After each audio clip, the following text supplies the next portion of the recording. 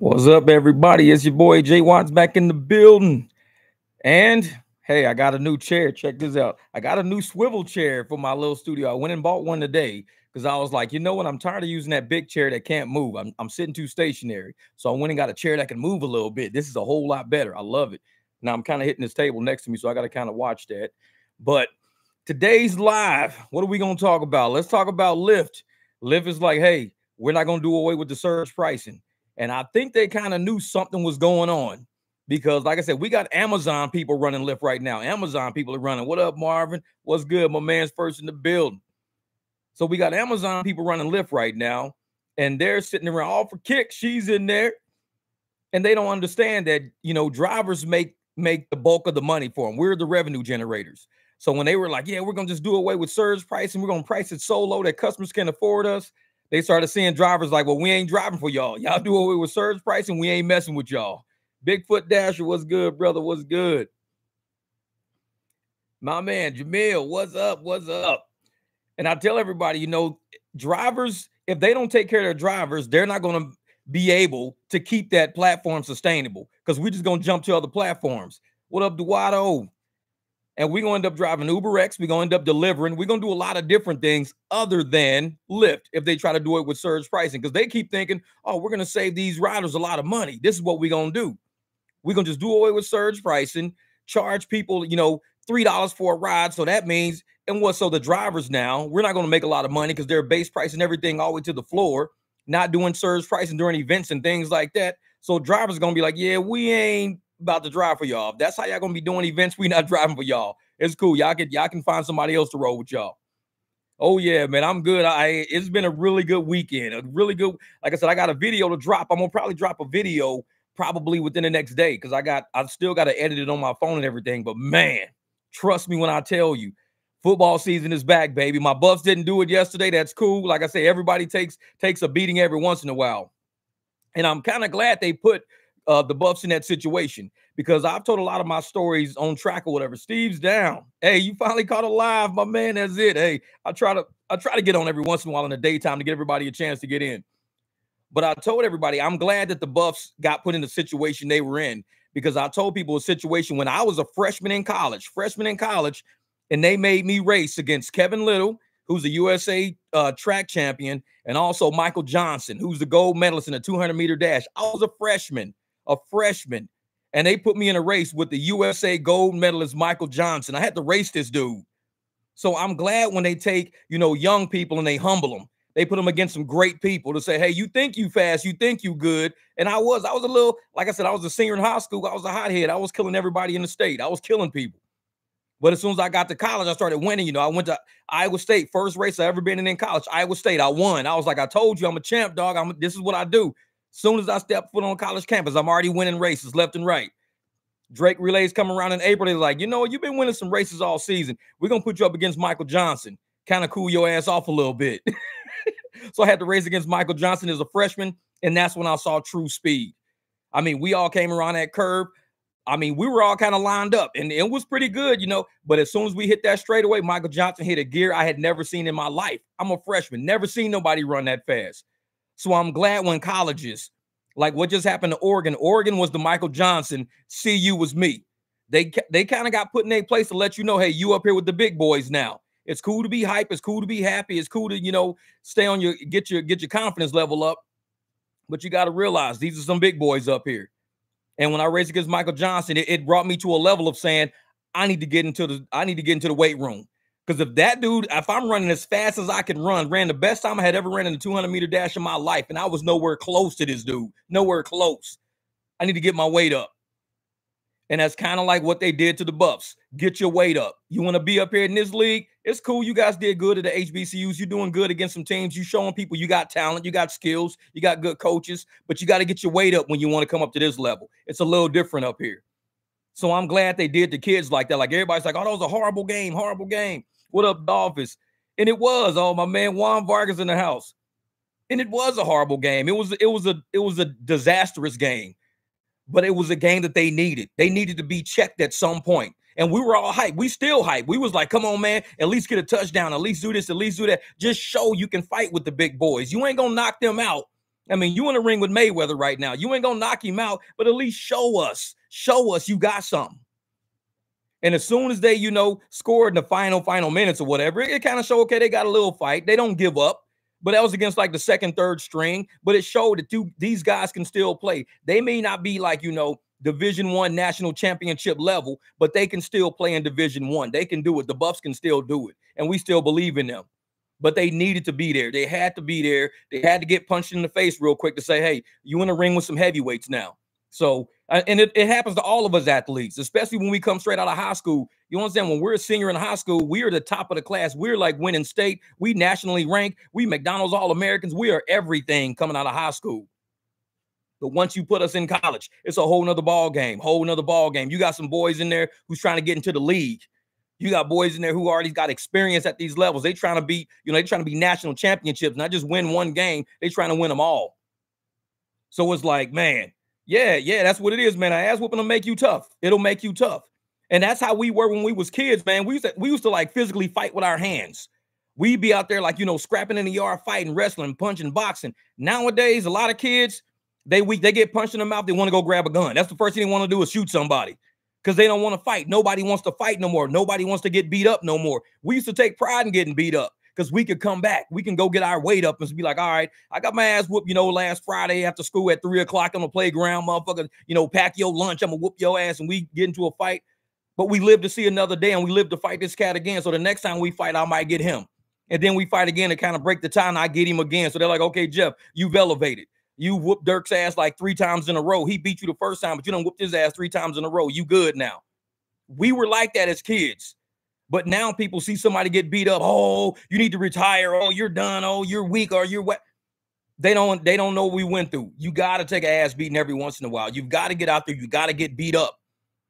And anybody who's in rideshare knows that is how rideshare is. Juan Vargas. How many times have we been beat up by this by this damn game, Juan? How many times have we got our ass kicked by the apps? Close the night at $75. Close the night at $30. Close the night, you know, when I did Beyonce concert, went out there. What did I do? I said, no, I'm not doing this shit. I'm done. I'm done. I closed the app down, came home for the night, didn't even do the Beyonce concert, did part of the Drake concert. Sometimes we get our ass kicked in ride share, but we don't say, oh, you know what? I, only made $75 a night. I'm about to go out here and just give me another job tomorrow. You spend all day the next day filling out applications online because you got beat up Thursday night. You got your ass whooped by the apps Thursday night. So Friday, you just filling out apps all day. No, we don't do that shit.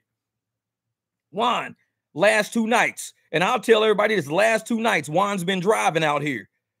And I was driving for the last two nights. Juan's made a grand in two nights. A grand in two nights. We got our asses whooped all summer.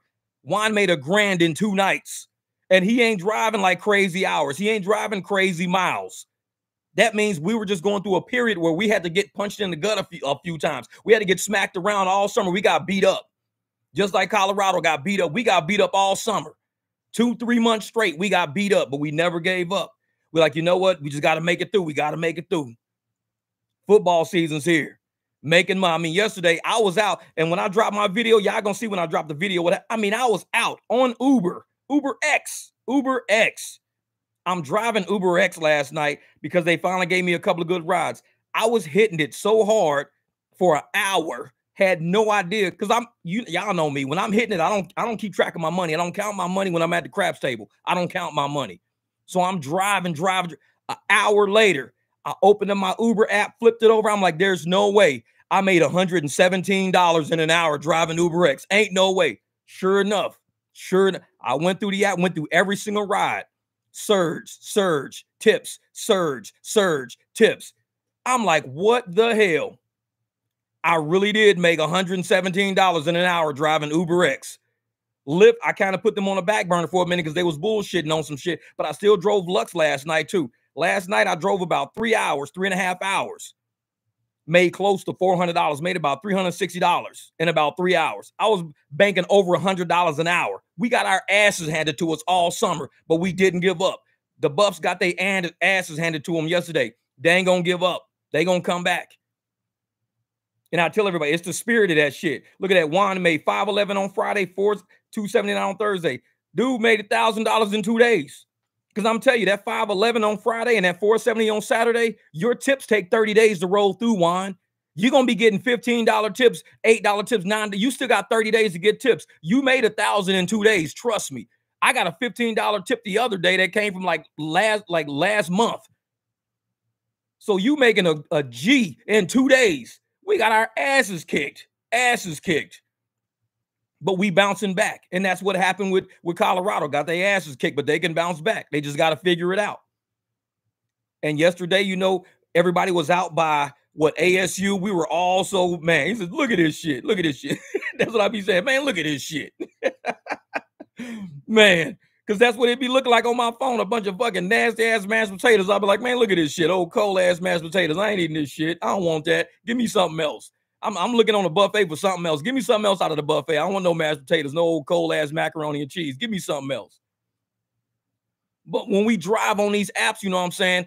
You got to have the heart to fight. Like I tell motherfucker, and it's funny. I went today and I bought a hat. This shit's funny as hell. This motherfucker says this. it says fishing people. I bought a hat today that says fishing people. I'm gonna wear that motherfucker too. Because the thing about what we do is we go out there and we like fishing. We sitting on the lake. And you know, if you a big game fisher, you're gonna be out there trying to get that that good amount of bass. You're gonna try to get that right shark. You're trying to get some, and that's what we do. We sit and we chill and we wait to that good ass hit, and we get that hit. Mm, last night I was getting hit so hard I couldn't even record for a while. I was trying, you will see when I drop this video, I was recording as much as I could. I was going through recordings, but even as I was on the recording, sh- trying to show you guys what I was doing, a ride would pop up as I was recording. And I'm like, oh, see, I can't even show y'all, man. I got to take this ride. It was hitting like that. I was recording and they were throwing me rides, trying to give me, and it, I couldn't stop. $117 in an hour. And I'm like, there's no way possible. I just did. It was so fast. It was so fast. I'm like, there's no way I just made that much in an hour. No way. I had to go through the shit. And sure enough, y'all know what I was doing. I was doing my Uber pet. I'm I'm sneaking on the Uber pet, driving around, grabbing $20 surges, $15 surges, $14 surges. I'm on Uber pet all night, cruising, grabbing shit. But that's what it takes, though. That's what it takes. What William say, man, I got screwed by Lyft gods. Driving to the end of the football game here in Cleveland, my tire blew out. Luckily, I got a full tire spare. That shit is confusing. Now I'm now I'm going 120 hour later. Yeah, that's what it is. What up, Silver Fox? Yeah, man. Sometimes it happens. I remember I was driving, you know, when I had them run flats on the car. I ended up with a, my thing went all the way down to like 22 psi. I was in the middle of a nice run. I had to pull over at the gas station, plug my damn. I got a plug kit in the back. I had to plug the damn tire real quick. Hurry up, go to QuikTrip, get all that shit. It knocks you off your grind, man. It knocks you off your grind. But it's like an injury in a game, man. It's like an injury in a game. You gotta go to the sideline, stretch that shit out, get back on the field again. Say Lyft doesn't activate my account because I have a restricted license. I don't know what kind of restricted license you got. Like, are you restricted to drive during the daytime, nighttime, glasses? Depends on what it because sometimes these apps, they'll, you know, if you can't drive 24-7 free and clear of everything, they might not want to have that liability on their on their hands. You might have to do like, you know, Uber Eats or something like that, delivery or DoorDash or something like that. But yeah, this man, this weekend has been crazy. Like today, I was thinking about driving today. ASU still got parents weekend going. A lot of people gonna be going to the airport. I opened my app up this morning when I got up, and I was like, the whole city was flaming red. Both apps Lyft just fire pink, all pink. And I'm like, man, I should be out driving right now. But I was like, you know what? We gotta let the day people who can't drive at night make their money too. I'm not a greedy motherfucker. Y'all know me, man. I'm not that type of driver. I'm not a driver that's gonna be like, I need to go out. No, I have my discipline. I got my regimen. I got my my routine. I know what I'm doing. So I say, you know what? I'm a kick back. I'm gonna let the day drivers who got you know two, three, four kids and shit, let them go make that money. Let them go make that money. Because when nighttime hit, that's me. Because at night I can move through traffic a whole lot easier and fast. Like I said, with Uber, y'all gonna see on the video I drop an hour. How did I make $117 in an hour? I was moving, and that was online time. That was online time. That wasn't even actual driving time. That's how crazy it was. I was online for about an hour, 17 minutes. Somehow came out with $117. I was like, what the hell is happening on Uber X? Yeah, the, the catching Uber line to the driver bill was, man, that's what it was. That's what it was off the handle. They be lying, man. They be, oh, no, you can't get on Uber XL. No. Yeah, right. Shit, shit. Yeah, I wish there was a way to cheat Lyft. 25 years requirements. I drive for Uber, but I'm 23 years old. Yeah, hey, UberX, man, I'm gonna tell you right now, UberX got a lot of good money out there. You just got to know how to. If you look at some of my videos, how I'm navigating Uber Pet and using Surge on on my reservations, and another driver told me that because he saw me on my reservations not getting Surge, and he was like, "Jeff, what are you doing, man? You should be getting Surge on each of those reservations. You had Surge." And then you see all these other drivers in the comments. No, no, once you agree to a reservation, that's what it is. No, because the surge said this is what you get on your next ride. A reservation is still a ride, no matter what time you set it for. I can set a reservation a day ahead of when I should ride. And just because I set this reservation a day ahead of when I ride, don't mean that can't be the driver's next ride. That's still a ride. So that surge hits that ride. And 100% of the times I contact the support and say, hey, I didn't get my surge. And you got to make sure you screenshot that shit. When you got a surge on your phone and you know you coming up on a reservation, screenshot that surge, screenshot it because you're going to need that screenshot because they're going to be like, what route are you talking about? What surge are you talking about? Send them that shit. They're going to apply it. Trust me. A lot of drivers didn't believe it. And I keep doing it over and over and they still don't believe it. I get that money every time. They still don't believe it. Look at that. My last trip was four miles, 20 bucks. Declined three right before that. Seven, four, two, then the 20. That's right, man. That's right. And a lot of people don't understand how we do that. When, when we out fishing, you know what I'm saying? You feel a little tug. That that tug is literally, it could be a fake tug, you know, it could be a branch cruising by. You know a tug when you get a tug when you fishing. You know when some some fish got your bait. And you know when it's a big one because that that damn pole start bending a little bit. That pole ain't bending. You don't want to take that ride. A seven dollar ride. You don't want that. Seven dollars for seven miles. You don't want that. Hang out. As Soon as you hit that $20, one mile to get somebody three mile drive. That motherfucking pole start bending. You know, pull that motherfucker in, hit that screen, be like, hey, got you, got you. Shit, take that ride quick as hell, man. Hey, I'm telling Lyft always give you service no matter what. Uber, they be trying to get people. They be trying to get people. And I tell people all the time, man, you got a lot of drivers out there that don't understand what opportunity cost is. I've had a couple of videos that explain opportunity cost, and it's the chance of you doing something where you could be doing something else that's more lucrative. We sit around and we wait. Like when you see the video I'm gonna drop, I mean, I was going three, four miles, $28, $49 for like 13 miles. I mean, it was crazy, sir. I was doing crazy shit. Thank you, Logan. I appreciate that, brother. Always. And hey, Logan, I'll follow your advice my shit will be showing up. Hopefully this week it'll be showing up, man. And I can't wait to show it because I need everybody to go to your channel to see exactly what I ordered. If they go to your, if you go to Logan's channel, you can see exactly what I ordered. He's got a few, th- and I got mine coming in. I cannot wait, baby. It's time to get this money. Thank you for that advice, man. Thank you for that advice. Always on the grind, brother. Always. And like I said, when we out there, the opportunity of us, you know, chasing this little seven dollar for seven mile ride. We wasting our time with that. That's a waste of my time. I would rather let that go. Let it go to another driver who thinks they got to stay busy. Because while they on that seven mile for seven dollar ride, right behind it, I'm gonna get a thirty dollar ride for six miles right behind it. Never fails. Never fails. And once you learn your marketing, you understand what Uber is doing and what what Lyft is doing. You start seeing they're getting the suckers out the way first. They'll say, "Here's 22 miles for $24. Sucker, take that. 22 miles, $24. Right behind that, they'll go seven miles, $20. I'll take that one. Every time it never fails. And that's why I put my shit on a video. And I'm one of the only drivers out there. There's a lot of drivers doing it now, but we record our screens. We let you see everything. We don't bullshit you and only show you screenshots. I'll show you the bullshit, the good shit, the, the fuck ups I do, the me trying to get something and not getting it. Like I'll try to get that $30 Uber Eats and I didn't get it. I'll show you everything because a lot of people out there they like to sit there and be like oh man you know i'm so amazing of a driver. All my shit is banger after banger after banger. No i get fucking mashed potatoes. I get bullshit every fucking time and i show people that. I get bullshit. I'm not in such an amazing market that i don't get bullshit. I'm not that important of a driver where they send me bangers nonstop. No i find them bangers. Like i said we out fishing. What drew say? Drew says uh have you still been leaving hum on? Nah, man, I ain't. I haven't because Hum is a dispatch system. Hum is not like Uber and Lyft. Uber and Lyft is controlled by AI. Hum is controlled by an actual person that's a dispatcher, and they don't have a night dispatch. They only have day dispatch. So I drive at nights.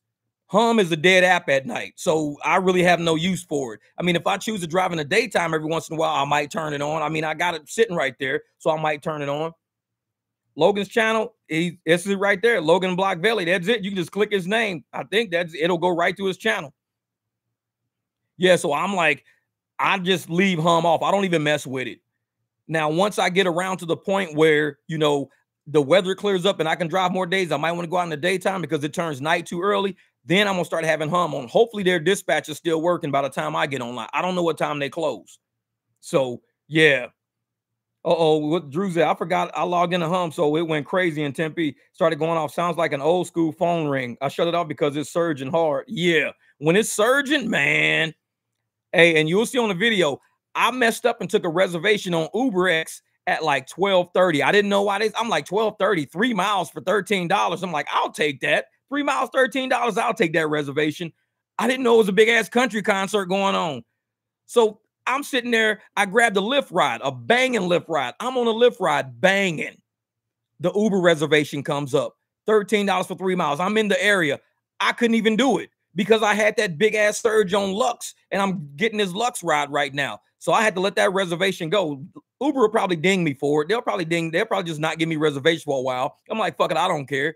You don't sit there and give me reservations in the middle of a country concert. Well, it's surging all over the place. I didn't even know it was a country concert. I'll let that shit go, man. Forget that. No, no. So I end up, I was like, you know what? I'm gonna end up just turning on Lux. I turned on Lux during the country concert, got away from the country concert because I came down Rio Salado. It was bumper to bumper traffic the whole time. Luckily, the people tipped me and everything because that was not a good run for me. So I got away from it. I went and that's A1. That's when I was sitting behind the Denny's. I said, Yeah, I'm just sitting behind Denny's chilling right now because it was it was surging like crazy everywhere. I needed to calm down for a second and and plot. Like I said, when when you in the stands and when you on the field and you got the crowd like going nuts and everybody's going nuts, players are going, everything going nuts. Sometimes you got to get in the huddle with yourself, get in the huddle and say, okay, it's a lot going on right now. And you see me in my videos always going, man, I need to take a break for a second. Let me see. I'll pull up to a parking lot and I'll open up both apps. I'll look over everything. I'll see where the surge is, where the $2 surge is, where the $20 surge is, where the $5, which app is surging, if I got anything going on. I'm in the huddle with myself, sitting behind Denny's, going through both apps, and I plucked something good. I was like, okay, I see exactly where I should go. And it wasn't toward the concert. And a lot of drivers does gotta stay busy, gotta stay busy, driver. Those motherfuckers, they will just sit there and just take ride after ride after ride after ride after ride after ride because they want to keep their AR up and they thinking, ooh, Uber's just sending me ride after ride. I'm doing good. They fuck around, make $32 an hour, and we making $100 an hour. They get a $15 ride for fucking, you know, 30 miles. Then you get another $15 ride for 24 miles. And the whole time we done made $117 going like 30 miles total. That's how we do. We pull over into the parking lot and we have a huddle with ourselves and go, hold up for a second. Let me see what the hell is going on. Let me go through everything first. And as I'm going through everything, I'm starting to see like, you know, where all the surges are laid out, where all the people are. I'm looking at traffic, seeing where all the cars are. I can open up the map on my dash on the radio and I see where all the red lines are. Red line going toward the airport. So I'm not going to airport. Red lines all through Tempe, not going to Tempe. So I went to Mesa. When I got to Mesa, you'll see on the video, holy sheesh, man, I was picking up $20 surges, $21 surges, back to back $20 surges, $9 surges, $14 surges. It was crazy, crazy. Because sometimes you got to pull over. You got to go into a huddle by yourself and say, What the hell's going on? Let me get out of the chaos. Let me just stop accepting everything. Get out of the chaos. Pull over behind a building. Pull over at a gas station get everything organized. This is a business. Get a business. When I'm driving, I still gotta edit it, man. I'll probably drop it tomorrow morning because I'm not gonna drive today. I'll probably drop it either tomorrow morning or tomorrow around about 4 or 5 p.m. Use that try to drop at 5 30 in the morning so the morning traffic people can have something to cruise to, or I'll drop it about 4 or 5 p.m. So when everybody gets off work and the night crew start going. I don't like midday drops. Midday drops is kind of like the algorithm don't see me because there's a lot of other people in a lot of different countries on other different time zones and if I drop at the right time, I can hit all different countries perfectly. I hit USA, I can hit uh, Canada right, I can hit, you know, fucking Portugal right, I'll hit Thailand right, I hit Indonesia right. And and my videos drop in all of these countries at the same time. So once I put it online, I got to hit all these countries at the optimal time for the the number of countries. I go for 27 countries. So out of all the countries, I'm only going for 27. America's always the first one, Canada's always the second. Then I kind of branch out from there. But I'm looking at my 27 countries and, and who I'm dealing with, and I go with those. So it's all about time frames, man. So I'm gonna try to drop it at 5:30 tomorrow morning or 4 p.m. tomorrow. Each time does all my countries right. For some reason, that's just perfect for the countries I go for. Oh yeah, oh yeah. Hey, that $23 surge, man. Juan, hey, I'm gonna tell you, Juan made that money in two days, a grand in two days. I made a little over 300 one night, and I was like 280 or something like that one night, like Friday night. Then last night I almost made almost $400. And it was a funny thing on one of these rides. I'm gonna tell you what these motherfuckers is doing, what Lyft is doing. Lyft is trying to, to hustle us. This is what Lyft is doing. So first Uber X tried some shit. They got this zero dollar fucking thing. They got this zero zero mile trip on my app. Nice trip. I didn't take it, kicked it out, didn't want it. Excuse me. So Lyft gives me a ride. It's it's one mile to the people, then it's a mile to where they're trying to go to for ten dollars. Two miles, ten bucks, five dollars a mile. I take it, no problem. Take the trip. So I get to the lady. It's three girls. So she's like, she's sitting in the back of the car waiting on her friends to come out. Her friends finally come out, and I got it all on video. You're gonna hear the story on the video, anyways. So the girl come out, and I'm like, yeah, yeah, I'm gonna take you guys over here to Champs. Where I was like, damn, I didn't know it was a Champs in Tempe. I'm like, I thought the only Champs we had was over in uh over in Gilbert because Champs is a sports bar. I'm like, Champs Sports is over in Gilbert. I'm like, damn, I didn't know we had a Champs in Tempe. This is crazy. I'm like, and it's at the mall. I'm like, it's a Champs bar at the mall. The girl put in Champ Shoe Store, not the fucking bar. Champ Sports Shoe Store. 11 o'clock at night. This girl done clicked the Champ Sports Shoe Store shit, done paid for the cheapest trip she could find. Uh-oh, am I breaking up now? Is it better like this? Let me know if I'm breaking up or not because I got to finish this story. Is it good now? I don't know if it's good or what. Yeah, but all right, I'm gonna back up a little bit like this. Okay, cool, cool. So with the all right, because I don't know if I'm breaking up, I'm good. Because sometimes on other people ends, it kind of breaks up. My end, it could be screwing up. I don't know. So the girl, so the champ sports is the damn shoe store. So I'm like, who the hell books a trip to the shoe store at 11 o'clock at night. Lyft should have known something was wrong with that. 11 o'clock at night going to a shoe store at a closed mall, man. So I was like, okay. I said, you know what? She was like, well, let me change the trip. Let me change the trip. And I'm like, well, I don't want you to change the trip because I know where that champs is. That champ is like 10 miles down the road this way. I'm only getting $10 to take you. Now, if you change it, and I got to go 10 miles the other way, they're going to give me like $8 for that shit. So I'm going to end up making $18. I'm going to get 10 plus the 8. That's all I'm going to end up getting probably, especially if we don't even go there. If we just go straight to there, I might not even get $18. They might pay me $13, $14.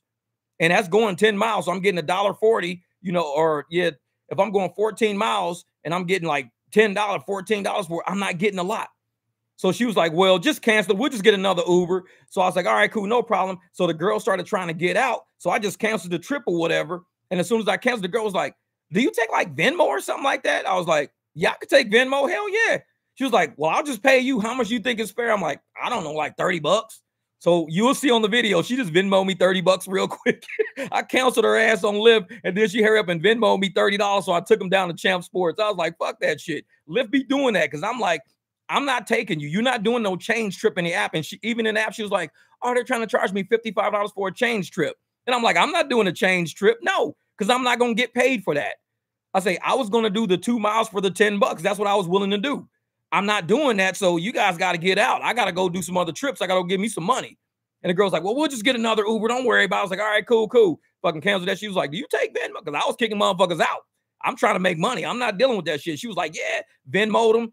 Shit, we driving, laughing, having a good time and shit. This and that. Shit, I got thirty dollars. I fucking so I when I was on the video, I kind of showed on the video how she sent me the thirty dollars to Lyft gonna be like, he, he canceled their ass, but he still ended up like at Champs. Yeah, not the Champs you try to send me to down the street, motherfucker. That was a shoe store. I'm going clear to the other side of town. You ain't fucking playing me. Hell no.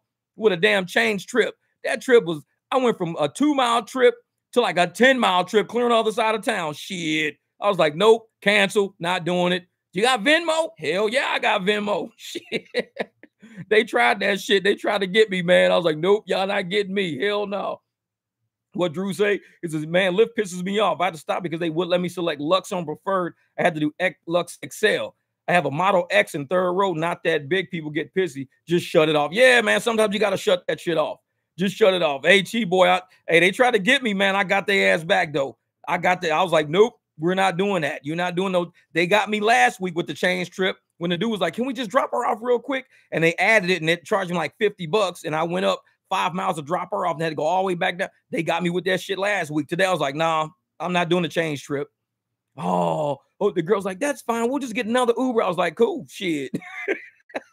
it's like I'm not doing. I agreed on ten dollars for two miles. That's what I agreed on. That's what I'm looking at. I'm not gonna do no ten mile trip and end up getting like fourteen dollars total. Nope, fuck that. So then after I dropped them off, I was down in the area, and that's when I got and Juan. That's when you hit me up, and you was like, "Hey man, it's like, are you are you uh, come up to Tempe? It's, it's on fire up here in Tempe." I was like, "Dude, I'm stuck down in Gilbert Chandler right now." It was surging like crazy down there because no drivers were up there. Oh, Bay, you said, "Hey Jeff, was your driving strategy the same when you drove your Jeep?" Nope. I learned a lot, man. Ever since I got this Beamer, I learned a whole lot. The Jeep started teaching me stuff. Now, when I had the Jeep, I was I was not doing any long trips. So I would get rid of nature hikes. But once I got the car, that's when I started really focusing on super short trips. With the Jeep, I just didn't do nature hikes at all.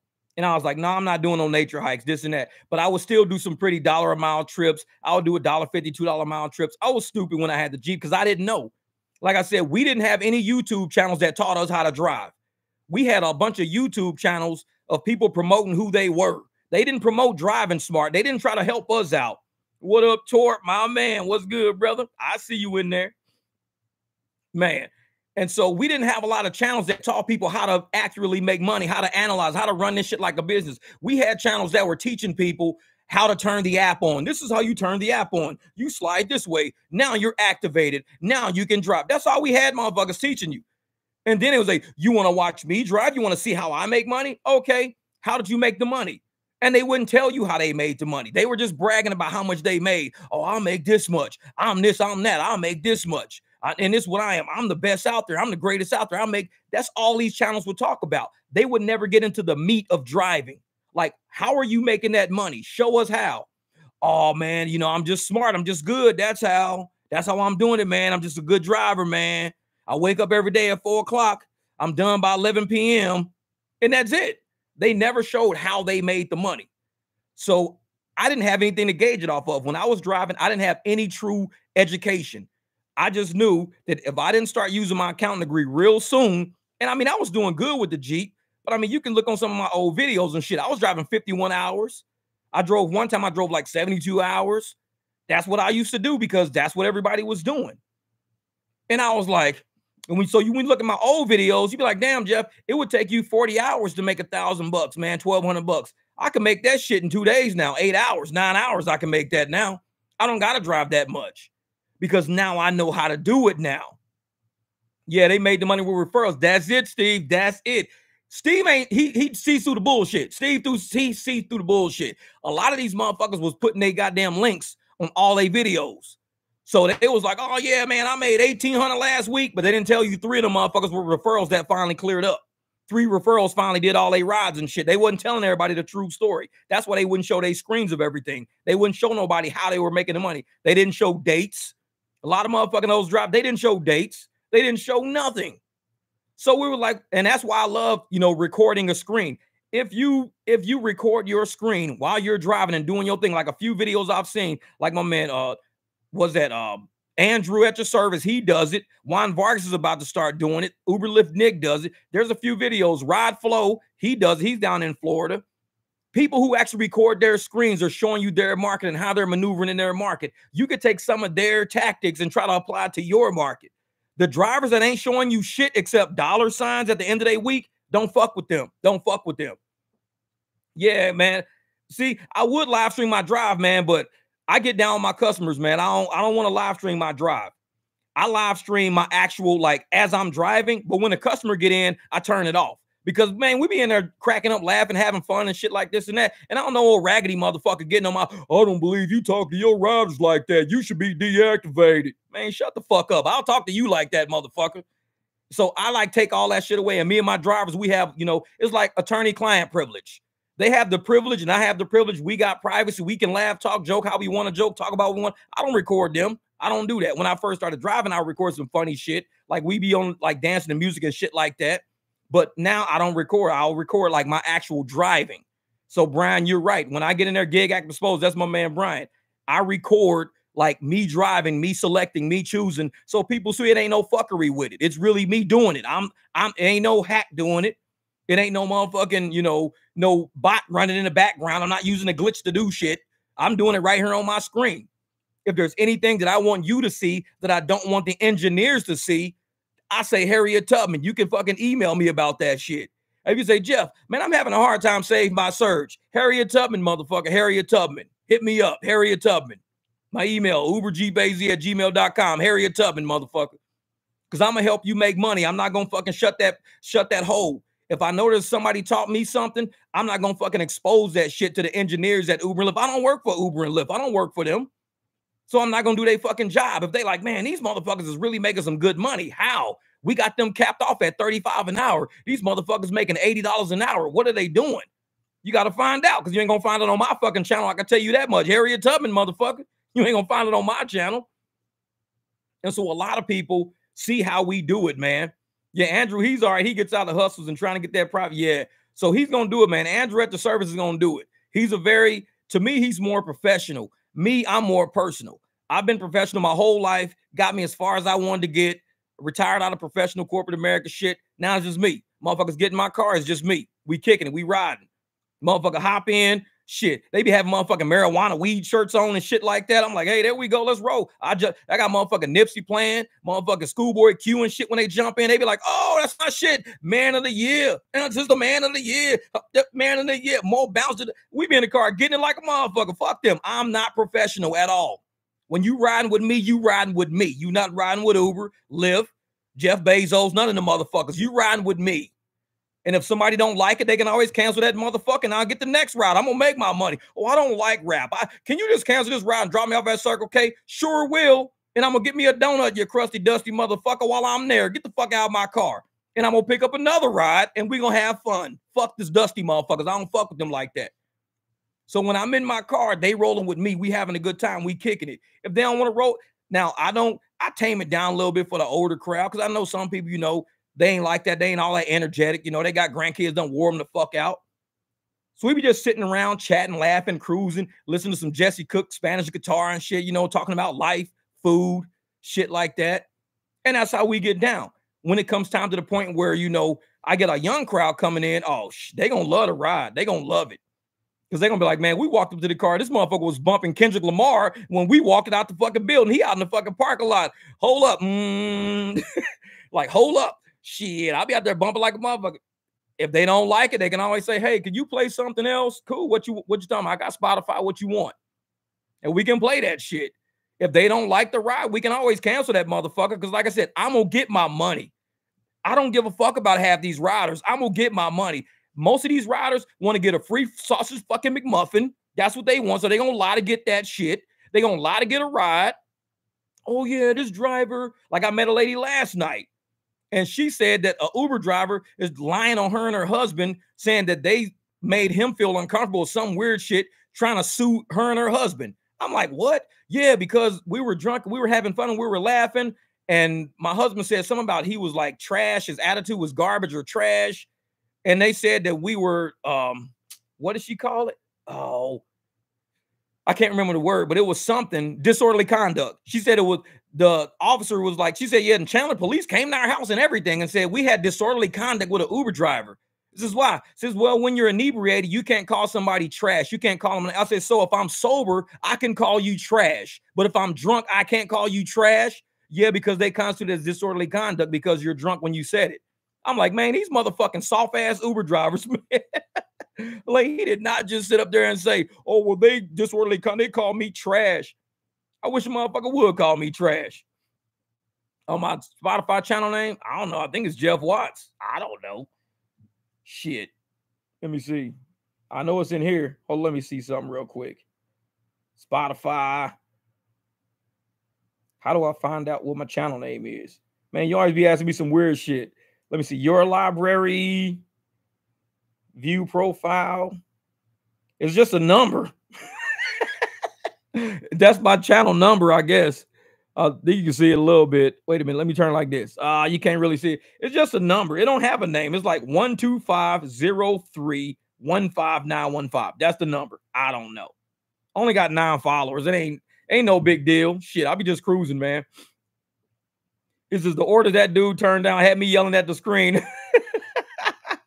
All Boston drivers are making bank. Yeah, yeah. The Asian guy in Boston makes bank. And some people do that, man. We turn down certain orders not because we want to, you know, don't want that money. We just might not want to go that way. We might want to go somewhere else. That's why I turn down orders. Torp says, I wish we could cancel certain hot dog delivery. I should do rideshare. And the driver seemed well united. Oh, Torp, man, we trying to pull it together, man, because there, there were so many channels. Like I said, in the when I first started, half these channels were just bragging channels. They weren't even trying to help other drivers out. They were just trying to show that they were a better driver than every other driver anybody's ever going to see. So subscribe my channel because I'm the best motherfucker you ever going to see. Turn the motherfucking key. Fuck them drivers, man. I don't fuck with them. I don't fuck with them. When they start talking like that and acting like that, they ain't got shit to say. They ain't got shit to say. It's a bunch of bragging motherfuckers who ain't going to share no information, no education, you just got to get in your car at 4:30 every day and just drive. Don't stop. Keep the motherfucker run red lights if you have to, motherfucker. Just keep driving. You're gonna make them. Fuck them. I don't listen to them. So when you start seeing drivers out there that are saying, "Okay, this is how you got to do it, man. This is what you do to make the money." You got to be smart. You got to be analytical. You got to treat this shit like a business. Don't take it personal when a motherfucker cancel you or you cancel somebody, or you decline somebody. Because I used to take that shit personal back in the day. When I be driving to people, they go, Bloom, rider canceled. I'm like, man, motherfucker, cancel me. What the fuck? But sometimes people cancel you because they might have five people and or they might have extra big luggage. There's a, a, multitude of reasons why somebody might cancel you. It ain't because they just don't want you. A, a, lot of motherfuckers, especially you know when I used to watch channels, oh they cancel me because I'm black. Like what? Like motherfuckers don't cancel people for race shit like that. No man, that's, that's so 1981, and Uber wasn't even out in 1981, motherfucker. I'm like, people cancel you for a multitude of reasons. It ain't always racial. They might have extra slug and say, oh shit, man, this is a 330i. It's the same fucking car I got. Oh, he ain't gonna fit all this shit in this car. It's the same fucking car I got. Cancel. Oh man, we got five fucking people. This dude sit for cancel. They could just cancel. I don't give a shit because all this does is open my my plate back up. And I'm like, oh shit, let me go over here and sit at this QuikTrip real quick. Go pick up this motherfucker surge, put my shit on Uber Pet, pick up a surge. That's why I do it. So I don't mind. I used to take that shit personal, man. It's business, though. I tell my motherfuckers, this is when I cancel somebody or I decline something, it's business. It ain't nothing personal. And that's why I like rideshare a lot. Delivery, you know, for a long time, people in like even rideshare drivers, delivering ride, we were put down by the public. We were called no skill, low skill. We don't do shit. We don't, and they're right. We can't bullshit. I mean, how much skill does it take to walk inside a Dairy Queen and pick up a fucking a, a shake? How it don't take that much skill. But do that. Walk into Dairy Queen and pick up a shake, but also buy a house. Also pay your car, your car note, your car insurance, pay for your kids' college tuition, put food in the refrigerator, fucking ha- generate a savings account. That's the skill right there.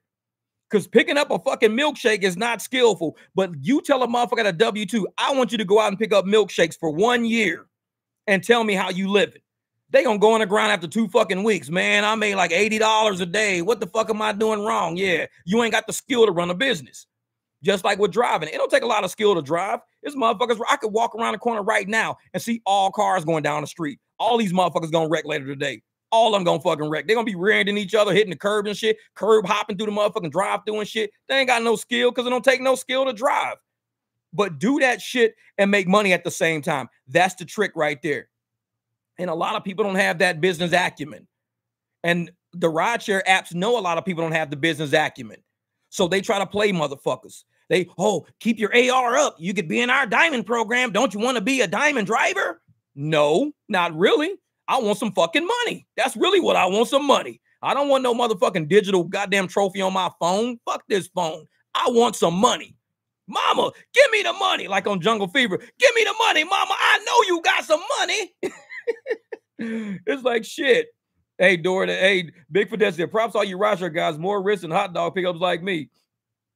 But see, that's the thing, man. If you look at all my videos, I do pickups, I pick up food, I do everything. I don't give a fuck. If it's worth the money, I'll do it. If it ain't worth the money, I'm not doing it. I don't give a fuck if you got Michael Jackson standing on the corner. If that shit's 50 cent a mile, fuck Michael Jackson. It's 50 cent a mile. Jeff, that's Michael Jackson, though, man. I don't give a fuck. That's 50 cent a mile. I'd rather go pick up a motherfucking FedEx working for $4 a mile. That's just what I do. I'm here for the money. I'm not here for the fuckery. I'm here for the money. And a lot of people respect that because I keep it up front and I keep it real. I don't know. I love rideshare. I don't know what I would do without it. I'd die if I couldn't drive. Man, fuck these people.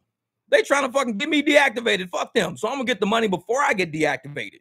So I'm trying to go pick them up safely, get them to where they need to be. They drunk. I don't want them to get DUIs and get tickets and shit. I'm gonna do that the best I can. And that's my job. I keep it real. I keep it up front and they tell me, hey, I just want to ride home, Jeff. I don't want to be your best friend, motherfucker. Just give me a ride home. That's it. Cool. And we'll have a great time for fucking 15 minutes. We ain't got to be best friends. I'm just giving them a ride home. They keep it real up front. You know what? I just want to sit and talk to my phone. I just broke with my girl. I'm just kind of say, all right, cool, cool, no problem. I'll play some music then, motherfucker. They keep it real with me. I keep it real with them. This is life if we end up being friends, that like some people I am friends with after the ride and shit, because we had such a good time. We exchanged numbers, information cards, and all that shit. We become good friends. Is it, oh, bro, if the Cardinals win, there are gonna be some good fights. Cowboy fans fight their own like the 49ers. That's funny. Offer kicks that sound like Gators. Sam Jackson. I know it. Mama, I know you got the money. Give me that money, mama. Shit. And I tell motherfuckers, you know what? Oh, Cardinals up 21-10 halftime. Oh, it, it might turn around.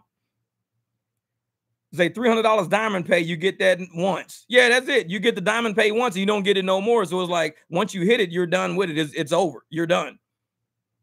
So we out here to get this money. We not here to bullshit with nobody. We not here to, you know, try to say, you know, I'm the best Uber driver you'll ever see. People say that shit all the time. Man, you the best Uber driver, man. You fucking cool. Because it's that energy. I'm probably the worst Uber driver they'll ever fucking have in reality. I'm probably the worst one. I probably don't open a door for them. I don't shine a motherfucking shoes when they getting out the car. Let me shine your shoe for you, Jimmy. I don't do none of that shit. I'm the worst motherfucking Uber driver. I, they get in my car. I'm playing motherfucking LL Cool J and shit. I'm sitting there playing motherfucking Keith Murray. I'm just riding around fucking kicking. They got the windows down. They hair all fucked up when they get out because I won't let the windows up. I'm the worst motherfucking Uber driver ever. And they like, oh man, you're the best driver ever. Next car they get, motherfuckers, let me shine your shoes, Jimmy. And they like, oh man, you're the best driver ever. You shine my shoes. See, I didn't do that shit. So I could be the worst driver, but they tell me I'm the best. Who gives a shit? We're here to have a good time and share that motherfucking energy. That's right, man. It's just Leo energy, but we just have a good time. And it's like we experience shit and we could talk about it later in life. We could talk about it next week. Man, we had the funnest ride. I got some shit in my the videos that I did. So I pick up these girls last night. Funny shit. So I pick up these girls down in Gilbert. They they like the last of the Mohicans and shit. You know the motherfuckers at the very end that's all out of money because they wanted to miss the surge.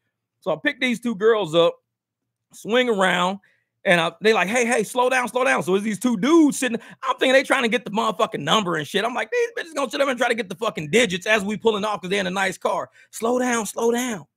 Okay. So we pull up and they look out the window. The dude, and the girl yells out, she just goes, nice swimming trunks. And they laughing and shit. And I drive off and they just cracking up laughing. I'm like, what was that about? Just because we saw him in the club earlier and we like, this motherfucker is in here with swimming trunks on. Who the fuck wears swimming trunks?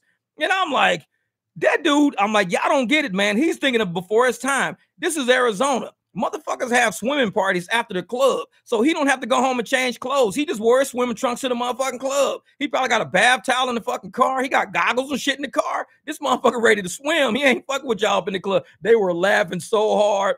I said, this motherfucker probably wearing them goddamn swimming trunks. They got the net draws in them. You don't have to wear underwear with those motherfuckers. They got the little fish net draws you wearing those motherfuckers. He in there dancing and drinking and shit with y'all because he going swimming right after. See, y'all got to go home and get ready. This motherfucker's already ready for the swimming party. and they were rolling laughing. They were like, man, it's like, Jeff, this shit is so funny. The girl's like, I'm gonna pee my pants. she was dying laughing. I was like, y'all motherfuckers don't know how to peep game. Dude is above. He's he's a legend before his time. That's some shit I would do. I'd wear swim trunks to the motherfucking club. You're like, Jeff, why in the fuck you in here with swim trunks on with a motherfucking bath towel around your neck?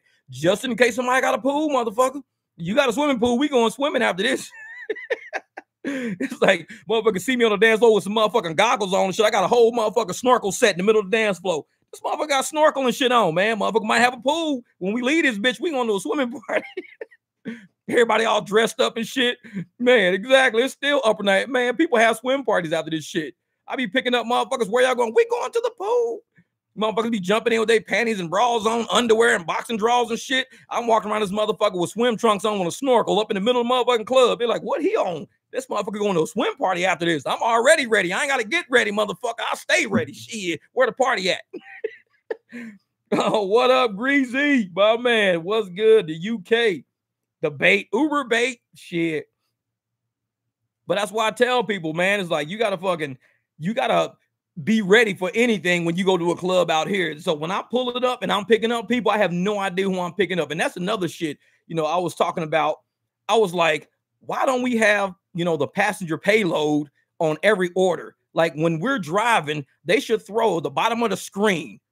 Like, is it a three? Like, are we picking up three people? Show a little red three, show a four, show a one, show us something. Let us know what the payload is because there's not there's not a delivery driver out there who don't know what his fucking payload is. He driving a big ass truck and he just show up. No, you know you got a bill of lading. You have something to show you what you picking up. We the only motherfuckers just driving around nilly willy all fucking day. We don't know what we gonna end up in. We just drive up and there's like five motherfuckers on a curb. We like we had no idea. We thought it was one. We see Shelly. We think we picking up Shelly. We picking up Shelly, Kenny, Tyrone, fucking, you know, Jake. We got all these motherfuckers getting in the car. We ain't know that shit. it's like, yeah, show me the money, shit. And that's what you got to do, man. We gotta, we gotta have what up, KC biz strategy. Oh, and this lady right here, woo, KC, shh, she's out in Vegas, so she's she swapped up her her uh her strategy a little bit. She said, "I'm gonna swap my strategy up. I'm gonna do something a little different." So her and her husband they out there driving, driving. These motherfuckers together, together, almost made four thousand dollars in one week four G's in one week. They almost hit it. And she made more than him. They out there doing it. They out there doing it, man. And I tell motherfuckers, they think, you know, rideshare drivers is broke. Rideshare drivers ain't got shit. Rideshare drivers, you motherfuckers need to go get a real job. Y'all, y'all, this ain't y'all second job. What do y'all do for real work? If you making four G's a week between the two of y'all, that's 200 G's a year. You can keep your motherfucking W2. If you paying me four G's a week and I'm bringing that income to my house, four G's a week, I don't need no W 2. Don't be hollering me. now, because these motherfuckers hollering at us about these W 2s, but they don't even know what we do for. They don't look at channels like mine. They look at the big channels, the channels that show this is how you turn on the Uber app. This is how you pick people up. You open up the door, they get the fuck in. That's the kind of shit they look for. They come to a channel like mine, they be mad as a motherfucker. They be like, I'm quitting my job tomorrow. These motherfuckers making 300 a day, working three, four hours, making 300. I'm quitting my job. Fuck that. they don't look at channels like mine. YouTube won't tell motherfuckers with jobs about this channel. No, they don't want that. Listen, it's so hot. I'm gonna use Jeff's Tuber app. Yeah, hell yeah, man. That fucking Tuber, goddamn it. Let these motherfuckers drive themselves. You just sit in the house and chill. They can drive themselves. That's right, KCA. We let them, man. Hey, they can keep that job. Fuck that. But they the main ones. Yeah, you should go get a real job while working next to you. And then after we get off on Friday, we got to go, you know, give some of our money to the payday loan places. We took out a payday loan last week. You want me to do that with you? You want me to kick it with you, motherfucker? Because that's where you at right now. And I tell people, watch who you listen to, because you fuck around, end up in the same boat they in, and you might not want to be in that boat. You might be in a better boat than what they got. But these motherfuckers in the comments, you need to do this. You should be doing that. You should be doing this. Meanwhile, you bringing home 4,000 a week. You bringing home 4 G's a fucking week. And they like, uh, yeah, you should probably be listening to the motherfucker bringing the 4Gs home and talk to them. Say, hey, KC, what are you doing? How are you doing that? Well, for one, I'm not taking no bullshit rides. That's for one.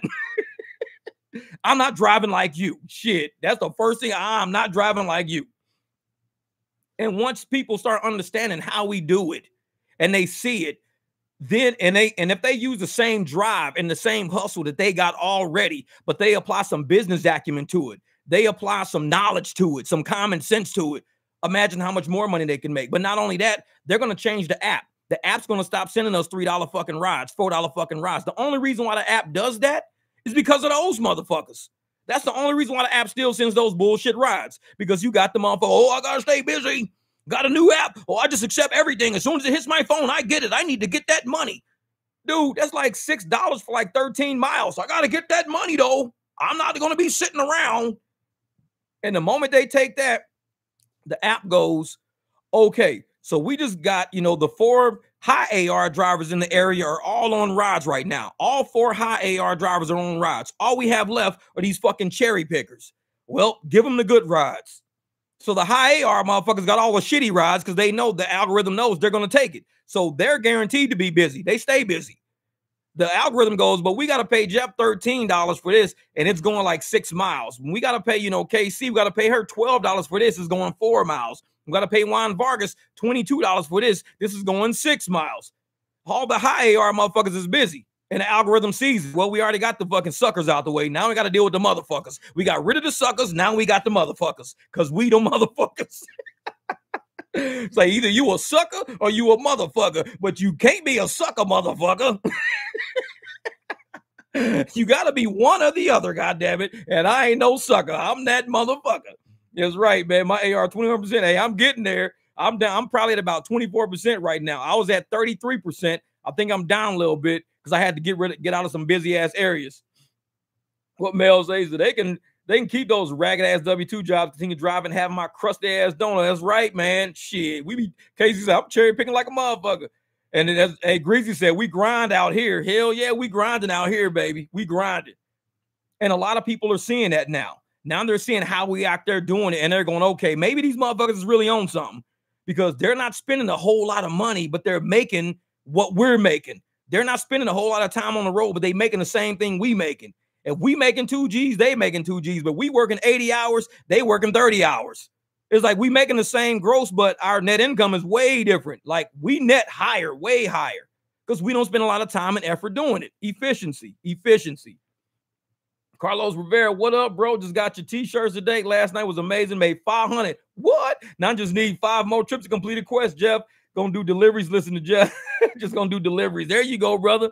Hey, well, I'm glad the shirt showed up. My man Carlos, he ordered some shirts and he had to get them motherfuckers. He had to put them tips on there, man. Shit. Hopefully you out there getting that money, brother. 500, man. You and Juan Vargas both did that shit. He made 500 over the past two days, like 500 each day. And you made 500 yesterday. I'm still under four. I'm right up under four, man. I'm gonna get there though. I need to get out a little earlier. That's what I need to do. I need to get out maybe two, three hours earlier than normal so I can get a little extra money because I take breaks through the day, through the night. I'm taking breaks. I'm sitting in the parking lot, I'm chilling, I'm relaxing, and that takes up a little time. But you know, I'm not a greedy ass driver. If I can make 250, 300 and I'm only doing three, four hours, I'm cool with that. Five hours, I'm cool with that. I'll do fucking 250 in five hours. I'm cool with that. So it's like, but if I want to start hitting y'all level, then I need to do what y'all do. I need to get out a little earlier or just kind of let my morning drag on a little bit, get out there. And we can do that shit. Yeah, patience is the key. That's it. Patience is the key. Because motherfuckers see me, man. I'm sitting on brick walls and shit, just hanging the fuck out. I'm looking at, and sometimes when there's no surge at all, I'll just turn my apps off and I'll just sit in the area, sit there for like five minutes, turn the apps on, a big red spot will pop up somewhere because no drivers are around. As long as you're a driver around, they're not going to want to get any drivers to that area because you're in that area. So what they do is say, hey, we don't got no drivers down there. Because last night, you'll see on the video, I was way south. They had a $9 surge, $15 surge, 14, all that shit was around me because I had my app turned off. As soon as I turned it on, all these surges popped up. I'm telling you, man, I can't wait to drop this video because it it is unreal at how shit's going when you kind of figure out what's going on with the apps, like how they're because it's surge baiting. That's all it is, is surge baiting. They don't want to give nobody a fucking surge for real. It's baiting. But once you figure out that you're being baited, you got to be smarter. Uber pet that motherfucker. it's like I'm being baited. I know I'm being baited because if they knew I was here on Uber X, I wouldn't have a surge sitting here. So you have to bait them. Some you have to deal with the baiting, and we deal with that in a different way, other than saying, "Oh, I'm just gonna drive down there." Just like my man, uh, what Stanley Jenkins was saying, you have to put it on something else because he was saying when he was on XL and everything, it's throwing him too many rides. He can't even make it to the surge because it keeps throwing him rides. And that's what they do. And you see that shit in some of my videos. When I'm trying to get to a surge, they keep throwing me rides, taking me away from the surge, or they'll throw me a ride, you know, going in the opposite direction of the surge back towards it. Let all that shit go. Let it all go. Either turn your app off, turn that shit on Uber Pet, figure something out because they're going to keep trying to get you to go away from that money because they want to bait everybody there. And if you go get it already, they're in the pocket for that. That's a liability on them. Now they got to pay you that shit. So the first thing I'm gonna do is think, well, this sucker motherfucker got this $14. Send him a nature hike. Send him, you know, 36 miles for $50 or some weird shit like that. Send him way the fuck out somewhere. And when they find out you're not taking that shit, wait a minute. How is he not taking all these nature hikes and we still in the hole for this liability? We still owe him this $14. Play the system. There you go, Greasy. You gotta play the system. Harriet Tubman, motherfucker. Harriet Tubman. You gotta play the system. Know it. And I'm one of was that follow the steps, chill by the gas station, have a crusty donut, and wait for the good pan ride and decline the trash. Melly Mel. and that's how we do it, though. That's how we do it. I tell people, man, you've got to have patience. You got to be willing to let all the trash go. Let that shit go. So many people are scared. Well, if, I let this ride go, I'm not going to get another ride for 10 minutes. So, so what if if 10 minutes pass, you don't get a ride? It's 10 minutes. It ain't like three months, motherfucker. Some people, like I said, they sit at home on the couch waiting for the perfect job to come. Three months later, they still sit on the couch. No, I'm waiting on that job, man. I'm gonna get that job at Google, man. I know it. I'm gonna get that job at Google. Well, how come you just don't get a job right now and make money while you waiting on a job? Because I don't know, Google might call tomorrow, man. I don't know when they gonna call. So I'm not gonna go get a job and then be stuck at this job, and then Google finally call me. So three fucking months, these motherfuckers are sitting on the couch. What's up, Rasha? Lisa? She in the house. So three months later, these motherfuckers are sitting on the couch waiting on Google to call. And they looking at us like, well, you sat in that parking lot for 10 minutes. I'm like, 10 minutes? Motherfucker, you've been at home for three months. What the fuck are you telling me about 10 minutes for? I could take 10 minutes. Because with that same 10 minutes, I could be doing a goddamn 50 cent a mile ride for the next 20, 30 minutes, missing the opportunity of a good ride popping up. So I'm sitting here, next thing you know, holy shit, this motherfucker is that, that carbon fiber lip look good. Y'all thank you, ABC. Hey, that, that carbon fiber's back. It's back, baby. So instead of me just taking a ride for the next, you know, 10, 15 minutes doing a 50 cent a mile ride, I kick back, I get a $4 a mile ride, just waiting, $4 a mile. So for everybody that's driving for $1 a mile, everybody out there driving for $1 a mile, you have to drive four times the amount of miles we drive if we're getting $4 a mile. The math is what it is. You can't beat the fucking numbers. If somebody's getting $5 a mile and you're getting $1 a mile, you've got to drive five times the amount to make the same amount of money this dude making at $5 a mile. Because just think if you're going $5 a mile, you drive 10 miles, you're getting $50. You're getting $50 for going 10 miles. How much of this $1 a mile motherfucker got to drive? 50 miles. So this guy's doing 10 miles. 10 miles, 10 miles, and every time getting $50 for every 10 miles he's doing 10 miles, 50 bucks, 10 miles, 50 bucks, 10 miles, 50 bucks. You're getting one mile, one dollar a mile. So you got to go 50 miles, 50 miles. 50, you keep doing that shit, you're gonna run out of gas, and you right back at the gas station. And this guy can do way more miles. He can do way more 10 mile trips at five dollars a mile than you can do 50 mile trips at one dollar a mile. Oh, I did a 50 mile trip and I got 50 bucks. Another 50 mile trip and I got 50 bucks and another 50 mile trip, and I got 50. This dude went 10 miles, 50, and he's sitting down chilling. Another one comes through, 10 more miles, 50. He just keeps doing that shit over and over again. These one dollar a mile motherfuckers, they don't understand how math works. The numbers are, are finite. The numbers are not infinite. Numbers trap. That's why accounting is like organization. Accounting is very organized. You trap data with numbers. So your numbers are finite. They're not infinite. You don't have an infinity fucking sign on anything you do you have to say, okay, if I want to make X amount of dollars in this many months, this is how many miles I have to drive if I'm at this dollar per mile. You have to financially plan. Anytime somebody opens a business, the first thing they do is they say, I need a budget. I need a budget. So once they give you a budget, they give you the numbers. I need the numbers. How much can we make? What are our projections? They call them projections. Every business has projections. Once you give your projections, those are revenue projections. Then you got your budget. That's your expense budget for the revenue projections you got. If you're not doing that shit in ride share, you ain't running a business right. Have a projection. Say, I would like to drive 30,000 miles this year.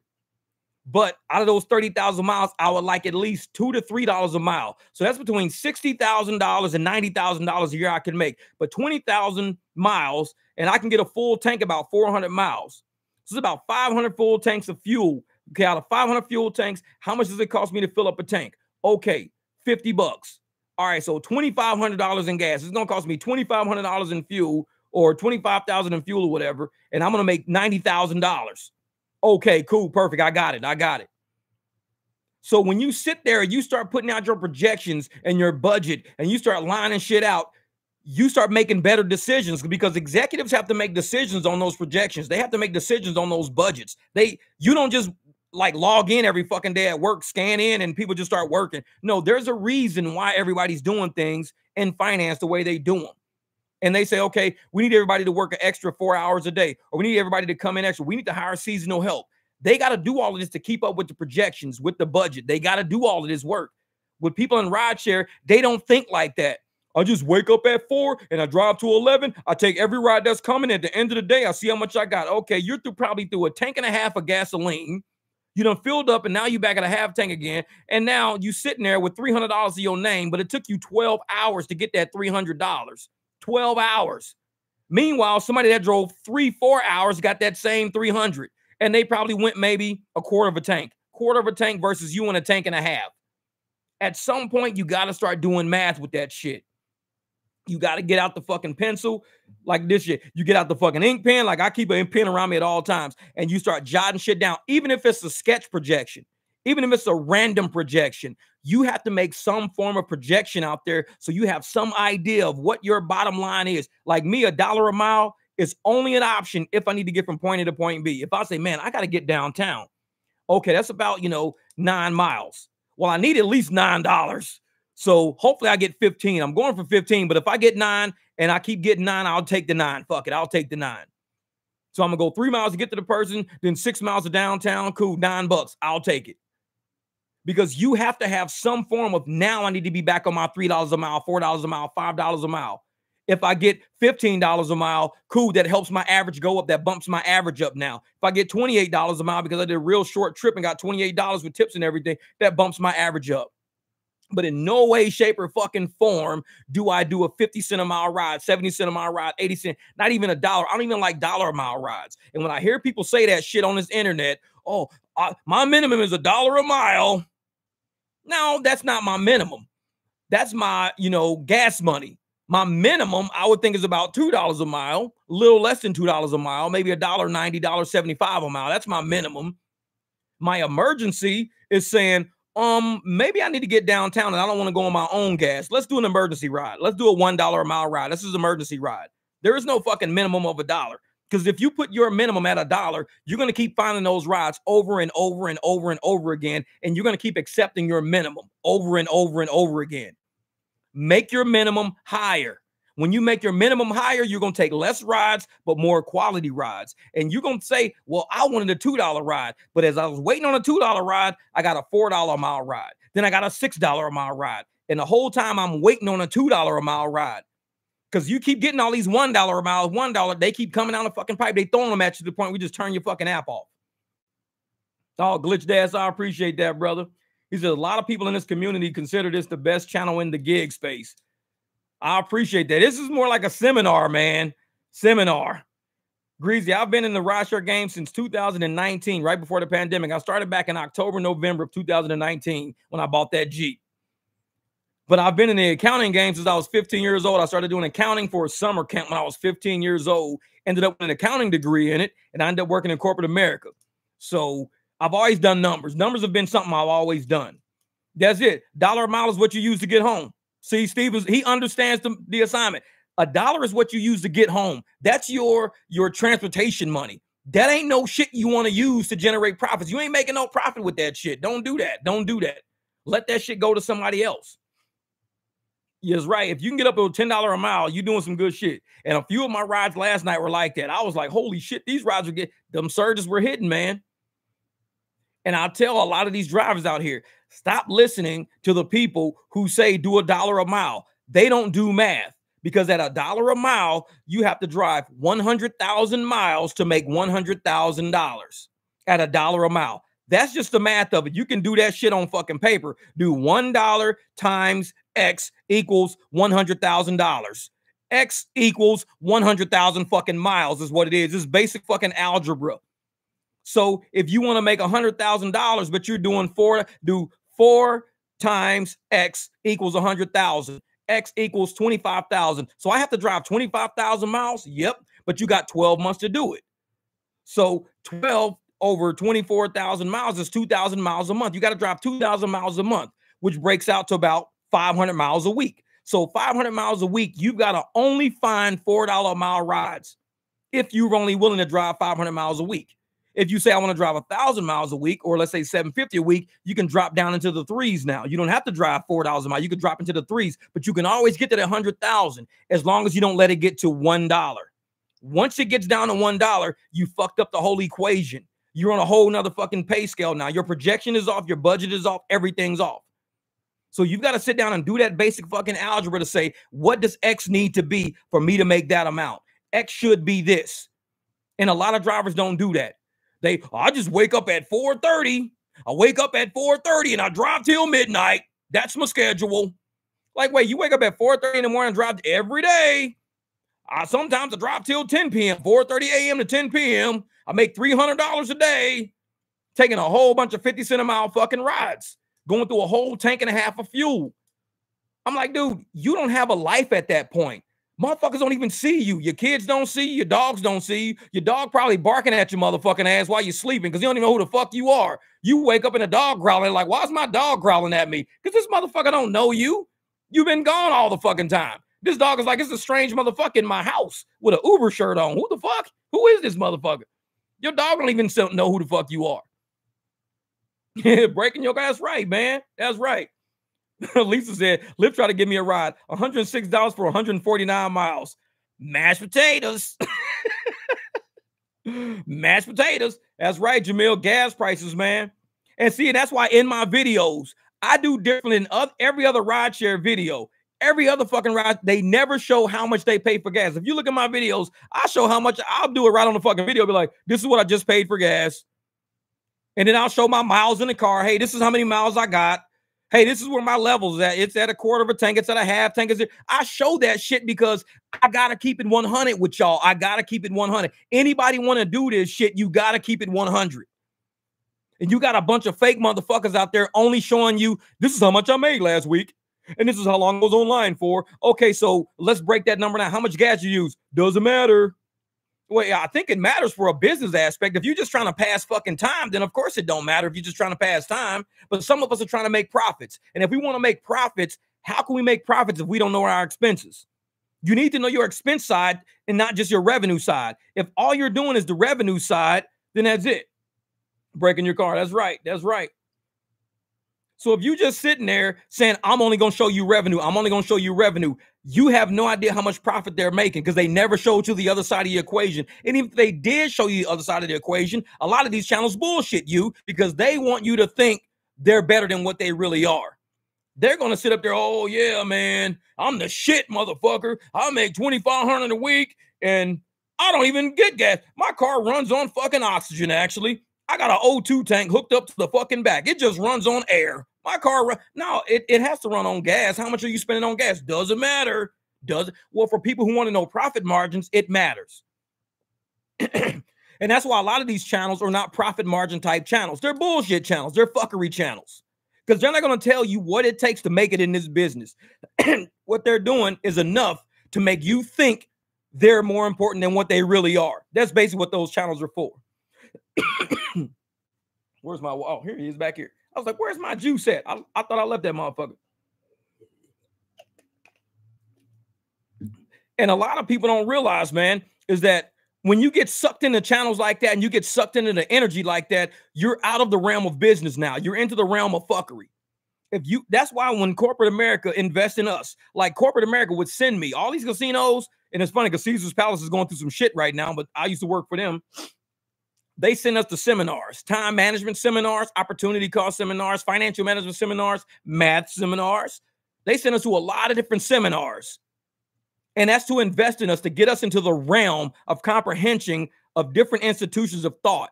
So once you're in an institution of thought, it's hard to pull you out of that. I've always been in a profit institution of thought. I've always been profitable. So I do things from a level of profit. I don't do things from a level of being busy. Oh, I gotta say fucking busy, man. When I leave the house, I just as soon as my ride hits, I start taking it. Ooh, cool. $7 for 14 miles. Take it. That's $7 I didn't have. Oh shit, $10 for 21 miles. That's $10 I didn't have. And they keep doing that shit. And they never once stop to think, what's the profit margin on this shit that I'm doing? They don't have that business acumen. They're not business people. They're bullshitters. And they're going to show you at the end of the week, I made 2200 last week. How many hours you work, how many miles you drive, doesn't matter.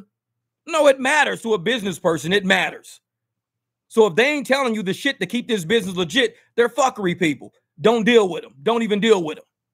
Because you're going to be better off by focusing on what you need to do to keep that roof over your head, to keep that fridge fucking full. And we do that with profits. That's how we do it. We don't do that with the gross. The gross pays for the fixed costs in our life, which is the car, the insurance, not only the, the rent over our head. We have fixed costs we got to pay for. The variable costs are the fuel, the food, the electricity. So once you start making enough profits to handle your, your fixed costs, you can start manipulating the variables. Now you got money in the bank now. You can take a week off. Be like Stanley Jenkins. Go to Cuba. Go to these fucking vacation spots. Go on a cruise. Because now you got a little luck. You sitting on some money now. You good. When you got hey, uh, high AR, you just got to keep driving, driving, driving, driving, driving, driving nonstop. Because you've been accepting so many bullshit rides, your equation that one times X equals a hundred thousand. What is X? X equals a hundred thousand because you're at one dollar a mile times what equals a hundred thousand. What what my man Tony's in the bill. His driven mom having some labor signs. Now the question is if they're a real laborer prepping her for labor. Uh-oh, congratulations. Baby's on the way. This is gonna be it. I think we should name the baby Dara. We should name the baby Tony Zoot. I'm just kidding. What's your baby name? Tony Zoot. My name is Big Tony. That's Tony Zoot. it's like, man, how you gonna name your baby Tony Zoo and not Tony Jr.? Nope, that's Tony Zoo. man. Yeah, exactly. Then they're gonna be crying when their car break down because when their car breaks down, they don't have any money. They have no profit in the bank left to fix their car. And I'm gonna tell you a lot for real, Melvin. I'm gonna tell you like this, real shit. A lot of people don't like my channel, and I know why they don't like it. It's a punch in the fucking face. And I'll tell you why. Because they've been buying so much bullshit from their favorite YouTubers that they have a hard time saying, I don't believe I've been tricked. I don't believe I've been fucking. It's just like the people that was wearing masks all the fucking time saying, mask work, mask work, to finally find out they did. They don't want to be told it don't work. They don't want to be told it don't work. They want to be told that the shit they're doing works because they're doing it. They don't want to be, oh man, I've been driving like this for three years. Okay, you've been driving like this for three years. Yeah, you know, and I, I'm like, what's your bank account looking like right now, man? You've been doing this for three years. What is looking like? Because I mean, we got to start making some profits. What's your bank looking like? Well, you know, I might have to go back and get a W 2 because, yep, that's how you know they've been listening to the wrong motherfucking YouTubers right off the bat. Right off the bat. They told you just like that. Because there's a way to generate profits to where you can slowly start incrementally having an extra 300 left over, an extra 600 left over, Okay, an extra 800 left over. Now you had $2,200 left over just sitting there, $2,200 in an envelope you don't even fucking need because you're busting your ass and you're doing the shit the right way. You got 2,200 envelope. Now you're up to 4,500 in that envelope. Now you're up to 9,000 in that envelope. Be like, damn, man, eight months have passed. I got nine G's sitting in that envelope after eight fucking months. Nine G's sitting there. And I paid all my motherfucking bills. So there has to be some point to doing this to where you got something sitting there. And a lot of drivers, they haven't been at that point because they watch other channels and they come watch mine. And the first thing they do, oh man, I don't want to hear that shit.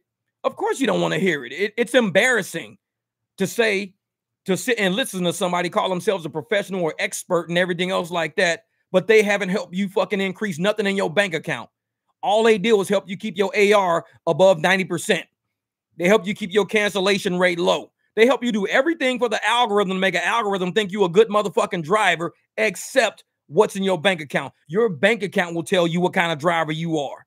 All this other shit, that's for Uber, that's for Lyft. They ain't got shit to do with you. That's that's them. That's the deal with them. They ain't got shit to do with you. What's got to do with you is whether or not you can go out today and buy your son a $60 birth, a birthday gift. Can you do that today? your son has something coming from the school. Can you pay that $25 deal? Because I remember when I was little, my mom couldn't pay no $25 for nobody to do no field trip. Damn, mom, we got this field trip tomorrow. It's $25. Well, you're gonna be sitting in the cafeteria eating peanut butter and jelly sandwiches with the other kids that can't go because I ain't got no $25. That's how I grew up. Real shit. Real shit. That's how I grew up. And motherfuckers that know me know I'm not lying. They know me. Motherfuckers be like, Santa secret shop coming. Ooh, mom, Santa secret shop at school. Santa secret shop at school. Here's five dollars. Five dollars. That's two pencils. What the fuck? All these other kids running around with 40 $50 for Santa secret shop. I get five. That's how, that's how I grew up. Motherfuckers that know me know I'm not lying to y'all. I ain't got no reason to lie to y'all. That's how I really grew up. What, what Drew say? Every gig tuber should spend one video telling people to make their quarterly estimate taxes or at least save for taxes. That's right. That's right. Most people I know personally messed up with taxes because they don't understand taxes. A lot of people don't. They're they're so used to paying business personal tax or personal taxes. They don't understand business taxes. They don't see that side of the equation because when you do personal taxes, your employer automatically pulls money out of your check to help with the liability that you may not be able to save for once you hit certain thresholds and certain tax amounts based on standard deductions and itemized deductions. So the government says what we're going to do is allow your employer to take money out of your check and send to us on your behalf. And if you've overpaid, we'll give you a refund of the money you've overpaid. You don't get interest on that money, even though they keeping your fucking money. You don't get interest on it. And the employer, a lot of them, dead serious, may not send your tax money in because there's pensions that haven't been paid before. There's premiums on insurances that haven't. Been, when you are paying shit out of your paycheck, you're giving your employer the oper- the uh the authority to pull that shit out of your check. They still have to send it. Just because they pull it out of your check, they still have to send that money somewhere.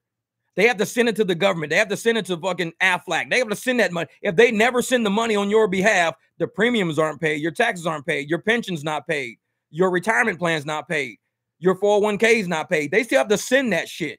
So you could be sitting there going, well, how did I retire and only got 10 G's? I put in like $80,000.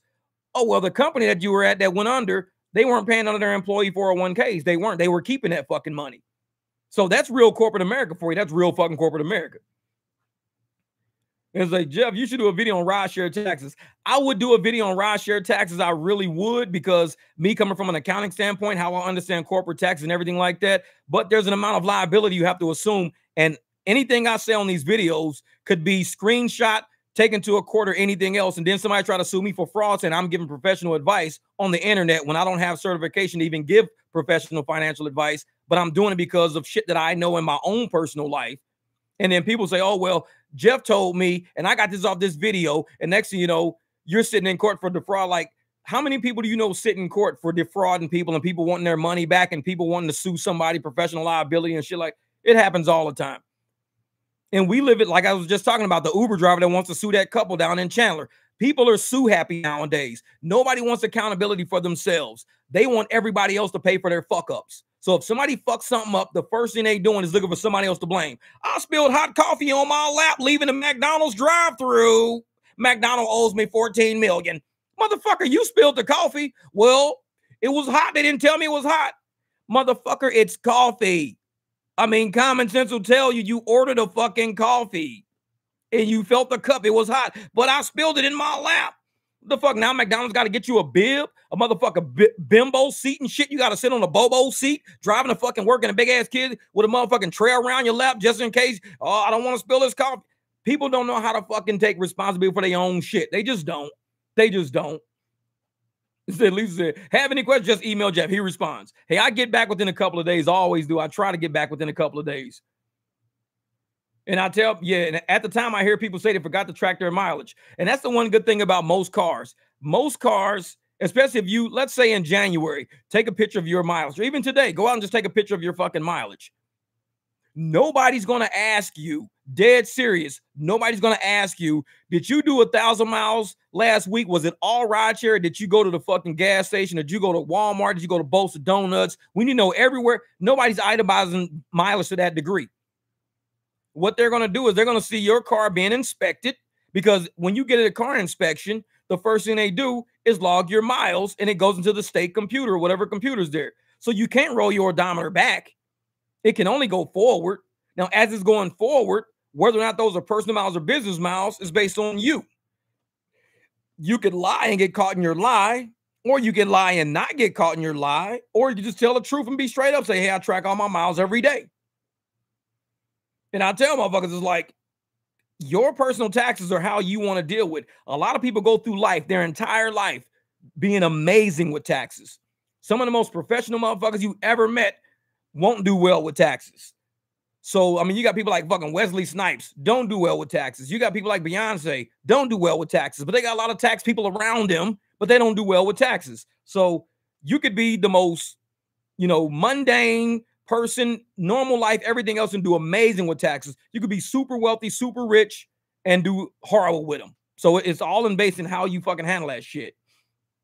No, uh, Carlos Rivera says Jeff isn't exaggerating that coffee story. By the way, at one point someone did sue McDonald's for burning themselves with the coffee. Hence, why they have caution hot on the lids now. Yeah, real shit. Because everybody wants to sue somebody for their fuck up. Nobody's accountable for their own fuck up.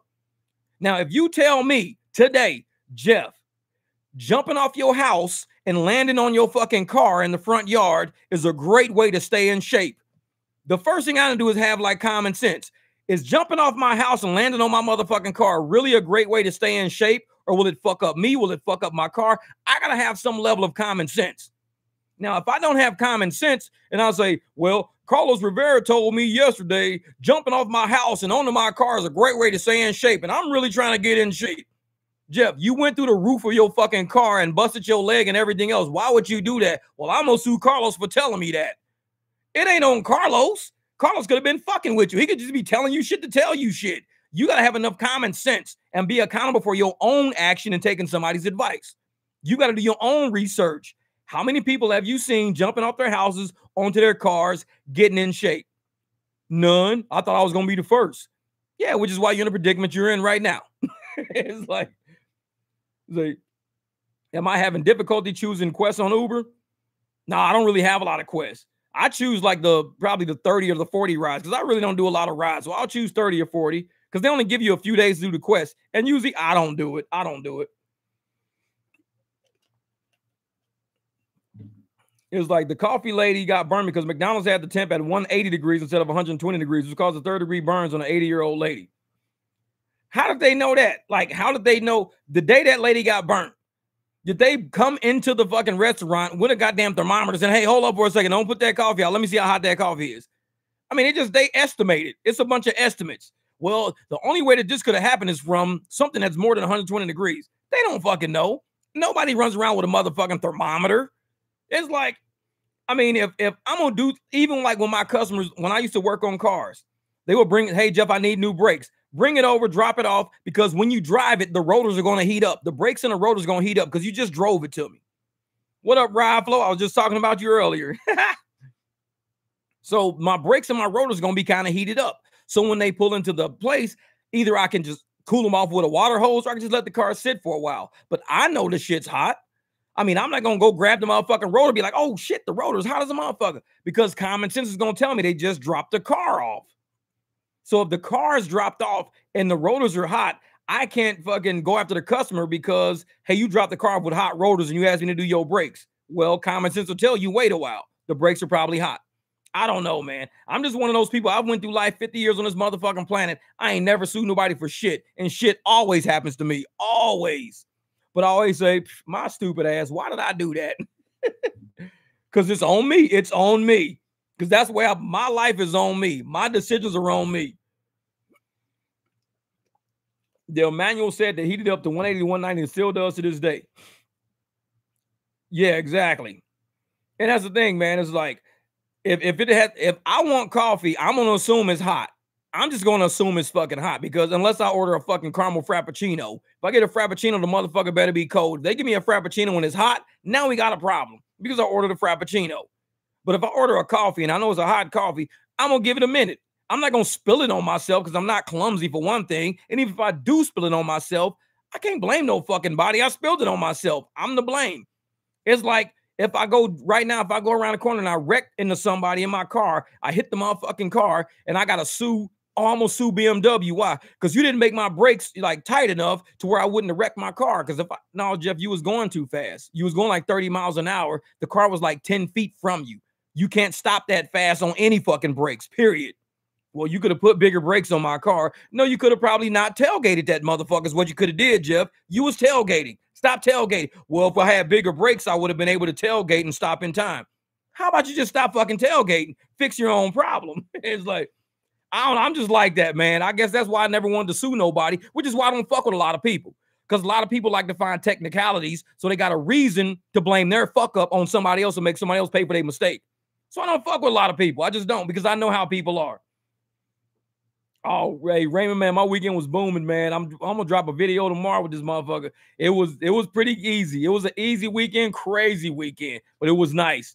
It wasn't no thousand dollar weekend, but I did all right. I did all right for the hours I got out there, man. This is no name.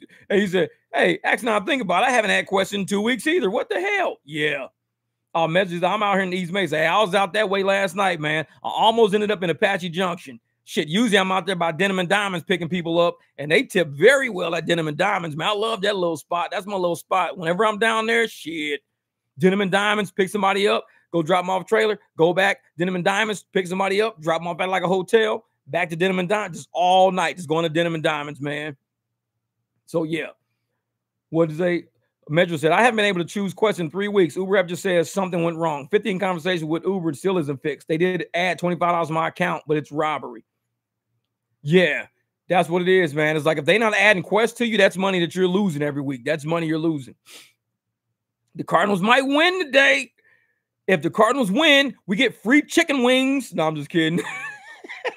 Motherfuckers, I heard that on the internet. If the Cardinals win, we get free chicken wings. Motherfucker be standing in front of Popeyes. They be like, "Who told you that shit?" I saw it on the internet. Mm-mm. Raymond said on Saturday we had cruise ships and we didn't get calls. The customers said the app was saying no cars available. Damn, that's crazy. The Bears are losing badly. Yeah, what's new, Lisa? What's new? The Bears is my squad, but man, they're trash. They're trash. I I have a Bears jacket. I think I have a Bears hat. I just never wear it. That's all. It's, it's bad luck. I don't wear that shit. It's bad luck. but yeah, but like I said, on this channel, man, a lot of people don't watch because they realize what we're talking about over here. We're talking about a level of intelligence that many don't want to reach for. They don't want to reach for that level of intelligence. They're happy with just, you know, letting the app do all the work. Oh, I just put it on auto accept and whatever pops in my queue is what I take. And I remember when I used to have that shit. I used to have auto accept where on Lyft rides you just appear in my queue. And even with Uber, it used to be auto accept sometimes. I'm like, why the fuck is it auto accepting? So I was like, nope, I turn that shit off. Turn that shit off. No, is there are no tips in the app on Apache Junction? Not for me. Man, I don't know. I don't know. If there's no tips out there, shit. Yeah, you better start dipping low a little bit. Go down to Gilbert some. Listen enough, bro. My wife just heard that chicken wings comment. she was like, chicken wings back in the game, baby. Your wife jumped up like a motherfucker. Back in the game, baby. Till I was lying. It wasn't real. It wasn't real. mm. Oh, Thomas is out there, out there pushing pieces, baby, pushing them pieces, not the mashed potatoes. See, we getting mashed potatoes, and y'all out there pushing pieces. See what I'm saying? Shit's different. Shit's different. We are getting these old shitty ass ride offers, these mashed potato ass ride offers. You out there pushing that money. Thomas Cow getting it in, getting it in. Thomas like, man, I'm trying to push pieces, dunk some donuts, whatever, man. I'm doing. I'm getting this fucking money cruise with some cokes, dunk some donuts, push some pieces, slide some sausages, McMuffins. oh yeah, it's still hot out. It's 97 right now. Shit, shit, man. But yeah, a lot of people, man. Like I said, we we try to provide enough thought on this channel to get people to help build these apps to be better for drivers. These apps are never going to be better for drivers as long as we got people taking shitty offers. They really think they're doing something major. Oh, my AR, my AR is high. I'm out here getting it, man. I'm doing good. No, you're you're really fucking up what we're going for. We're going for higher driver percentages. We're going for higher ride fares. We're going for maintaining surges, keeping our cars on certain tiers. That's what we're going for, the betterment of the drivers. But then you got drivers who act like they got damn industry plants. They're going for the betterment of the apps. Oh, I always want the app to do good. I want the app to do good. I'm like, if the apps do good and we do good, it's a win-win. But if the apps do good and we're doing horrible, it's not a win. No, the apps can't do good and we're doing bad. We're the ones doing the service. So service fees are already higher than what we get any fucking way. So that's a problem for me. That's a big problem for me. So what we got to do is get these drivers out here to start thinking differently. Start saying, listen, you have a family to take care of. You need to get on your shit.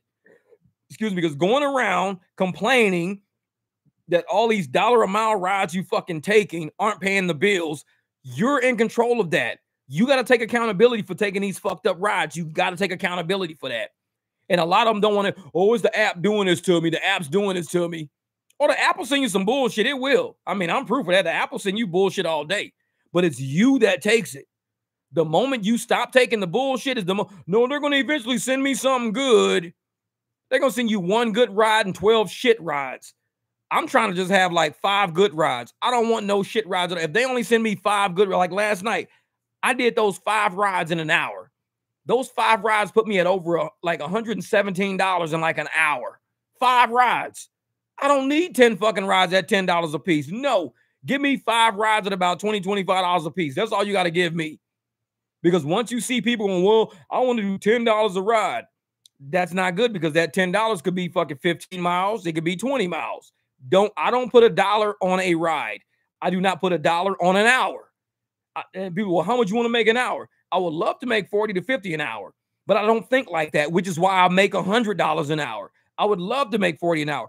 I look at every ride as an independent transaction. I look at open my app. I turn that motherfucker off. I look at where is it surging at? Because once it starts surging, my whole $40 an hour desire is out the fucking window. Because now I can make $40 on one trip. A $20 surge with a $20 trip, I can make $40 in like 20 minutes. So all that shit has to go out of the window. All your minimums and maximums. No, you need to analyze in real fucking time. Open that app up. Start looking around, seeing shit. Yeah. See, right here in Arizona, Lyft surging crazy where Uber just stay. Yeah, it's great crowds on Uber. And on Uber, Uber is, is sometimes the truer of the surge.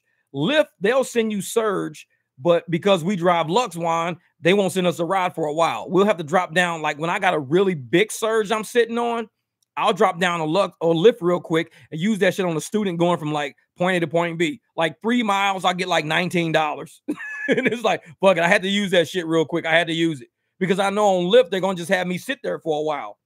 So I'm like, man, this is crazy. You get a $15 surge on Lyft, on Lux, drop down a Lyft real quick. Just drop down, use it on a real short ride, and go right back over to Lux. Like, fuck it. Now I'm back on because I don't have a surge. I'm back on Lux again. Oh, yeah, just trying to stay away from the stadium. Yeah. Don't, hey, at all costs, you'll never see me at the stadium ever. Because once you get over to the traffic is going to trap you. Even ASU Stadium, I don't go over there because it'll trap you. And once you get trapped in, you can't move. You stuck on University or you stuck on like Mill Avenue. You stuck on Forest Avenue. When you're way out west, you're stuck on fucking Camelback. You can't get nowhere. I'd rather be in the free, open, driving, picking up somebody from damn Starbucks, dropping them off at home. You got to be in open traffic to make money. When we used to get paid by time, it was okay. When we got paid by time, we could sit in traffic because the time would keep building. We don't get paid by time like that now. So shit. What up, Ryan? Ryan's in the house, man. Uh, William said, Gotta stop and get something to eat. I'm still pissed. I miss O'Hill. Yeah, you got to do it, man. You got to stop and grab something. To eat. That's why I'll be taking my little peanut butter and jelly sandwiches and shit with me, man. I'm like, fuck that shit. I'm gonna take me a peanut butter and jelly sandwich. Cause I'll pull over in the motherfucking parking lot, eat that shit real quick, try to wipe the car down, get right back on the road again. But you need to take those breaks. And I tell people, we're not employees. We don't have to ask Lyft and Uber for a fucking break. Take a break when you're ready. If you've been driving for 20, 30 minutes and you want to take a break, take a break. Who can tell you no? You ain't got no ball. And so many people are employee minded. Well, Uber keeps sending me rides. I can't take a break. Lyft keeps sending me rides. I can't take a break. Motherfucker, this ain't no assembly line. You want to work at Chrysler? Motherfuckers like take just turn your fucking app off. Cancel the ride, decline the ride. And like last night, I was coming home. I was coming home middle of the night. There was a ride. It was four miles to get to the person, way down on like 40th Street, 40, 42nd Street. And then I had to take them all the way back to like Mill in the process, I'm passing my house twice and I'm done for the night. But I accepted this ride because I'm like, okay, it's 10 bucks. It's like, you know, six miles, 10 bucks, almost $2 a mile. Let me do it. Man, I canceled that motherfucker so quick and came home because I'm like, I'm not passing my house twice. I'm done already. But I accepted this ride thinking it was going to be something short. And when I'm looking at the map, I'm like, oh, fuck, I'm passing my house twice, man. Nah, cancel. I just pulled my shit in the driveway, call that shit good. And I don't want to do that, man. It's like sometimes if you don't want to do that shit, cancel it, decline it, whatever. You take your time, you take your break. The rides are gonna be there, the money's gonna be there. And a lot of people are scared.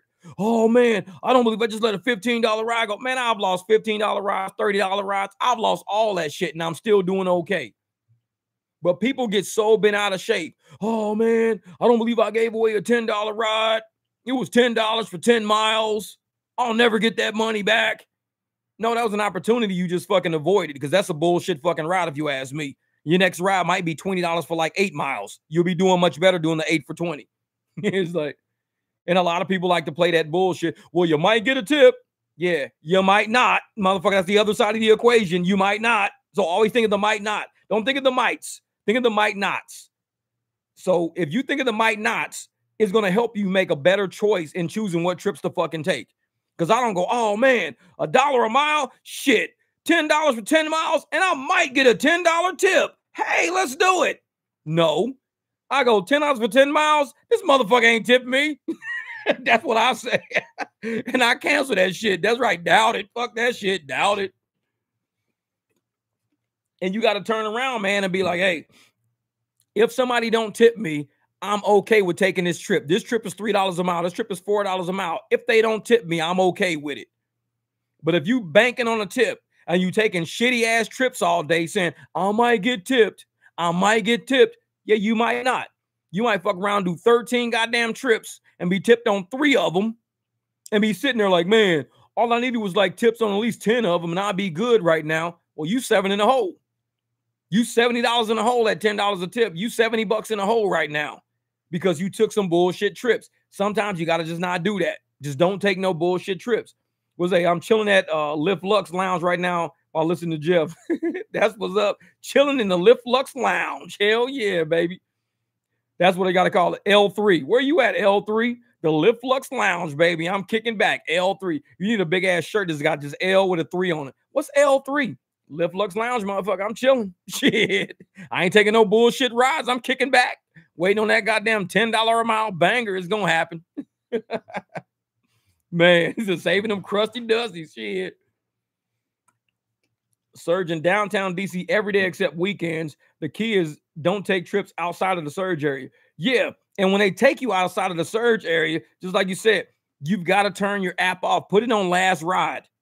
Because what they'll do, and I noticed that shit, and I even said in some of my videos, I noticed when you're outside of a surge and there's surge close by you, oh, they gonna inundate you with fucking trips.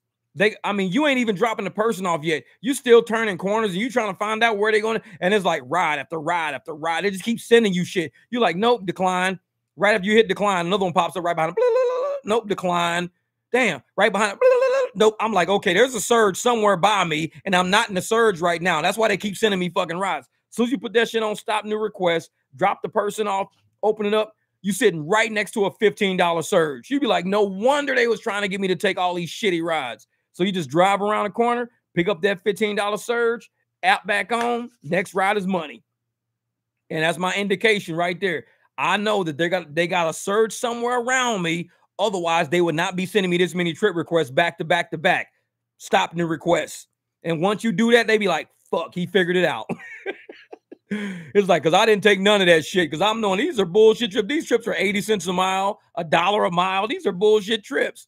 Nope. Turn that shit off. Soon as you drop the passenger off, the you the map closes, red right around the corner. $15 right. You'd be like, oh, these motherfuckers trying to get me. And on my on my videos, y'all see they always drop me off. They have surges around me, but I'm right in the middle or I'm right on the edge. I'm never in the surge when I drop somebody off. They don't give me that. They keep sending me rides to make sure I take a ride to stay away from that surge. They don't want to give away free money. That's money off their bottom line. The surge is, is the, the bait to get other drivers to the area. They don't really want to pay it to nobody because once you get there, they taking that shit. Vartan, what's good, brother? I just saw you yesterday on the live. What's good? What's good? Yeah, and King James said that shit. BS trips and bad ratings. I know I can't fuck with those because there's no way I'm getting a tip. Yep. Man, I've been seeing some, and I know I can adjust my rating. I could adjust my rating on my phone, but I leave it alone. I think I got it at like 4.0 probably because I'd be seeing some 4.1s, 4.2s. I think my shit's at 4.0. So I'll sit there and I'm looking at like the dollar per mile, and I'm not worried about the rating. But when I cancel something, I'll look at the rating sometime. I'm like, oh, hell yeah. No, this person done did some dumb shit. it's like if you're a 4.2 driver, I mean rider, yeah, you did some dumb shit. You don't just turn 4.2 overnight, motherfucker. You've been fucking with people. Nope. Cancel that shit quick as a motherfucker. That's right, Hassan, man. It takes patience. And a lot of a lot of drivers out there that don't understand how rideshare works. The, the gotta be busy ones. What up, E Love? The gotta be busy ones. They think that the key to making money is to keep taking rides over and over and over and over and just not letting your car go without the wheels fucking spinning. But they wheels are spinning at a 50 cent a mile rate, a dollar a mile rate, dollar 10 a mile rate. Our wheels spin $5 a mile, $8 a mile, $3 a mile, $6 a mile. So at a 50 cent a mile rate, and if we're getting $4 a mile and they're getting 50 cent a mile, they've got to drive eight times the distance we drive to get the same amount of money. So at 50 cent a mile, if they drive, let's say 16 miles, they're going to get $8. They went 16 miles, they got $8. If we're getting $4 a mile, we go two miles and we get $8. So they went 16 miles, we went two. That's a 14 mile variance. You do that shit 10 times. We've went 20 miles and we've made $80 and they've went what 160 yeah 160 miles to make the same amount. So they're at $80 but it took them 160 miles of driving to make a make that 80 it only took us 20 miles to make that 80 so 160 and that that's 140 mile variance right there. So they had to drive 140 miles more than us. That's brakes that's tires that's fuel that's your door slamming and all kind of crazy your engine I mean, that's a lot of fucking miles at that much of a variance to get the same amount of money we getting, the same amount of money. So that means the profit margins are off. Because if I'm only driving 20 miles and I'm getting 25 to 30 miles a gallon and it costs me $5, it costs me $5, $5 to get that $80. It costs me $5 to get that 80 bucks. That's it, 5 bucks for 80. I could do that. But if they're going 160 at and they're getting, let's say, 30 miles, so they had to go five gallons. They got five gallons of gas they had to use.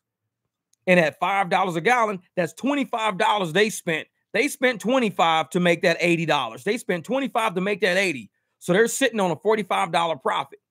We spent $5 to get that 80. We're sitting on a $75 profit. So we got $75 in our pocket, less driving, less time, less everything, less investment. We've got $75. And we already gave the gas station a five. They're sitting there with $45. That's all they got after all the shit they did. All they got is $45 and we got 75. But they're like, we grossed the same. Yeah, we both grossed the same. We both grossed $80. But out of that 80, I got 75 of mine left and you only have 45 of your less because you did a whole lot more miles, a whole lot more driving. I tell people it's not what you make, is what you take. So you can make whatever you want to make. We can both make the same amount of money, but what are you taking home at the end of the day? If you're putting too much money out there just to make that money, a lot of people say that shit. It's a bad investment. Every investment is not going to flip the money the right way. You might make money in real estate, you might lose money in real estate. You might make money in stocks, you might lose money in stocks. You might make money in ride share, but you might lose money in ride share. It's the same across the boards. It's all about how are you doing this shit? Are you doing it the smart way? Or you're just doing it like I'm just throwing money at the shit to hope it works? I'm just throwing money at it and seeing what sticks. Can't do that. Yeah. The high acceptance rates, there are less lowball orders, at least on DoorDash. Yeah. And and like I said, you get those those less lowball orders at DoorDash. And the one thing about DoorDash that I don't like is you can't drive whenever you want to. Like me, I have no use for an app that controls the time that I can work. That's more like employment. If you're controlling the time that I'm allowed to work, I'm your employee. Because if I feel like going, like right, it's 401, I could turn on Uber and Lyft right now and just start driving. No bullshit. I could just go out there and just start driving. But I, if I turn on the app and it says you can't drive right now because it's not your drive time yet, that's an employee based app because you're telling me what time that I can. It's like a contractor. You can't tell me what time I can go and build this swimming pool. If I'm a contractor and I build swimming pools at my warehouse, I'm gonna go build swimming pools when I feel like building swimming pools, and then I'm gonna sell those swimming pools when it's time to. But you can't say, well, you can't come to the warehouse and build pools. If you're the owner, you can because it's your business. You can do it when you want to. If you're an employee, then you have to listen to somebody. That's when shit's different. So, you know, that's my only my only gripe with DoorDash. The money is probably not my gripe.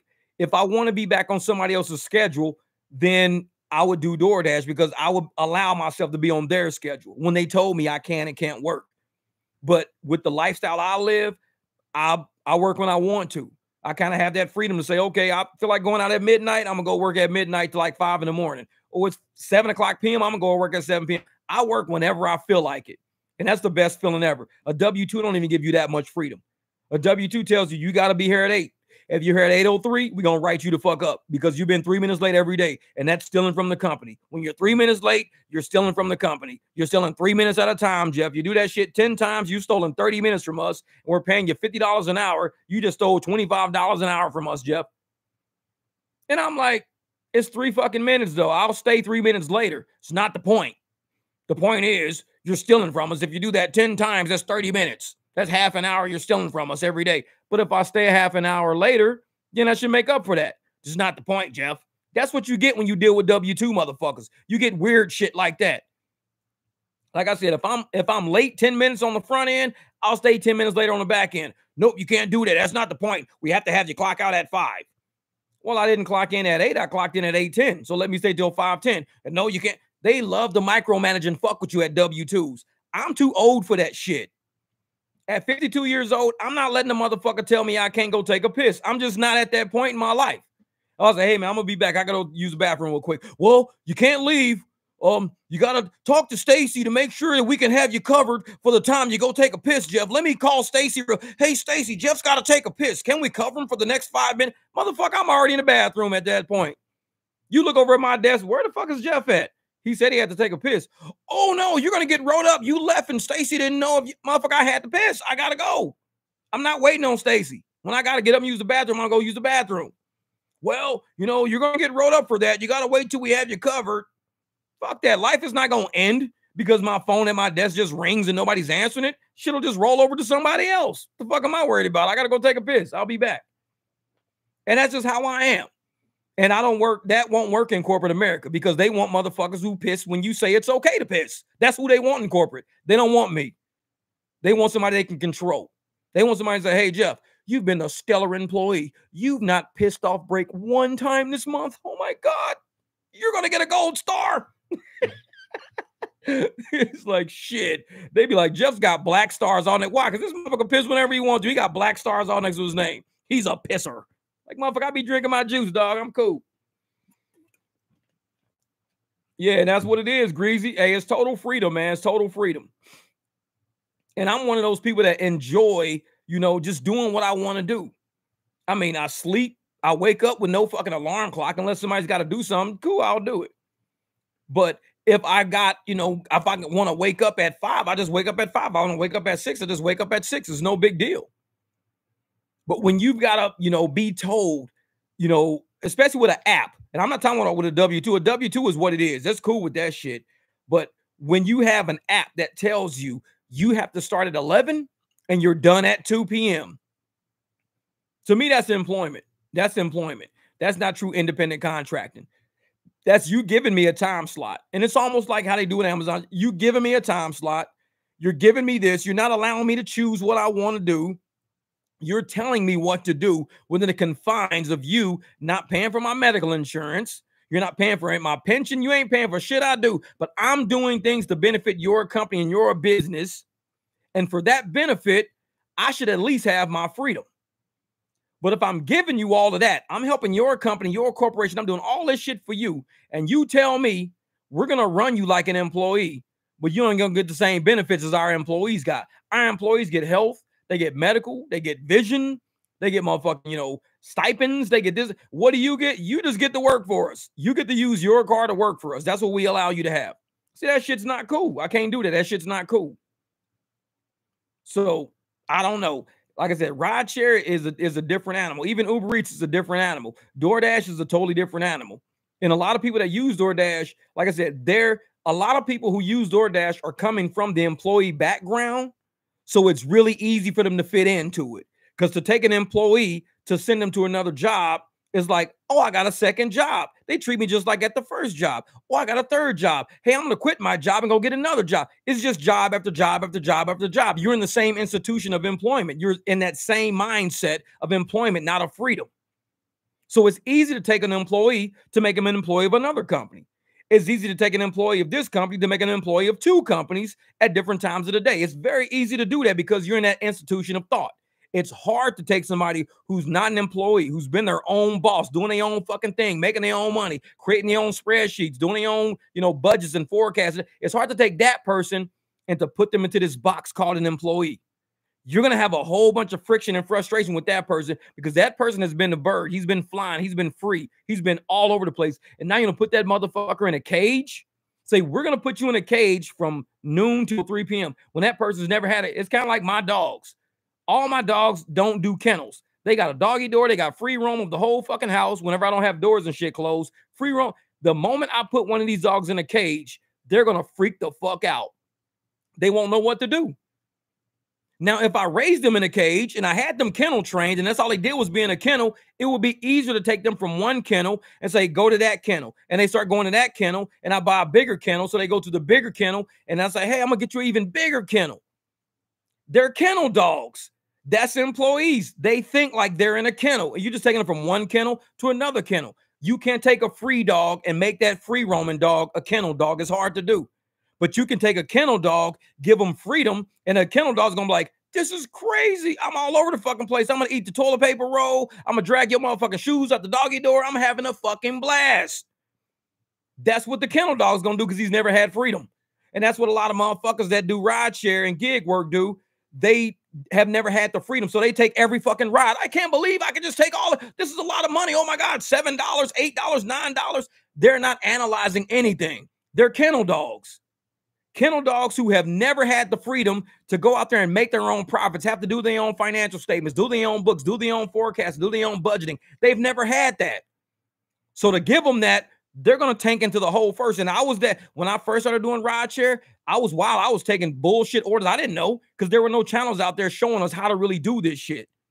There were no profitability channels out there. There were no channels saying be smarter with what you do. Every channel we were on, keep your AR high and you can get free fucking hot dogs at any 7 Eleven serving hot dogs in the Eastern Continental United States. Man, fuck them hot dogs. I'm looking for the money. That's what I'm here for. And now we finally got a channel saying fuck them hot dogs. Every other channel wanted to give the hot dogs.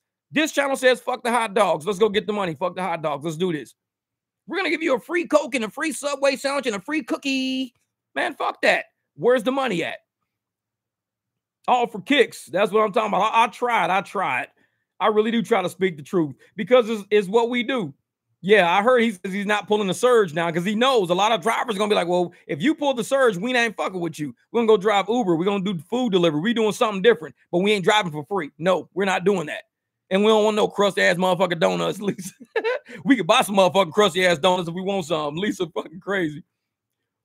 But that's what it is. Like I said, so now that we have the the freedom to see how profitability really matters, and a lot of us have who have been driving different this year last year, we now see the difference in profitability and how money really stretches. When you're making $3 a mile, $4 a mile, that money fucking stretches. Imagine the people that make a dollar a mile driving a thousand miles a week to make a thousand dollars. They're driving a thousand miles a week every five days. They're driving 200 miles a day for five days, 200, 200, 200, 200. They driving a thousand miles a week. End of the week, I made $1,100. But they done gassed up every fucking day. They done blew all their profits out. We drive three, four, five hours a day, might make 300. We do that. We, like I said, yeah, I show my gas shit all the time because I think showing my gas shit is very important because it helps people kind of analyze how much gas to use, how much gas to save. One tank can last me two or three days. Depends on how much I drive. A tank of gas will last me two or three nights. Usually I wait till we get all the way down to a quarter and I'll hurry up and fill it back up again because I don't like running on fucking fumes when I got a big surge or something going. So I don't let it get too fucking low so I can capitalize on opportunity. But it'll go two or three nights and I'll fill that shit back up again. And so we're not filling up every single day. We're not driving all those fucking hours. And we all sitting on the same amount of fucking money damn near. We're all taking home 1500 1600 1700 And I'm like, It's a profitability game. This is what this is about. And we all noticed that shit over the past year and a half, two years. This is a profitability game. We don't have to drive a ton of fucking miles to make a ton of money. We don't have to do that. Not everybody has figured that out yet. And you see that on different channels. And you say that on people that come on this channel and they get upset because they haven't woke up yet to realize, man, you telling me that I can't drive, you know, 300 miles a day to make $300? You're stupid. I'm driving my 300 miles. Meanwhile, we got people driving 95 miles, 100 miles, making $300. 95 miles they're driving to make 300. They're not driving 300 miles to make three, 95 miles, 120 miles, they make $300. Because some people have said, I have been doing this wrong. Some people preach the whole time, like William said, preach of. Some people preach the whole time. Drive, drive, drive, drive, drive, drive. Don't stop. Don't turn your car off. Keep going. Let everybody the fuck in. Four motherfuckers for three dollars. Let them in because it's three dollars you didn't have. Five motherfuckers for six dollars. Let them in. It's six dollars you didn't have. Fuck that. Slow that shit down. Be like, listen, this is what we're gonna do. We're to break the shit down from a profitability standpoint. We're to kick everything out. We're not to deal with none of that shit. We're to only let this amount of money in our car if it's X amount per mile. Because I don't give a fuck if you say, hey, man, this is a $20 ride, Jeff. This is a $20 ride. That don't mean shit to me. You only telling me part of the equation. A $20 ride is only part of the equation. Am I going 40 miles? Am I going 20 miles? Am I going five miles? High AR people don't look at it like that. They say $20 ride, I take a lot of $20 rides. Oh, yeah, it has a lot to do with the driver's market. But also, I'm gonna tell you like this. Also, it has a lot to do with the market. And I'll say in a lot of my videos, if you haven't watched any of my videos, you hear a lot of my videos, even with my comments that I make on my channel. If your market is not conducive for rideshare, then you don't have a rideshare market. You probably need a W 2, and rideshare needs to not be your main source of income. I've said it on a lot of videos, I've said it in a lot of chat comments because it's real. I keep it 100. I don't bullshit people to tell people, you know, rideshare is the key to the fucking future. I don't say that shit. I tell people right off the bat if your market sucks and you got a shitty market, then rideshare may not be suitable for your market. It may mean you need to stick with a W 2 until your market builds up to the point where rideshare becomes stable enough for you to make money with rideshare. Some of us live in really good markets. Some of us live in fucking stellar markets, amazing markets. Some of us live in markets so good that we don't even realize how good we got it. And we sit up there and we go, man, you know, why? I'm, and I tell people in Phoenix, why are you taking dollar a mile rides in this market? We have a good market. Why are you taking 50 cent a mile rides in this market? We have a good market. You can't look at a high AR driver and let that driver determine our market. A high AR driver that doesn't make money He's not using his market to the point he could be using. You need to look for all the low AR drivers. Low AR, how much money are you making if you're a low AR driver? That's how you determine whether or not you're in a good market or not. Because if you got a low AR, you're working low hours, you're doing low miles, and you're making good money, you're in a good fucking market.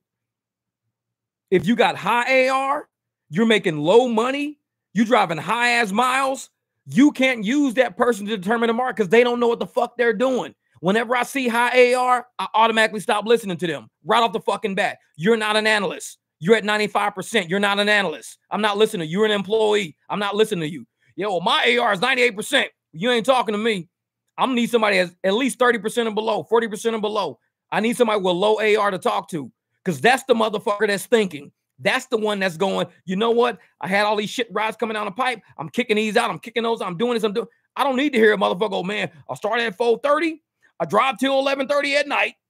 And I'm driving fucking 14, 15 hours a day. My AR is 98%. I'm making $270 a day. Yeah, but you're working 14 hours a day to make $270. Yeah, that's right. They become real jittery. They become jittery and they like, I'm not gonna get any money. I'm not hey KC, 6% AR. See, that's the motherfucker I listen to right there. 6% of AR and bills paid, all your bills are paid. All your bills are paid with 6% AR. You're an analyst. You know what's profitable. You got drivers out there, 100% AR and 88% AR, and they bills ain't paid yet. It's just like having an employee who's living check to check, or an employee that's got payday loans out, so they got to garnish their fucking wages just to make sure they got, you know, credit for less paid off. They got a title loan on their fucking car so they can get credit for less paid off. You don't want to listen to people with really high stats, high ARs, and high, and oh, I got a hundred percent uh, rate at work. I'm at work every day. But you're at work every day, but you have payday loans out. Like your whole motherfucking glove box is filled with goddamn payday loan certificates of you making payments on those payday loans, but you go to work every day. You're not analyzing something. Something in your brain is not registering that you're not making the amount of money you need to live the lifestyle you got. This is how long you been on, fam? What we talking about today? Flex, flex, what's good, brother? What's good? So far, two hours today, two hours. See, E Love says my AR never goes above 30%. One out of every three rides, that's a good choice. I like that. One out of every three rides is good because y'all see on my screen all the shit rides come. Sometimes I get five or six shit rides in a row. One out of every three is good. One out of every three rides is good. 30% is good. I was just at 31%, but I'm down like around about 22 to 24. I'm where dash cam and the E is. 25% AR, that's where I'm at. 25% AR. I'm down in that area. One out of every four rides. I'm getting to the point where it's about to be 20%, one out of every five rides. And so that lets you know if you're doing one out of every five, one out of every four, and you still making good money, you got a good market. But if you're doing one out of every four rides, one out of every five rides, and you ain't making no good money, you're a good driver, you got good analytical skills, and your market sucks. That's why you're not really making any money. Because a good analyst will make good money with a low AR. A good analyst will say, This market is good because I'm only taking one of every four rides, one of the every three rides, and I'm doing really well. That tells you the market is healthy. The market is healthy. 27% for Flex, guarantee. Flex is making the money, bills is paid, the market is healthy. But if Flex is at 27% and he's having a hard time making money, with him being the good driver he is and the analytical driver he is, that means the market is like what? That's how it was over the summer. A lot of us had whack ass ARs over the summer. We had shitty ARs over the summer. I was down to like 14% over the summer. And I'm a good driver. So I'm a good driver, 14%, not making no money. The market must have sucked for me to be that low. Then all of a sudden, I was up to like almost 40%. After summer, I went almost up to 40. Now I'm down to 31. Now I'm going down some because and the market is still good. I just did two nights in a row, making damn near $100 an hour back to back to back. So the market is very healthy. My AR is really low. I'm making really good money. And everybody's eating good. Everybody's eating good right now. That will tell you the market is healthy. You cannot look at a high AR driver and determine whether or not the market, because to them, every market is good because they're going to always have bad money no matter what. They're taking shit rides in any market, a good market or a bad market. High AR people will take a shit ride. They'll take a dollar a mile, 50 cent a mile, 80 cent a mile. I can't look at high AR people and determine how my market is going. I need to know, like measured 17% AR. I need to look at shit like that. I look at somebody with low AR and I ask them, okay, your AR is though, how like how's your money going though with that? Oh sh- man, I got 17%. Shit, I'm banking out like almost $40 an hour. Damn, 17%, 40 an hour? Yep, still. Your market is healthy then. You got a healthy market. But if you had 17% and you're making $15 an hour, the market is slow. It sucks business is moving too slow. Now, if you got 98%, no matter what, if you got 98% AR, you're always making 20 to $25 an hour. There's no fucking way you are at 98 to 100% AR and you're making 40 to $50 an hour. Ain't no fucking way. Because they send so much bullshit, so much.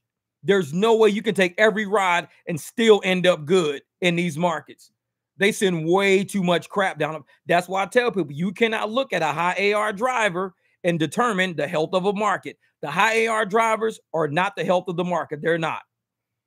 hey, hey, Juan Parker said, Man, I'm at 30% AR on Lyft. Now, Juan's at 13% AR. Let me tell you about Juan 13% AR, and he makes a $1,000 in two days.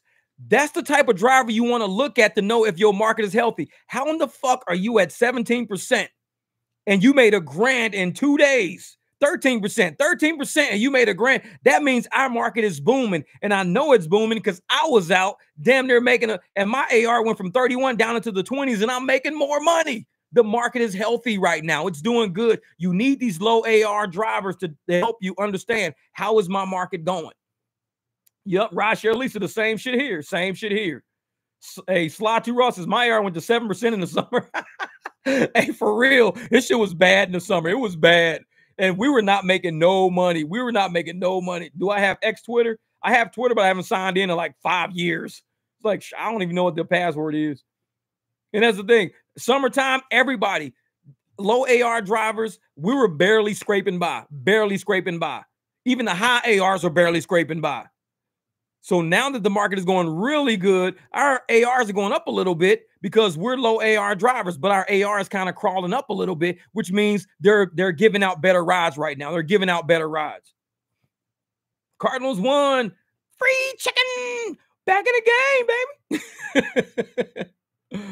yeah, that's funny shit. Yeah, Lisa, the same thing. Market depends on college. And that's why we were so slow in the summertime, Lisa. We depend on ASU, GCU, AU, you know, NAU to travel down here. We depend on colleges heavy. And without it, we're dead. We're like, you know, and that's why I tell motherfuckers drive hard, drive hard when college is in, all fall, all winter, drive hard. Because the moment this shit dries up, we're gonna be our AR, just like Sly, is gonna start tanking. Six percent. Said we can't take nothing but six rides out of every 10 rides. And that's 60%. It's more like one ride out of 10 rides. One ride out of every 10 rides is 10%. So we're taking one rod out of every 10 rods, basically. And that's how it is in the summertime. Yep, bank your money for summer.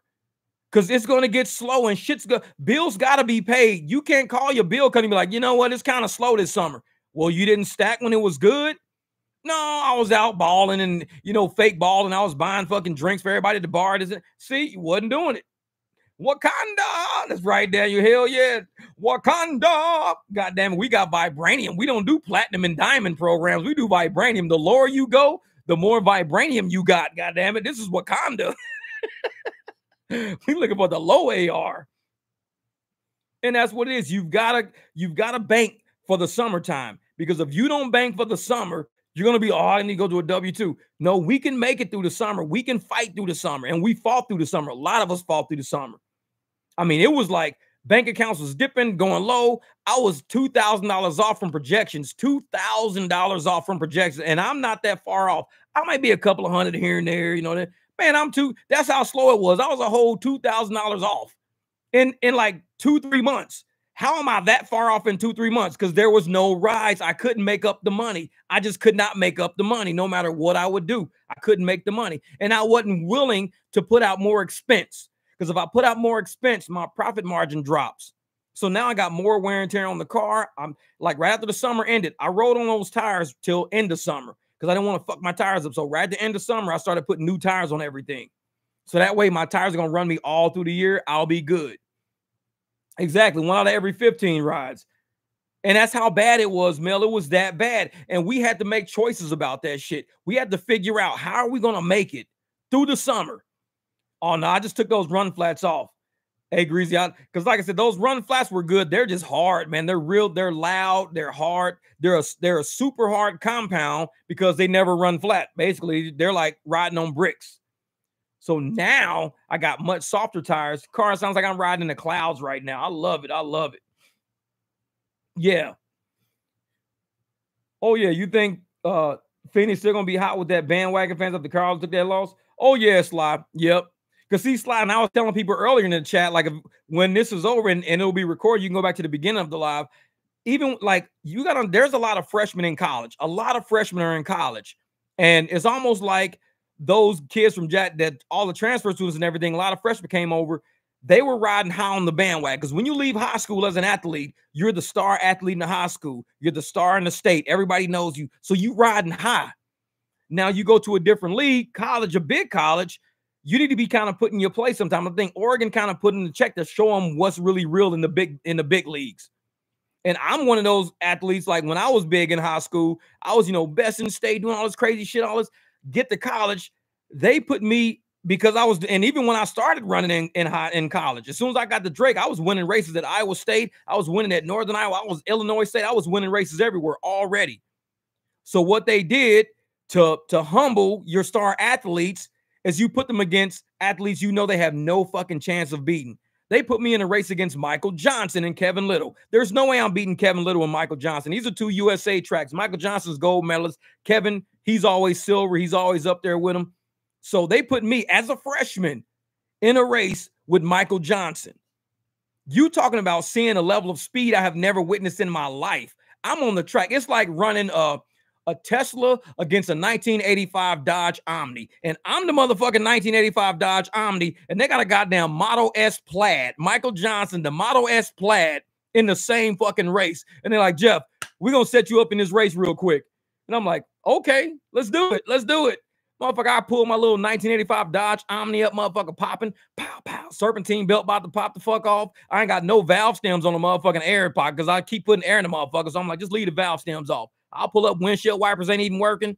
And this motherfucker put me next to a Model S plaid. You gonna race against Michael Johnson. Man, we came around that corner. I'm flooring this motherfucking Dodge Omni. I'm like, whole motherfucking car shaking.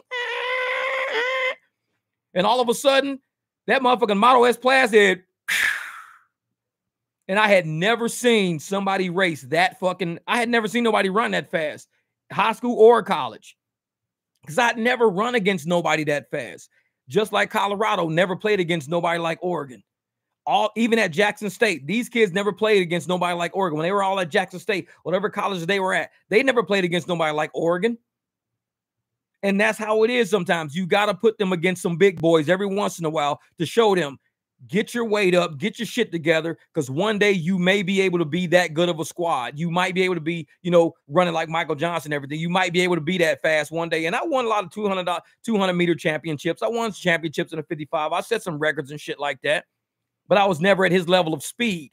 But it was always something to go for, always something sitting in the back of my mind to how can I get my engine to go that fast? Like this dude was like blazing super speed. And that's how I want these kids at Colorado to be like that. I want them to say, How can we be that good of a team? Keep looking at that tape. That's how you get good. Keep watching that tape against that Oregon team. See how their line moves. Add more linemen to your deck on, on offense and defense. See how they were sacking your quarterback. You've got to study game tape. When you play against somebody that good, of, like Oregon, be thankful you played against somebody that good. Be thankful because now you know how you stack up against somebody at that magnitude. And you go back and you look at that tape again, and you'll be like, damn, we really need to work on a lot of shit if we're going to be at that level of the game.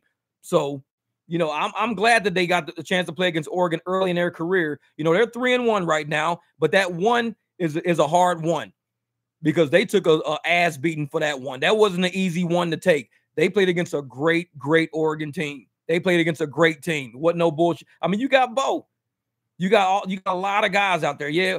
And, and it was it was more than a litmus test, man. It was a litmus test, but it was a shitmus test because they shit on them. A litmus test would have been like, okay, they scored like you know it was half. No, they got their ass handed to them. it was a shitmus test. We gonna put y'all through some shit today, god damn it. yeah. Yeah, that yellow and green stripes, it had to be ominous for somebody, man. Had to be ominous. Wait a minute. State Farm Stadium to the W Scottsdale quoting $64 rider Uber X. So if it's $64, they're paying you probably 32, 30, 32. And it's like, man, if you getting 30, you got to sit in traffic for 25 minutes, then you got to drive. So you're going to be making about 30, 40 dollars an hour dealing with that damn stadium, man. 35, 40 bucks an hour. You got to do all short rides. Pick up people on the outskirts. Don't pick up nobody from the stadium. Tell motherfuckers to walk. Say, walk a little bit and let me pick you up from over there. Flex, you nuts, man. Nuts. How can I be good of a driver like Jeff? What working on it? Hey, man. And, and the thing is, I think all of us are working on being a more complete driver. Like, I'm not a complete driver. I learn from other drivers in the chat, and comments on the channel. That's why I go through every comment because there are some really smart drivers out there that leave some really good shit. And I see it. When I got time, I'll go through the comments, I'll go through everything. And that's how I learned how to do this shit with my surges with the reservations. I got that out of my comments. How I learned how to use Uber Pet better. Got that out of some comments we're all helping each other be more complete drivers. And it's a good thing. I love it, man. That's why I love the channel. It, it helping us become more complete. A lot of channels, they want you to just worship them. They want you to get on their channel and worship them. Oh my God, you're the most amazing. How do you drive? Don't worry about how I drive, motherfucker. Don't worry about it. Just worship me. Just worship me. And I'm one of those drivers like, motherfucker, it ain't me. It's, it's me taking advice. I'm learning like how this shit works. I'm learning from everybody how this works. We're all learning from each other how this works. And if we across the boards can look, if I look in a year, in a year from now, we all look at each other. We got the people that were renting, like my man West. West was renting a Tesla. He was a long-term Tesla renter, long-term. The other day, this motherfucker started doing all short rides, all short everything, good deliveries. He started being a very high profitable rider, very high profitable rider. He went out and bought him a Golf EV. He went out and bought a car. This dude was a long-term renter, couldn't afford a car, long-term renting. But he said, How am I affording this rental if I can't buy my own shit? It doesn't make sense. How am I a long-term renter, but I can't buy my own shit? And it just clicked. And he went out, he bought his own car. And he'd been making enough money for it. Now he's saving a ton of money for it. And it's like, dude, that's what people have to do. They have to realize we're all learning from each other and feeding off each other. And once we learn and feed, we become more complete as drivers. Nobody's going to be 100% expert. Oh, I'm 100% expert and I know everything about rideshare. This shit changes all the time. They always changing the app, taking a tier away, adding a tier, adding this to a tier, doing that, moving surges, not moving surges. They're always, you cannot be an expert in, in fucking quicksand. There is no quicksand expert out there. Oh, I can tell you exactly where to walk. Motherfucker, it's quicksand. How you gonna tell me where to walk? You try to walk out there, then the motherfucker starts sinking. Thought you was an expert. it's like shit. Exactly, exactly. Exactly, Tuck Tuck. You real shit. How to make fifty hundred dollars? Drive fifteen hundred miles. nope. Good on that shit. That's not what I'm trying to do. No, hell no. Fuck that. Because 1,500 miles is 1,500 fucking miles of filling up my damn tank of gas. I want to make that $1,500 probably around $3 a mile, $5 a mile. How can I get there? I'm not driving no 1,500 fucking miles. It ain't happening. but man, but yeah, and that's what we do. You know what I'm saying? We all sit around and we try to help each other out. And we go from, you know, in a year from now, I want to see people say, hey, man, I was renting a, an apartment last year. I bought me a condo. I went from, you know, renting a house last year to now we just bought this house. We're, we're fixing this house up because that's what I did. I bought a house. I want to fix this motherfucker up. I had to paint shit, move shit around, do shit. Everybody has to move in increments. Nobody's going to go from ride share to, hey, I just bought a mansion. It ain't going to happen like that. Everything's gonna take steps. Hey, I was driving, I was renting, now I went and bought this, or I was renting this apartment, now I'm I just bought this little condo, I bought this townhouse. I'm gonna sell the townhouse after we fix it. I'm gonna buy a bigger. This is just all this shit in rideshare helps you become a better business person. It helps you manage your money a lot better. Because if you don't manage your money in this shit, oh, you fucked. You fucked. Because there is no, can I get an advance on my paycheck? You can't go to HR and get an advance on your paycheck. You don't get a fucking annual bonus that you can get an advance on. You can't go get a payday loan. You can't do that. So what you got to do is learn how to manage your money better and make small moves. As you start managing better, you're making small moves. That's right, Sam. Same thing. Buy a two bedroom. In three years, go get a three bedroom. Because as long as you're doing something, as long as you're moving forward and you're not moving back, you're good. You're good. And a lot of people, you know, they they get in ride share, and the first thing they do is they tell somebody else some backward shit. Oh, you new to ride share? Tell you what you do. Get online at five o'clock in the morning and just start driving. Take everything to get your AR up. And once your AR gets really, really high, they're gonna give you the best rides ever. It's gonna take you three years of that shit, but you're gonna get the best rides in 2027. it's like, yeah, right. Don't listen to those motherfuckers. No, if somebody's brand new to ride share, the first thing I'm gonna tell them is, let me tell you the truth. Uh, AR doesn't matter. Cancellation kind of matters, and your profit margins are the only thing that fucking matters. That's how we're gonna start this conversation.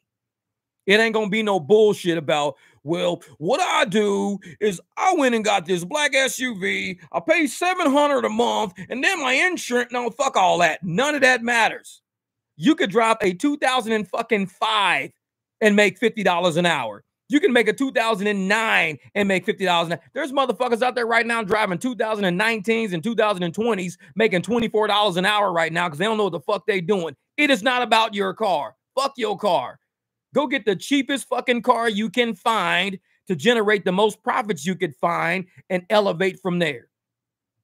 Because once you go get this cheap car and you generate them profits, you got that savings account, now you're gonna get a more expensive car. Step into a new tier if you wanted to. If you don't want to, keep buying cheap shit and keep making money on that. It's always an option. But profits is always your first option. Don't ever think, well, you gotta make sure you keep your AR up because if your AR drops, you're gonna get throttled. Well, I would rather be throttled than giving some fucking mashed potatoes. I'll tell you that much shit. I'm not gonna sit there and be like, man, I don't want them to throttle. No, please throttle me. Because if all you got is bullshit, throttle me until the bullshit is over. Give the bullshit to all the bullshit takers. throttle me for about 10 to 15 minutes. Give me some time to go grab me a motherfucking crusty dusty. Go grab me a motherfucking juice. I'm gonna give me a juice. Grab me some old crusty dusty motherfucking donuts.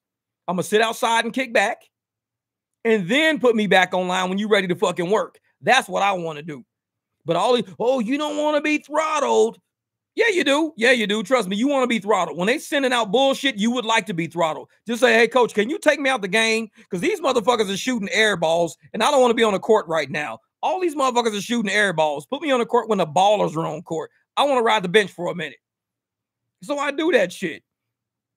I go sit my ass on the bench and I hang the fuck out until surge comes out. When the surge is out, I'm ready to go in, coach, because now it's time to fucking drive now. So all these high, oh, start at four o'clock and just keep going. Just keep driving. Don't let your wheels stop. I don't give a fuck if you're sitting at the stoplight.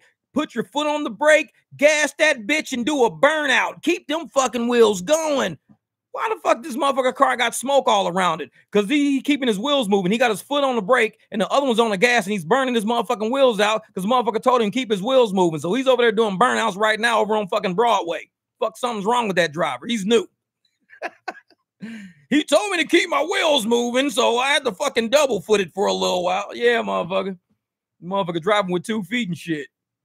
You know, that's that's that Uber driver the other night, drive with two feet. Mother had to keep his wheels moving. I was like, what the fuck is he doing? Will you drive, motherfucker? Gotta keep my wheels moving. Like shit. I'm like, man, stop. Park that motherfucking that empty ass parking lot over there and go through your apps. Make sure ain't no money out there. Make sure those reservations out there. Make sure you know where all the surge is popping up. Because you, with your app stand on the whole time, you are not seeing this $20 surge fucking two blocks behind you. You're not seeing it because your app is on. You keep accepting shit. Stop accepting shit. Stop. Turn that motherfucker off. Be like, where am I at? And y'all hear me say that shit in the video a lot. Where am I at? I'll be like, okay, hold up. Where am I at? Because I want to see where the surge is. Am I around any surge? Is it any reservations I can just pick up real quick? Where am I at? Where am I at? You got to ground yourself because these apps will keep you busy. Gotta stay busy. Gotta stay busy. Motherfucker doing a burnout. Wheels just going. Like, motherfucker, this dude ain't even leaving the stoplight. He just sent it to stoplight with an Uber light on, burning and shit. Gotta keep my wheels moving. It's like, God damn, dog. You're gonna need new tires after your second day of driving. Quit listening to those motherfucking YouTubers. Dash Cam says, I'm just watching Jeff on YouTube waiting for the right ride. That's right. Man, and wait till your customer get in, dash cam. When your customer get in, be like, okay, I need to turn this shit off because this dude I'm listening to right now, you don't want to hear him. Because the customer gonna be like, can you really do a burnout? no, I can't do no burnout. He fucking with you. Come on, man, do a burnout. I'll give you an extra tip. I'll tip you in the app. I ain't doing no burnout. Fucking turn this Jeff shit off. Fuck that. Motherfucker got these customers asking me to do a burnout. Jeff, quit telling these motherfucking customers we do burnouts. motherfucker wheels on fire like a motherfucker. Hey, Mr. Fields, that's what you got to mm. do. That hey, you got to slow down and you got to analyze where you at. You got to be like, hey, because these motherfuckers they too busy, man, and they be sitting right next to a surge, but they sitting there going, oh, I gotta hurry up and accept this three dollar ride. Man, it's three dollars with four motherfuckers standing on the corner. Fuck them people. They could take a bus. That's three dollars eighty five cent for four people. Turn the app off. Get rid of all this shit. See where you are. You got to triangulate. Where's the motherfucking surge at? Where's the surge? And when you see the surge, that's you put that shit on Uber Pet and you head to that motherfucker. Don't take no rides. Go get the free money. When you get the free money, go to an area where you think you can use that surge real quick. Open that motherfucker up. tip you one dollar if that exactly. I'll tip you in the app one dollar, and that shit happened to me last night. I, it's funny because on the video you would hear me saying, "Oh man, I ain't seen a one dollar tip in a minute." Man, I think they fucking figured it out and stopped tipping me a dollar. Next fucking tip. That's just a big ass green one dollar. Congratulations, you just earned a tip. Big ass one dollar. I'm like, I just said these motherfuckers stop tipping me a dollar. That shit's on a video, man. That's man. I, oh, I think Uber be listening to me. They fucking with me because they heard me say, man, I ain't seen a dollar tip in a minute. I think they figured it out. They giving me my money now. One dollar, the very next fucking tip. I was like, these raggedy motherfuckers, man. They sitting there playing with my phone, man. They on my say, stop playing on my phone, goddamn it, stop playing on my phone. but no, but shit, man. Like I said, the, the best thing a driver can do is to find out. Yeah, exactly. Don't be a drone. Don't be a drone. Like Dash Cam said, don't be a fucking drone. Find out where you are and where the surge is and how you can get the money. There's free money all around you. And sometimes you like me, I'll just be by an event and not even know I'm buying an event. But I'll see like the little event tent on the motherfucking thing. I'm like, holy, I'll hit the button and it'll say event. And they'll say busy like in 20 minutes. I'm like, oh shit, this is an, an event coming up in 20 minutes right in Mesa, little ass concert. Shit happens all the time. I'll hurry up, run a QuikTrip, turn my apps off, and I'll sit at QuikTrip, listen to some music, go through YouTube, whatever. And I'm looking at the fucking clock. I'm like, I got 20 fucking minutes. Wipe the car down, get the wheels clean, get everything all nice, clean out the back seats, the floors and shit. Soon as the little bitty mini concert let out, like last night, right off of Main Street, little mini concert let out. And you'll see, man, I had surge on trips, surge after surge. Wait till this video drop. Man, it was it was nuts. Surge, surge, surge. And it was starting at 11:30. From 11:30 all up till like maybe 12:30, I was on UberX because they would not stop. So it was just surge, surge, surge, surge. And I was like, holy shit. I'm like, you got to sometimes turn your app off, stop, see where you are, because there could be an event right there. No, uh, that Lyft's gonna be on show me the money. Man, I'm gonna tell you something about these motherfucking CEOs. They don't give a shit about drivers. And I'm gonna tell you what, if if Lyft CEOs really gave a fuck about drivers, he would have all of his little ragged ass employees contacting all the shitty YouTubers like me. Like I'm not a I'm not a good YouTuber. I know I'm not a good. You ain't got to tell me I'm a shitty YouTuber. I already know I'm a shitty YouTuber. So he's got to contact people like us, the fucked up ones, and be like, I need to change y'all to understand what we're doing. And so, so we don't, because like on the money, show me the money, Roger guy, they're they're unbiased. They're unbiased. They're for the app, but they're also for the driver. And sometimes when you got a motherfucking politician on your team, you need a politician that's gonna stand for you. You don't represent you. I represent drivers. I don't represent Lyft because I don't work for Lyft. Am I biased towards drivers? You goddamn right I am biased towards drivers because I am a driver. That's like me saying, Are you biased towards, you know, CU? Yes, because I'm a CU fan. So I'm biased towards CU. Am, am I biased towards, you know, being a father of sons? Yes, I'm biased towards being a father of sons because I got two sons. So I can tell you more about raising sons than I can about raising daughters. If you ask me about Lyft, I don't know shit about Lyft. I could care shit about Lyft. What Lyft needs to do is realize that we're not tools. We're humans with fucking families, with houses. We invest in cars. We put up a lot of fucking money to help these raggedy motherfuckers run that app. That's what I would tell them. And he may say, Well, Jeff, that's not very professional. Man, fuck you. I'm professional with two V's, motherfucker. That's who I am. I am that YouTuber. I'm not the nice one. I'm not the nice one but they want to talk to the nice ones. They don't want to talk to the ones like me, which is cool. I'm cool with that shit because we can sit back and we can watch the interview. We can see how the shit goes and stuff like that. But I guarantee, guarantee, he will not say anything that can like solidly bank drivers on anything that we can really, really sit on.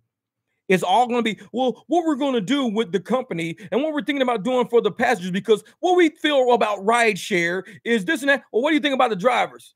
Man, fuck them motherfucking drivers. Fuck them. That's exactly what he want to say, but he can't say that because he's too professional. Well, you know, when we're thinking about with the drivers, is we're trying to understand and comprehend, you know, the way drivers and our customers interact is always going, I guarantee, mark my motherfucking word, when y'all watch that interview, it's going to be so customer focused so app focused and customer focused. Drivers are gonna be sitting there looking. It's like hanging a motherfucking pork chop over a fence, and pit bulls keep jumping up trying to get the pork chop. But you like you don't want to give it to the motherfucking pit bulls. You just want them to see that you got a pork chop. That's all. You just fucking with them, and that's what this is gonna be like. It's, it's gonna be fucking with us. Because not once is it gonna be. Well, you know, a lot of Lyft drivers have invested in some some nice cars. They've really invested. A lot of people still got six year loans, five year loans, four year loans, three year loans on cars they took out to drive you. But maybe you, what you should do is today, since you know the average car loan is 48 months, the average car loan is 48 months. Why don't you say in 48 months from now, 48 months, we're going to discontinue the Lux tier? That lets motherfuckers not go out and buy another car. And anybody who's already bought one, no, my shit, I got 48 months to pay this motherfucker off. So if you still got 60 months to pay it off, 12 months, you're gonna not probably have Lux because at the tail end, you're not gonna have it. You should say, we need to know what the average loan is out of any driver who bought a fucking car under the the illusion that they're going to be able to drive Lux, Lux Black, Lux at whatever the fuck on our app and say, we know we could deact- deactivate the motherfuckers at any minute, but we at least want to know what's the chance of us helping this person pay their car off. They don't give a fuck. They don't care. How long is it to take us to pay a car off? They looking at drivers like, you guys are fucking tools. You're not a part of Lyft. You guys are tools. What are you talking about? We're not going to sit here and care about you drivers to the degree of us saying we care about when your car is paid off or how your car is paid off or the fact that you bought that motherfucker to drive for us. We don't care. You're a tool. That's what they want to say, but they can't. They're getting rid of Lux because, in their words, there's not enough. Because, like I said, it's always going to be customer centric, not driver centric. And it's customer centric to the point where we're getting rid of Lux because customers aren't ordering Lux. They're not requesting Lux ride. It's always customer centric. Everything they do is the word customer or rider or passenger is going to be the first fucking word out their mouth. Well, it's not rider centric. You know, the, the customers are just not ordering it. Riders are not ordering. The fuck they not. If I bought this fucking car and I'm the only car available in the fucking area and they need to get their ass home, they gonna pay for it. That's like Southwest Airlines saying we're gonna discontinue uh air travel because uh people just aren't requesting flights. No, if you need to fly somewhere, you're gonna come up with the money to get a fucking plane ticket. You can't just call goddamn Southwest Airlines and be like, "Hey, listen, uh, we were gonna buy a, a airline ticket, but we don't have enough money. Can you just discontinue airline and just do something different?" No, fuck that. Yeah, be a tip your ass in food stamps in a minute. They're getting rid of Lux because the name sucks. Well, see, they never push Lux because Lux is a, is a higher liability tier for them. It's expensive. It cuts into their profit margins. Because if you tax, if you hit a driver, let's say you hit a rider up for $50, a Lux driver's, let's say a Lux driver is going to get 30 of that, 35 of that. That leaves them with only 15. But if you can somehow get that $50 passenger to get a cheaper fucking ride home, let's say $20. Now you got $30 instead of 15. You just doubled your fucking money by pulling a whole tier away. So you're getting the same person paying the same $50. They're still going to pay that 50. They just not getting somebody that has to be paid 35 to do it. So it's like we ain't got to pay nobody 35 to do it. We got a $20 motherfucker down here that'll do it. So they'll have all these nice ass cars on base fucking tiers. And that's how the game works because it's it's customer centric. It's what can we get out of the fucking customer and what can we not have to pay the fucking driver? That's how we run this app. That's how we run this business. Well, what about the driver? Fuck them drivers. They don't they don't work for us. They work with us. If they choose to go out and buy a goddamn Lux car, that's their fucking problem. They could go out and buy a $3,000 fucking car, $5,000 car. Rates are the rates, miles are the miles. They're focused on what can I get out of this motherfucker's wallet and keep versus get out of their wallet to pass to this motherfucker over here with a BMW. Fuck him and his BMW.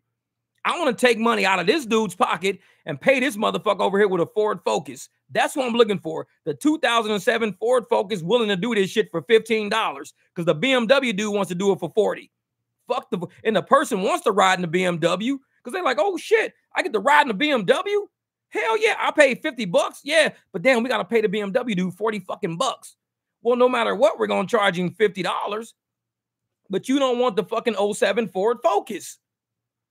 So you take the BMW away. You pull all the good options off. And you say either you got to pay up a whole fucking tier to do XL, black, and all that shit, or you got to pay $50 to drive in that fucking Ford Focus. But you ain't getting none of this nice shit in the middle. No. Extra comfort sounds better. Extra comfort. And I'm gonna tell you right now, my car is not extra comfortable. It's really not. I mean, I think if you rode in a Lincoln fucking like a Lincoln Town car is more comfortable than my car. A Lincoln Town car is way comfortable, but a Lincoln Town car is a 2002. But the motherfucker's way comfortable than mine. I guarantee a 2002 Lincoln Town car is way more comfortable than this motherfucking 2019 BMW. The suspension is better, the tires are better, the seats are more plush. You've probably got better fucking amenities in that motherfucker. My car's a sports car. It ain't more comfortable. It looks nicer. That's about it. So they need to have the prices going, you know, base, nice shit, nicer shit, sick shit. And sick shit is at the very top. And when you open your app and you see the word sick shit, you're gonna be like, is this a real app? Who made this shit up? This is Tuber, motherfucker. We're back to tuber again. It says sick shit. Like, what sick shit? Wait till this motherfucker pull up. You be like, damn, that motherfucker sick. That's why it's on the sick shit list, motherfucker. That's some sick shit. yeah, it's just sporty and fast. The BMW is sporty and fast. It's not extra comfort. It's sporty and fast. That's it. Guarantee the fucking Lamborghini is fucking less comfortable, but it's more expensive. It's like you can't just call some extra comfort because you want to market it. Like you said, it's marketing. They want to mark. Oh, this is extra comfort. Ooh, I'm paying extra for extra. Yeah, you're paying extra for extra. And you get in this motherfucker and be like, this car sucks. it's like, yeah, exactly. It's really not, you're just paying extra. It ain't really extra. You're just paying extra. That's all. Oh, the i5 BMW, man.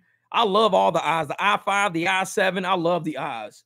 Man, those are some sick cars. The i4. But like I said, I would never buy another car for rideshare ever again that's expensive, not knowing what I know now. I can drive Uber X and make the fucking money I make. My next fucking car is going to be like whatever the bottom tier of cars could be. And it's going to be a really nice one with nice tires on everything else. If I come pulling around a motherfucking corner in a goddamn topaz, you'd be like, where the fuck did you even find a topaz at? hey, they still selling them. I got a topaz, a Taurus station wagon. I got all kind of old school fucking cars, man. All these motherfuckers is 1985 and up. yeah. Because it's like you can make this money on Uber X because all they want is a ride home. All I want is like certain dollar per mile. So I'm like, fuck that. I'm gonna go buy me a fucking topaz. And it's like, because these motherfuckers, you know, they jumping into my BMW, and I be trying to tell them, hey, you guys need to use both back doors. You don't kick my climate controls. They still try to use one door to get it. These motherfuckers act like clowns at the goddamn circus. They all piling in one fucking door. I'm like, use all doors, please. Don't kick my motherfucking climate controls in the middle. Now, these people know how to use nice shit. You don't want to kind of tear your shit up giving people shit that don't know how to use nice shit. So what you gonna say is, man, just get a basic car, get something that's nice, stays clean, clean windows, everything fucking works, smells nice, wheels look good, because wheels make or break a car. I'll tell you right now, wheels will make or break your fucking car. Because if you look at the gladiators, the Jeep gladiators, the trucks, I'll tell you right now, I've seen some motherfucking Jeep gladiators with some 40s on it, wheels like my 40s, sick. Motherfuckers look like goddamn tanks coming down the fucking street. Beautiful fucking trucks, big ass trucks. Now, if you look at a stock gladiator, they look like the same kind of trucks they used to deliver mail, like back in the day. They look like fucking mail trucks. Like if you painted that motherfucker to look like the post office, you think it was a post office truck coming out. The wheels are little, the boxes is all square and shit. Wheels can make or break a motherfucking car. Because you be sitting there like, man, I'm gonna go buy me a gladiator. Yeah, until you see that motherfucker on stock wheels, you be like, dude, is that a mail truck? Did y'all get that from the U.S. Post Service? Where'd this truck come from? Like, did y'all just repo this motherfucker? No, man, this is a Gladiator. It's a Jeep Gladiator. It's the Jeep truck. This is a motherfucking mail truck, dog. You trying to sell me a mail truck? Man, you trying to scam me or some shit? No, but that's how they look. They look like the fucking post office trucks, but you put bigger wheels on them. Oh, now you got a monster truck. Now the shit looks sick. Now the motherfucker's like, okay, this is the baddest shit I've seen right now. Because a Jeep Gladiator truck on 40s, you can't trust me. I see those motherfuckers coming through traffic. They don't even look like cars that belong on the street. Those motherfuckers like movie cars, movie cars. I'm like, look at this motherfucking Gladiator. Holy shit. Make Jeep Wranglers look little, big ass trucks. But the moment you put the motherfucking stock wheels back on, you be like, you need to sign for this package, sir. Sign for this package. like, this is a mail truck, motherfucker. They going around delivering goddamn bills and shit. I got your Discover card bill, your AT&T bill. Like, oh shit, hold up. I didn't know they had gladiators at the post office. That's my mail truck. it's like, god damn. Wheels make or break this motherfucker, man. exactly. Metro said, move that bag of mail and have a seat. Hell yeah. Motherfucker got Pony Express bags in the back of shit. What the fuck is this Pony Express bag from? This is from the Wild Wild West, motherfucker. What the fuck? Move that shit out the way. Goddamn motherfucker sitting on top of some mail, just riding around. Like somebody's bill just fell out of the car. it's like, oh shit, put that back in. I still gotta deliver that. motherfucking gladiator trucks, man, do not have stock wheels on them. Trust me, trust me. Motherfucker straight up mistake your shit for a mail truck. These motherfuckers just throw some shit in the back. Here you go, Sam. Oh shit, we thought this was a Sam's truck. Oh, we didn't know you worked here. My bad. Look like one of our trucks. it's like, yeah, exactly. You better put some 40s on that motherfucker. You better make that shit look sick. These motherfuckers riding around. you sitting in traffic, fucking, you see a motherfucking gladiator in traffic, You'd be like, hey, is the mail running today? They'd be like, huh? What? Is the mail running today? Fuck are you talking? I'm not the mailman. Oh, with that truck, I really thought you were. These motherfuckers be sitting in traffic like, this motherfucker pulled up and asked me if the mail was running today. I can't stand fucking people. Dad, we keep telling you to get some wheels on that. They're gonna keep doing that to you. All right, I'm gonna go get some fucking wheels, God, because wheels will make or break a motherfucking car. Wheels will. Because you can get the oldest piece of shit and you put some nice ass wheels on it, trust me, it'll make or break that motherfucker. You'd be like, damn, this motherfucker look nice. What is this? This is a 1985 Caprice Classic four door on 36 inch wheels. Like, what the fuck? 36 inch wheels? Like, yeah. He was like, this is basically a truck. I be seeing the motherfuckers on the line. I'm like, yeah, that that didn't make that car. I think that broke that car. They didn't make it. Man, I'll be like, man, hmm. I'll be, and I had an old school Caprice Classic. I had some fucking like 13 inch fucking hammers on it, deep dish. Man, that motherfucker was clean. I had like 13 inch wheels and shit back in the day. Now they got 36 inch wheels. I was like, when you drive these motherfuckers down the street, I'm like, when you step out the fucking car, you need like a ladder to get out of the car. This is a car, it's not a truck. What are you doing? It's like on a hot day, you can lay up under that motherfucker for shade and you can just sit in the chair. It's like you have that much space under that fucking car now. I'm like, this is a Caprice Classic. What are y'all doing? Y'all tearing this motherfucker up. Wheels can make a break a car, man. I don't know. I just ain't with that shit. Like, man, because I'm like, I'm one of them old school cats, man. He says, man, I would name it Skittles, my Caprice. Skittles, like a motherfucker. I can't drive no car on big ass wheels like that. I'm old school. I want a, a fucking I want hammers on my shit, some 13s or 14s, some days little ass shit. I like them little wheels, man. Like make it look like a car. Like they be making cars look like trucks and shit. I'm like, I can't fuck with that. I can't fuck with that. Yeah, and flexing, that's what it is, man. A car don't matter. 13 Ford Flex make pretty good money with it because what people don't realize is that the tier, the tier is what you want to be on. So if you're on UberX, you're on regular Lyft or Lux, something like that, the tier is what you're on. The car don't fucking matter. You're looking at what's coming down the pipe. So when you start seeing these fucking $2 mile, $3 mile rides, that's what you're looking for. A lot of these people think people are ordering specific fucking cars. Don't nobody order, excuse me, don't nobody order a BMW. They be like, oh man, this car is nice, man. Isn't it? I'll be pulling up. And like I said, when I was stupid back in the day, I would pull up, you know, six people, $4.85. I'm trying to, you know, get a challenge going. I don't do that shit no more. Nope. I ain't picking up no fucking four people, no three. No, no, it's not enough money for me. And you know you got a chance now to still make good money by declining three dollar rides, four dollar rides, just trying to hit one. Nicole, she's here, north north in the valley. She's there. Tuck Tuck said I had a 95 Caprice, with that smooth man, and, and you had the big ass 5.3 engine. I think you had the big V8 because I think I had the 97. I had a 90 or a 93. I had a 93 or a 97. I didn't have the 95 but I had the 93 or the 97 Caprice Classic. It was the Caprice Classic, all silver. I got pictures of that motherfucker, man. Big four door.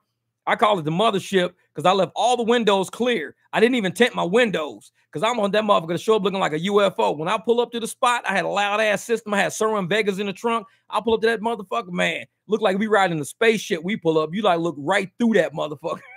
all silver with crystal clear windows. You can see everybody in that motherfucker. It, it wasn't nobody trying to escape nothing. You can see everybody. it's like, man. She said, I'm just getting home. Hey, hope you made some money. It's 5 p.m. I hope you got that money today. You didn't get out there and, and get stuck at Sprouts or some fucking where trying to pick people up with a cart loads full of shit at Sprouts. You don't want that. Yeah, exactly. He said, I got C. Smith said, I got that 2013 Kia, which I had that 03 Lincoln for my own comfort. Yeah, I'm telling you, man. Old schools with the airbags, man. Lincolns used to have them airbags on the back. The Rivieras had the airbags on the back. Comfortable. I remember riding down the highway in them cars, man. And it's like you just floating. You be like this, just like it's like a big ass Fleetwood or some shit, just riding. That was actual comfort. The shit we got now, they call comfort. You be on, it'd be like that one lady when I went and picked her up. She was like, ow, my back, ow. I've never been on a ride this bumpy before. I was like, bitch, this is the street. I don't know what you're talking about. I be just riding.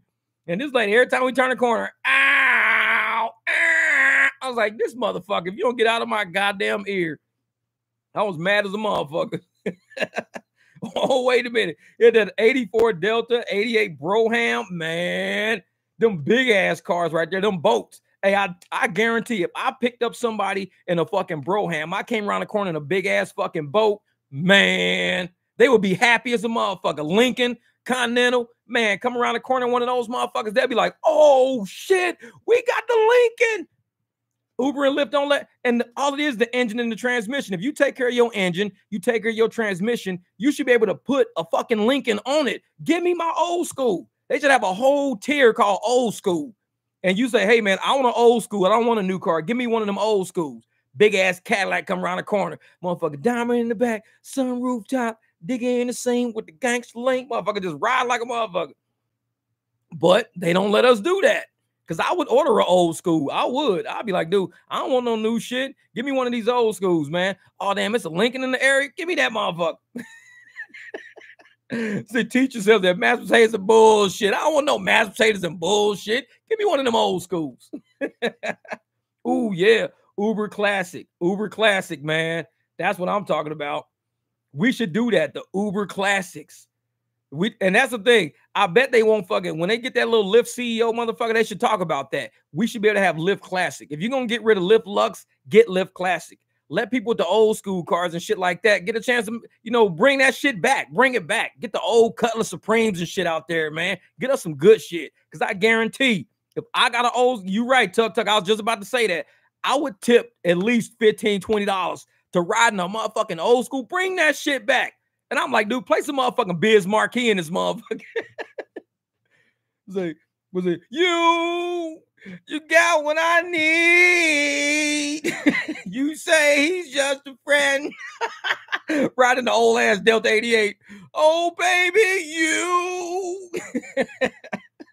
like this motherfucker came around the corner playing some fucking Biz Markie in that bitch. I'm like, dude, you get a $20 tip right off the bat.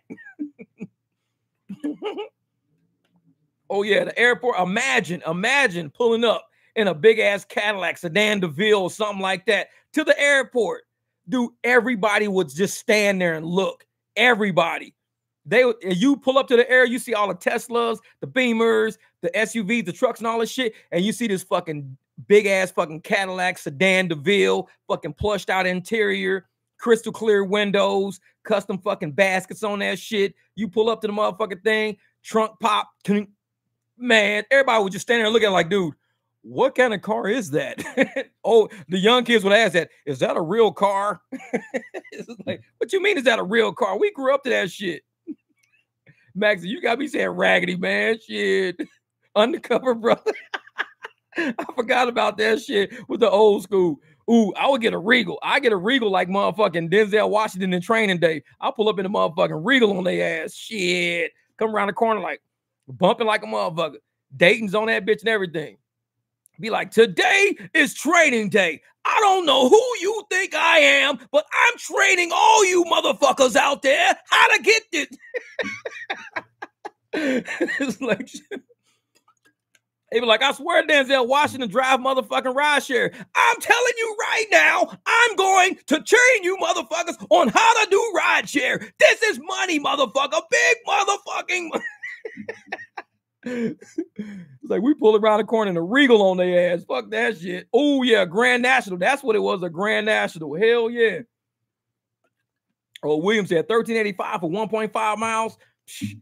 13 for 0.62 miles. Man, let's do it. Yep, curb fillers and everything, man. so I said, why? Lisa said, why you bringing a boat to the airport? Motherfucker and then you put a boat horn and it's like womp womp in a nice ass classic. You fucking got a big ass boat horn on that shit. Motherfuckers like, I want to ride in that. I guarantee.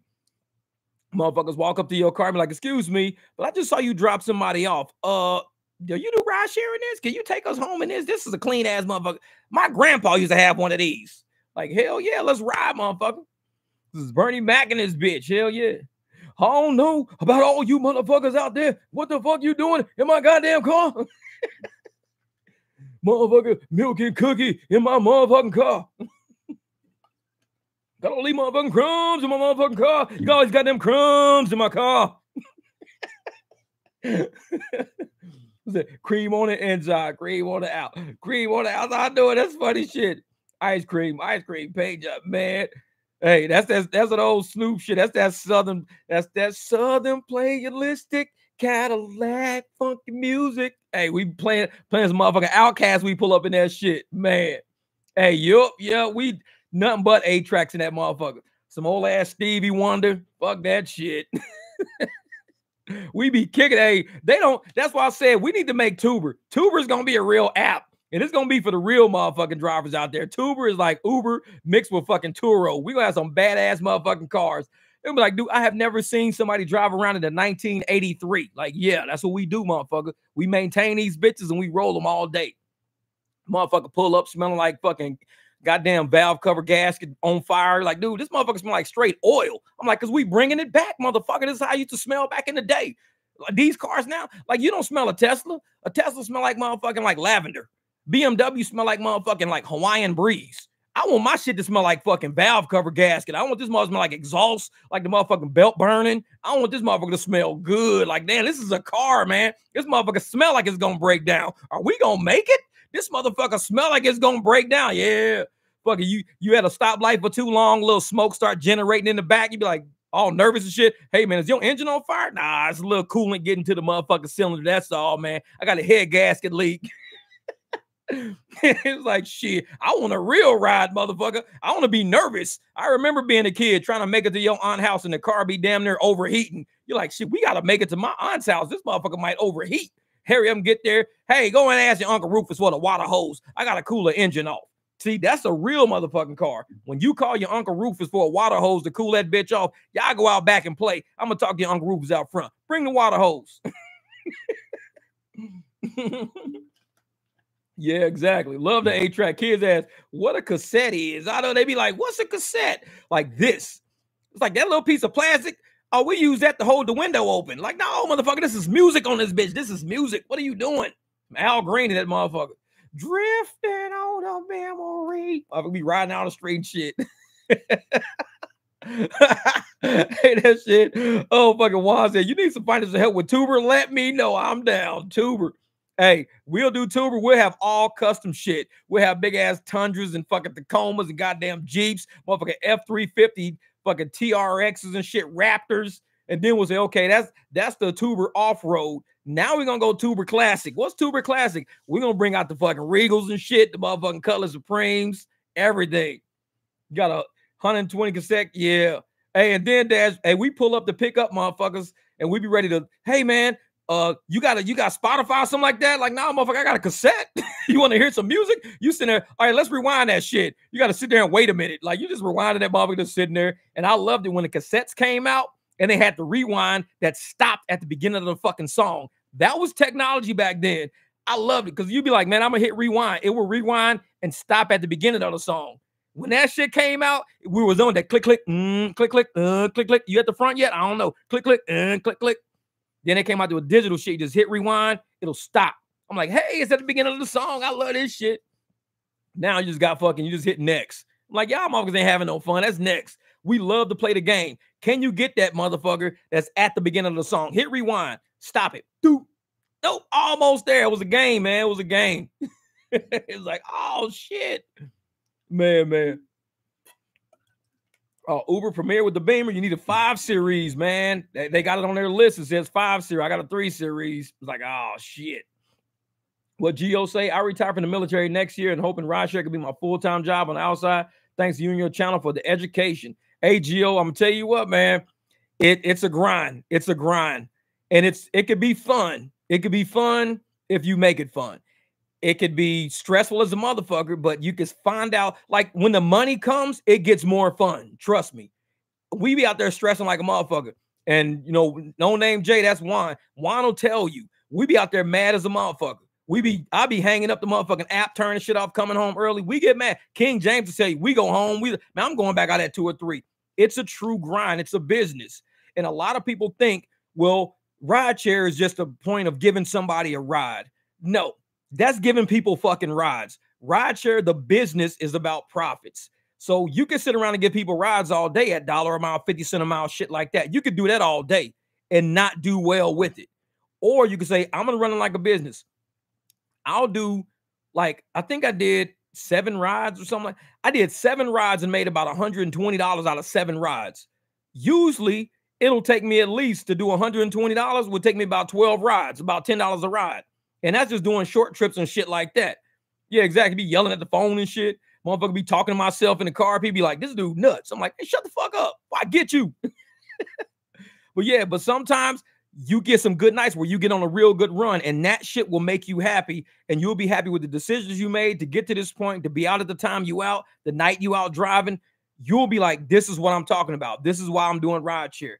You got to make it through. You just got to make it through. We had a rough ass summer, a rough summer for a lot of people.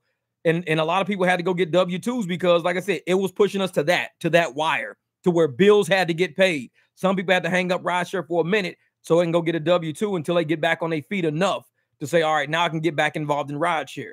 And, and it's scary. Rideshare is scary because, like I said, you don't have no no HR department to call when you need a, an advance on cash or some shit like that. You just got to make better decisions.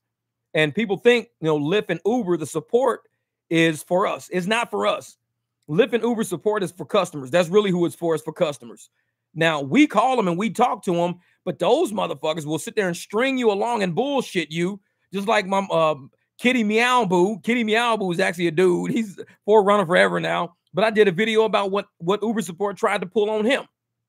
What they'll do is they will string you along and string you along and string you along, hoping you go away. That is not good support because you don't do true customers like that.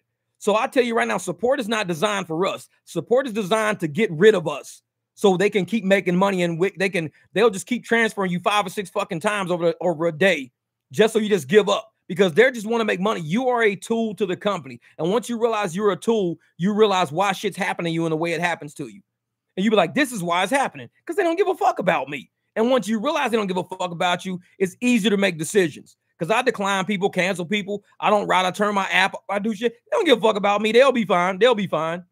I need to look out for me.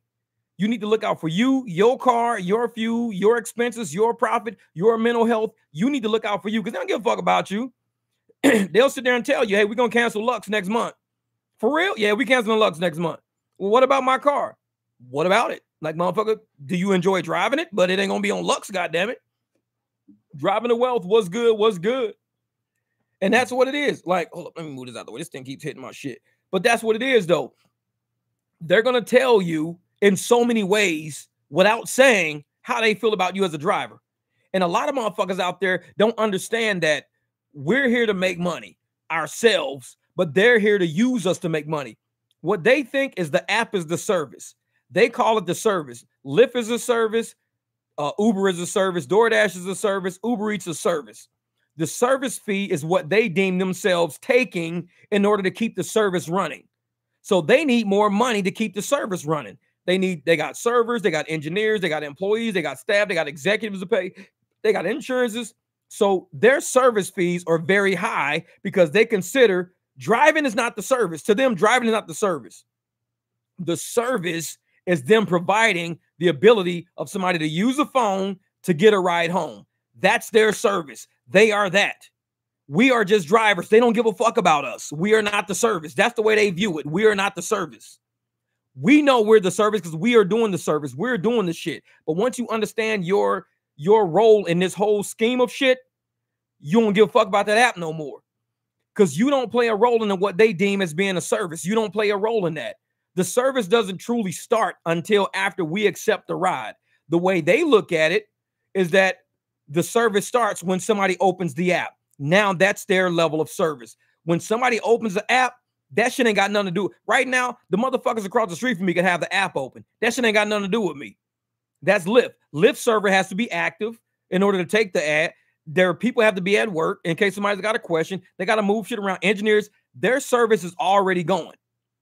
So when they're charging motherfuckers for a ride, they're saying the reason why they want more money from these people are because the service is from the time they open the app until the time they close the app. Everything that happens in between, like what we do, we're only a part of the service, not the service itself. We're just a part of the service. That's why these motherfuckers charge so much. And I know that. And so I look at it as a business. I don't take this shit personal. It's a business. They say, well, the service is when somebody opens the app. Jeff, you don't work until you accept the ride. You're a contractor. You don't work till you take the ride. So right now, some motherfucker at the airport right now got his phone open. I'm not working, but they're using the service right now. They're using the Lyft service. They got the app open. They're going through it. They're trying to find a ride. They're moving shit around. The engineers have made all that possible on that interface. When they're moving the screen around, selecting shit, enter payment information, they're using the service in the eyes of Lyft. They're already using that service right now. I'm a part of the service when they say, okay, fish it out to somebody. They fish it out and I say whether or not it's good enough for me. When I say it's good enough for me, Lyft goes, okay, we're going to give you a part of the money we just got from doing the service for them. We're doing the service for them, and you're just helping us facilitate the service we did for them. Well, what's the service? Them finding a ride home is the service. Them finding a ride home. You're helping us get them home, but they had to find a ride home. They're using our service to find one. Once they find one, our job is done. Now you have to get them a fucking ride home if you accept the ride. If you don't, then they're still going to stay on our service trying to find a ride. The service is Lyft. That's why the service fees are through the fucking roof because the Lyft Corporation is a very expensive corporation and they're ripping off drivers who are actually doing the fucking work. We're doing the work, but they don't deem us as doing the service. The service is from when they open the fucking app. And once you start understanding that aspect of it all, that's why they won't do. They're saying they were to do away with surge price. Oh, we're going to do away with surge pricing. We're done with surge pricing. But then they thinking, well, if we're done with surge pricing, the person can still use the service because they can still open the app. There don't have to be a surge on there. They open the app. The service is working because they can select, they can move shit around. There's no surge pricing, knows nothing. But the moment they say, I want to ride, you know, 20 miles from this concert to home for $19, ain't no fucking driver taking that. So the services will never be completed because ain't no driver driving for bullshit if ain't no surge out there. So they can't do away with surge because drivers, we're a part of the service that solidify the fucking deal. They know it. And the moment they stop allowing us to get paid a certain amount, the deal won't be solidified. So they'll the customers will be using a service that they'll never pay for. So the app will be sitting there dormant People can move the shit around. They can select rides, try to select rides, move. So the servers are working. There's people at work. The buildings are open. The employees are getting paid. The insurance are getting paid, but no drivers are are taking none of those fucking rides. So the services will never be paid for. It's like free service. So what they do is they say, you know what? We need to make sure these surges don't stop because if the surges stop, the driving stops. The driving stops, we don't get paid for that service of the app actually working. We have to pay for this app to fucking work. That's why the service fees be like half the fucking price. We're gonna give the driver half and we're taking half. Why is it like that? Because we're doing half the service. The driver's only part of the service. It used to be the driver was the service. We were out doing the fucking work and they viewed us as the, the main core of the business. And the app was just the app. That's all it was, was the app. But now they're like, the app is what the service is because the drivers ain't doing shit. They're not doing like us. We're sitting at home right now. We're on fucking, you know, podcast, hanging out and shit like that. But the app still works. Who's paying for the app? All the rides we've already done because they've overcharged the shit out of everybody to keep the service fucking going. and it's like the app is the service. Yeah, exactly, Silver Fox, man. And so when I see how much the apps are making, like I've said before, you see in all my videos, I really don't give a fuck how much they make. I hope they do well. I really do because if they do well, we should be able to do well too. But if they do well and we don't do well, I have a fucking problem because we're the ones who solidify the fucking service. We solidify it. Without us accepting a ride, they don't get any money. We generate the revenue when we say accept. Now that we accept, we complete the ride, we do the ride. Now the money is transferring hands. But if somebody's using the service the whole time and ain't nobody ever accepting their ride, this person just sat on this app. The app that had servers, it had employees, it had insurances, it had all this shit going, and the person never got a ride because nobody ever accepted the ride. That person just used that service for free of charge because all they did was just use the app. Even YouTube, YouTube is a free service. It's free. How do people get paid on YouTube? Well, what they do is content creators like me and other content creators, we provide information, content. We keep people watching like YouTube and on YouTube getting information about how to fix your Jeep, how to fix your BMW, you know, how to even drive Lyft and shit. We we there for that. Advertisers come on every once in a while and say, since these guys are providing a service, of YouTube, and YouTube has to be paid for that service. Advertisers pay. So you guys can either pay for YouTube premium. If you don't want to see commercials, you can pay for YouTube premium. Say, hey, I never see a commercial, but you're paying for the service now. It's not a free service anymore. In order for it to be a free service, somebody has to pay for it. Advertisers pay for it. And usually on my channel, a lot of financial advertisers come because I look at some of my shit and I'll see financial people, loan people, all these people popping up on my shit. I don't really get wholesome shit. You're not gonna find no church on my thing. Like, hey, make sure you come down to the Sunday service with Reverend Bishop Don Juan and fucking pray with his at. No, it ain't. You'll never see that on my channel because my channel is too rugged for that. So they try to find out what advertisers want to advertise with the shit I do to keep giving you guys a free service. Lyft, they could have their service paid for by advertisers if somebody opened the app and there were ads running the whole fucking time while they were trying to use the app have an advertiser pay for it. That way, some of the service fees could be paid by the advertiser, and we could get most of the fucking fee that the goddamn driver, the rider is requesting. But they won't do that. Even if they did get it, they could sit us down at the table and say, hey, drivers, how can we pay you guys more money while we still make money? Run that shit like YouTube. Have ads running across the screen all the time and have people paying for ads. That way, every time the customer is is using the app or whatever, you know, a portion of this this person using the app, whether they get a ride or not, is paid for by the advertisers. Because I might decline the ride 10 fucking times in a row because it's a bullshit ride. But each time the person is using the service of Lyft, advertisers are paying Lyft for that person just to open the app. So they'll be getting money out of the deal. But right now, I don't know if Lyft does that shit or whatever the fuck happens, but they're ripping the fuck out of the drivers. They're taking all the money from the riders, not paying us a fair share of the percentage because they want to claim service fees are too high because they've overspent. They're they're way over budget for a lot of shit they doing. And they need to get their their books under hand and say, we need to come up with a different way to generate revenue instead of just using drivers to generate revenue. Because if we are the only revenue generators by accepting that trip and that's all the way is they're making money, they're going to go on the fucking ground. That's why Uber does a lot better. Uber has food, Uber has advertising, Uber has a lot of shit they're paid for because they get advertising revenue for the food shit they do on different websites and stuff like that. But say Lyft will belly up and we will buy it and change the name to Tuber. Hell yeah, Bill. We'll call it Tuber, like I said, and we could just fucking let people use our cars. We at the house chilling. like, motherfucker, what you doing? Oh man, I'm gonna go take this lady dog for a walk. I thought you was working. Yeah, she had to take my car down to Walmart, man. I'm on Tuber right now. I'm walking her dog. She got my shit down at Walmart. I get paid extra five dollars walking this dog around the corners. So I'm gonna walk this dog for five dollars. it's like Tuber is cool. Because apps got to figure that shit out. They need to figure out how to generate revenue. And if the only way that they can generate, like Uber and Lyft, the only way they're generating revenue is through us as drivers, then we should get a higher percentage of the money. Because, like I said, they're not generating no revenue for the most part until somebody accepts a ride. That's where the money's coming from. If we just keep turning shit down because the rides are bullshit and the rides are bullshit and the rides are bullshit, at some point they're gonna have to raise the rates to get people more likely to accept those rides. Because if they're not getting no money, if all these high AR motherfuckers just stop accepting these rides, that means Uber and Lyft have to pay more to get that ride engaged because you're not engaging me for 50 cent a mile. You're not engaging me for a dollar a mile. You're not engaging me for a dollar fifty. Even from a concert, you might not be able to engage me for two dollars a mile. It might cost you four, five, six dollars a mile from a concert to engage me.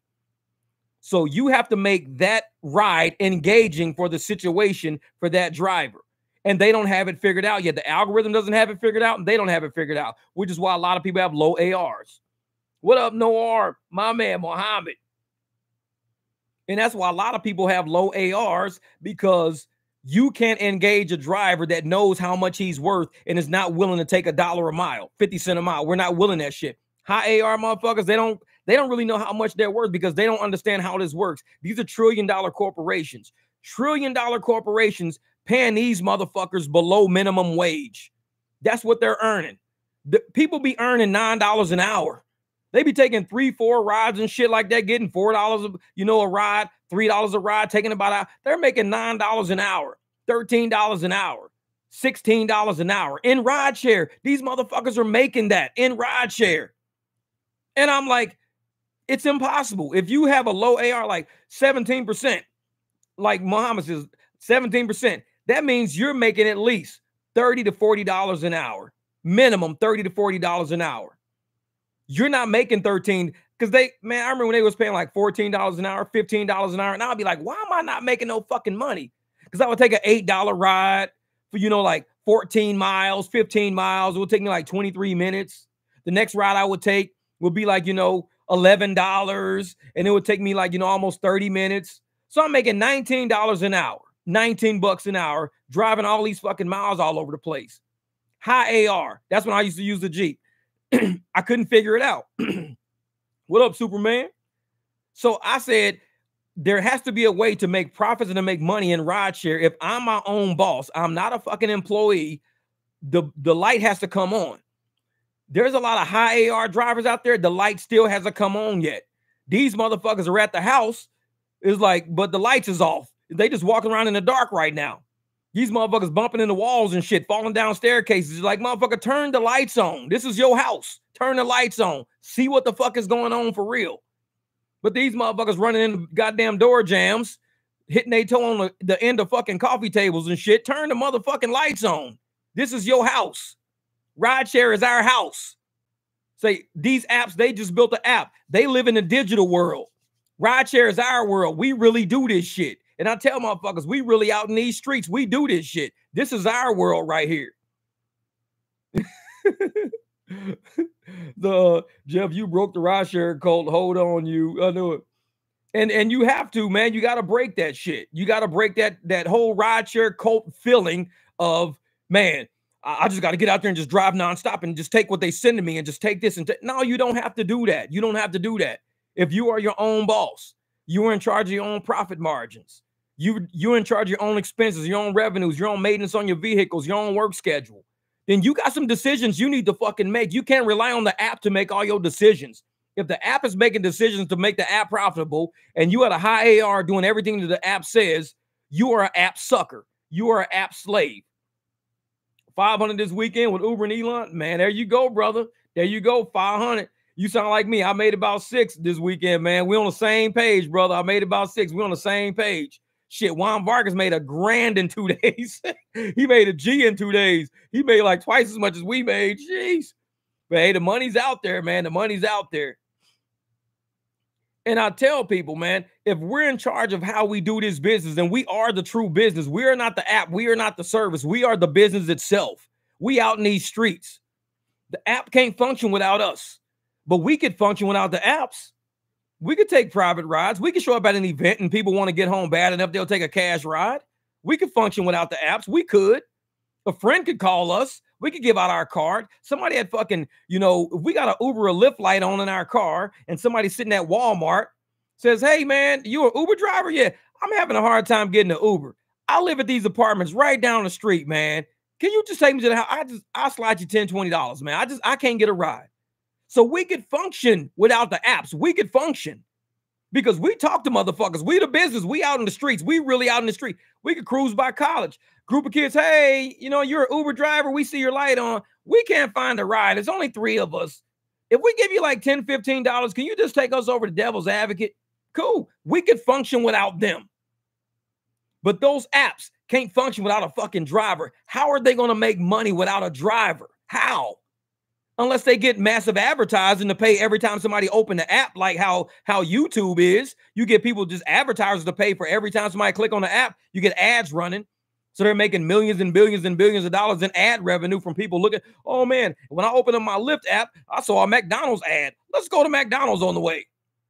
Oh man, I opened my Lyft app. I saw a motherfucking Radisson Hotel ad. Maybe I'll get a ride over to the Radisson and, and find me a room at the Radisson. They don't get ads like that that's going to pay for that app. Ads don't pay for that. Drivers pay for that app. Our work, we really in this shit. We do this shit for real. So until they respect us for who we are, we know who we are. It's the high AR motherfuckers don't know who they are. They have no idea who they are. They are so proud. Oh, yeah, I drive for Uber. I drive for Lyft, motherfucker. Yeah, I'm 100% AR. I'm a diamond driver. I could call them direct. I'm a diamond motherfucker. I get a free fucking hot dog every Wednesday. I'm a Uber driver. Yeah, what's your what's your profit margins like? I don't know what the fuck you're talking about. What's your what's your net income like? Who gives a shit? I'm diamond, baby. Fuck you. Okay, motherfucker, I'm, I'm like, you know, 20% AR. I'm making at least, you know, four or five dollars a mile on. Oh, fuck that. I stay busy. 50 cent a mile, dollar a mile, I stay busy. You're not busier than me. You're sitting over there eating a fucking crusty dusty. You're not busier than me. I'm busy. Yeah, and you got to work four or five times harder than I got to work to make the same amount of money.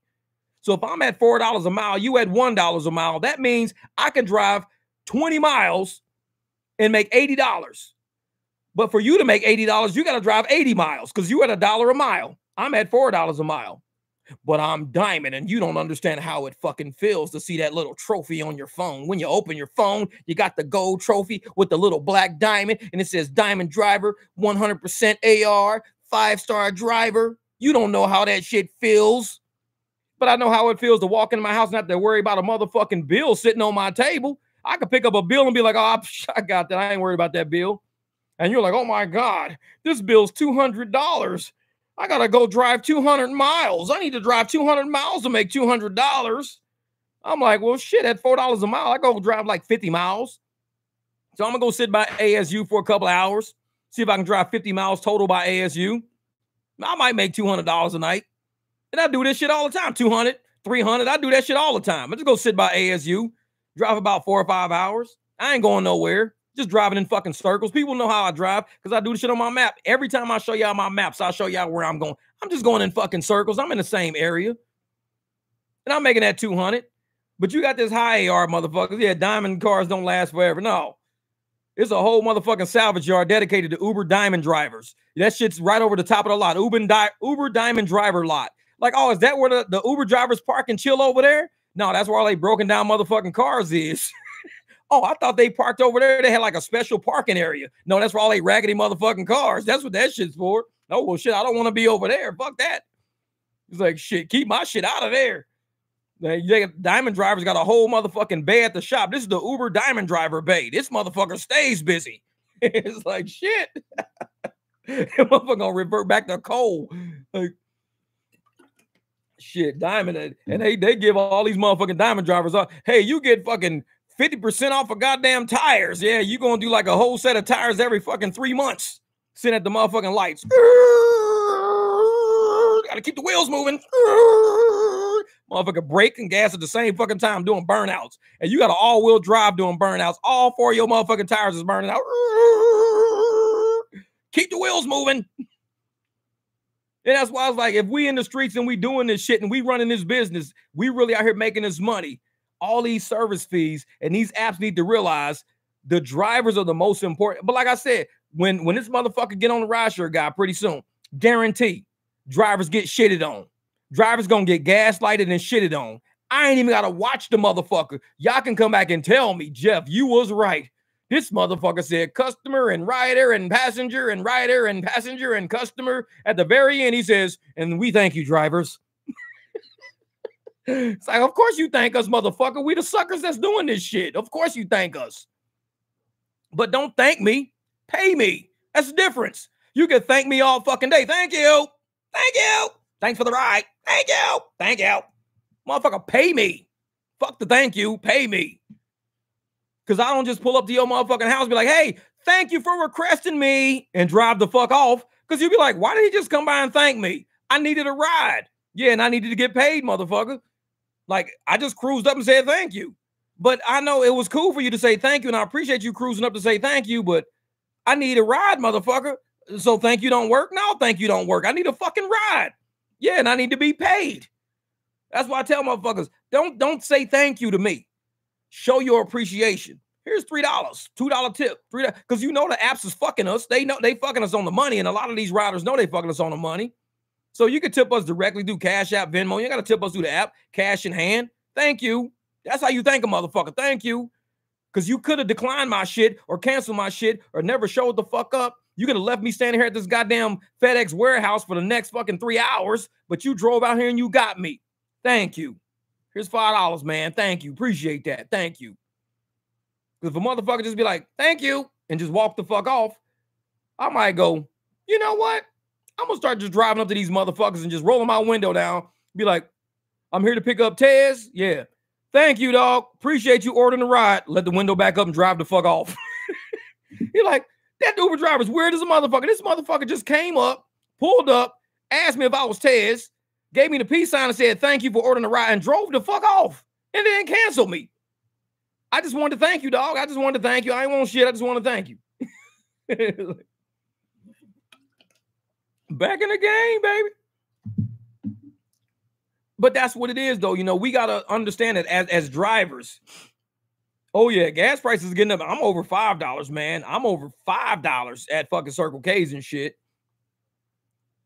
But if we start coming around here, man.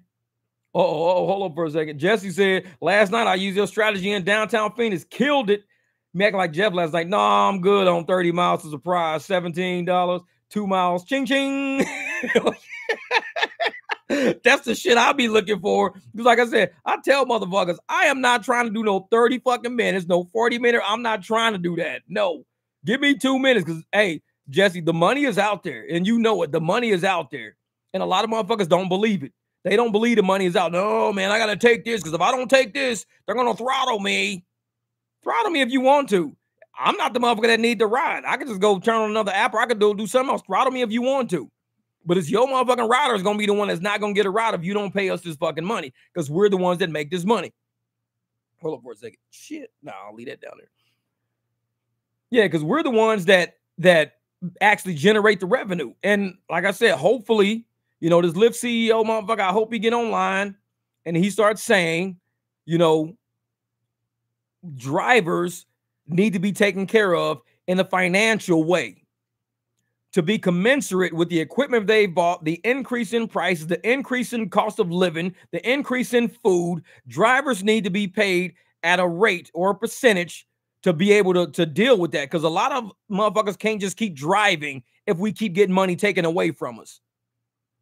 I mean, we've got corporate America hitting us over the head for fucking rent, management companies. We got fees out the ass on food, gas, all this shit. We got a bunch of shit going on right now. And if he don't touch upon the main point of rideshare drivers, expenses are what kills us. It ain't time. We got time, motherfucker. I got time today. I got time today. We got 12 hours of clock. I could do it. Man, you give me 12 hours. I could work three hours here, one hour here, two hours here. You give me 12 hours. That's not the problem. The expenses of life are what the problem is. So the more time I spend on these apps, and I tell people the diminishing marginal returns, diminishing marginal returns of the more you do something, you do it at an increasing at a decreasing rate. It's like in the beginning, you're making money, you're making money, you're making money, you're making money, but then it starts plateauing. So you're still making money, but it starts plateauing. So you're increasing, but it's at a decreasing rate. This rate, you were making a lot of money. But as the more you start making and the, the more time you spend on the road, your earnings start leveling out. So now when you first start out, man, you making a ton of money. But when the app sees that shit, they start holding back. They start throttling you down a little bit. They start seeing you getting too many fucking surges. They start holding back a little bit. They stop sending you good rides and shit. So a lot of people, man, they don't get it.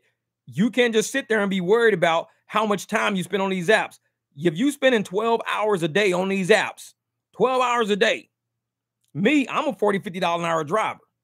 So I better be making anywhere from if I'm 12 hours, I better be making at least five, six hundred dollars a day, five, six hundred a day if I'm online for 12 hours, five, six hundred.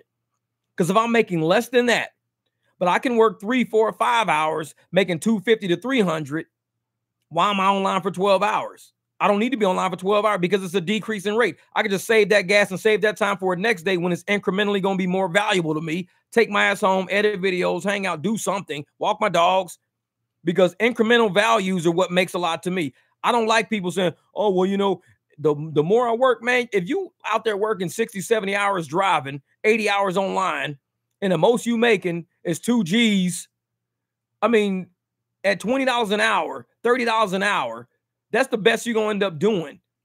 But yet you look at all the gas you use every single day.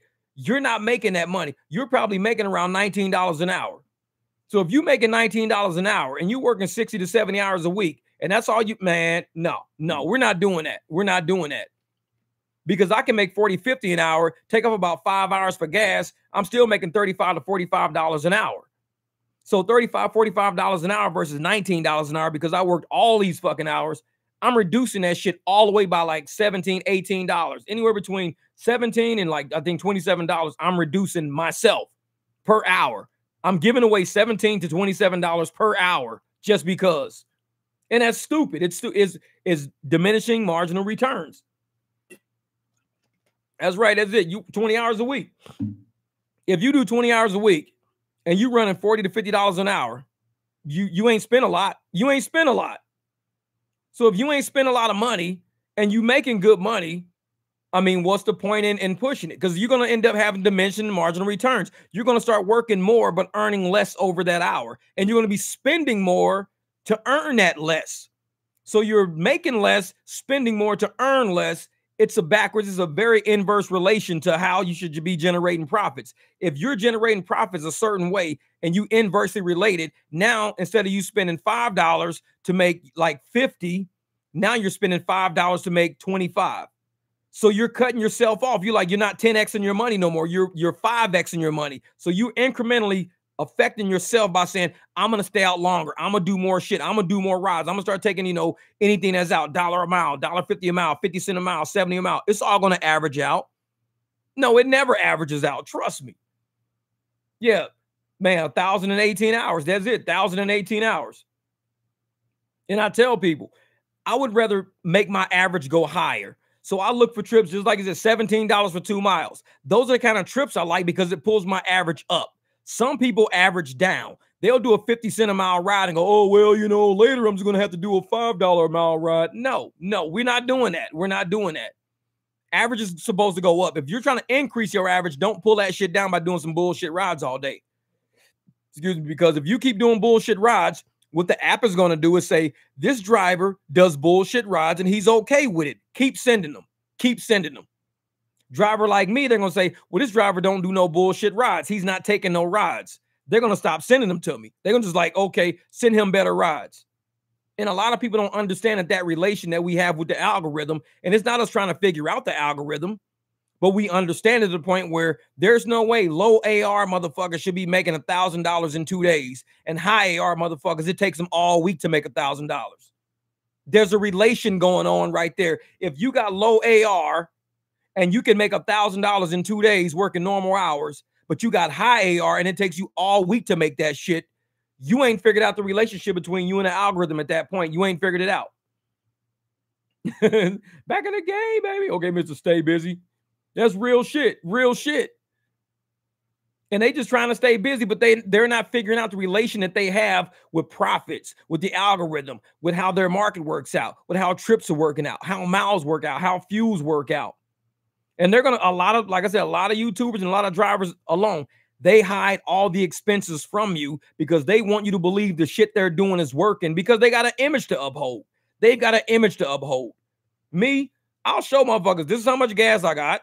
This is how much it cost me to put in the gas tank. And people can talk shit all day. Oh, motherfucker, my Prius only cost me $19 to fill up. Cool. I'm happy for you. I'm happy for you. I can't be mad at you. But I'm just doing what I do with the equipment that I have. Everybody's equipment is not going to be the same. In my market, I could use a big black SUV during Super Bowl and make six, seven thousand dollars one week. A lot of markets you can't make six, seven thousand dollars a week, even with a black SUV. You can't. Out here, you can. It's different. I use a little baby ass fucking car, made 3600 in a week, and that was only in five days. So everybody's market is different. But at least what I do is show what I'm doing as far as expenses go, as far as revenue go, as long as my hours go. I even show me sitting the fuck around kicking it. I, I'm on the phone talking about how I'm wiping my car down, cleaning my car up. I'm sitting on the side of the road. I'm just scouting rides and shit, doing this and doing. I'm validating my area, checking it out, making sure there ain't no surge around me, just knowing where the fuck I am. And a lot of channels don't do that because they want to make you think they left the house at 4:30 this morning and they've been driving all day, staying busy, staying productive, staying busy. Now it's 10 o'clock at night. They're pulling back into the driveway and they've got $280. Great day.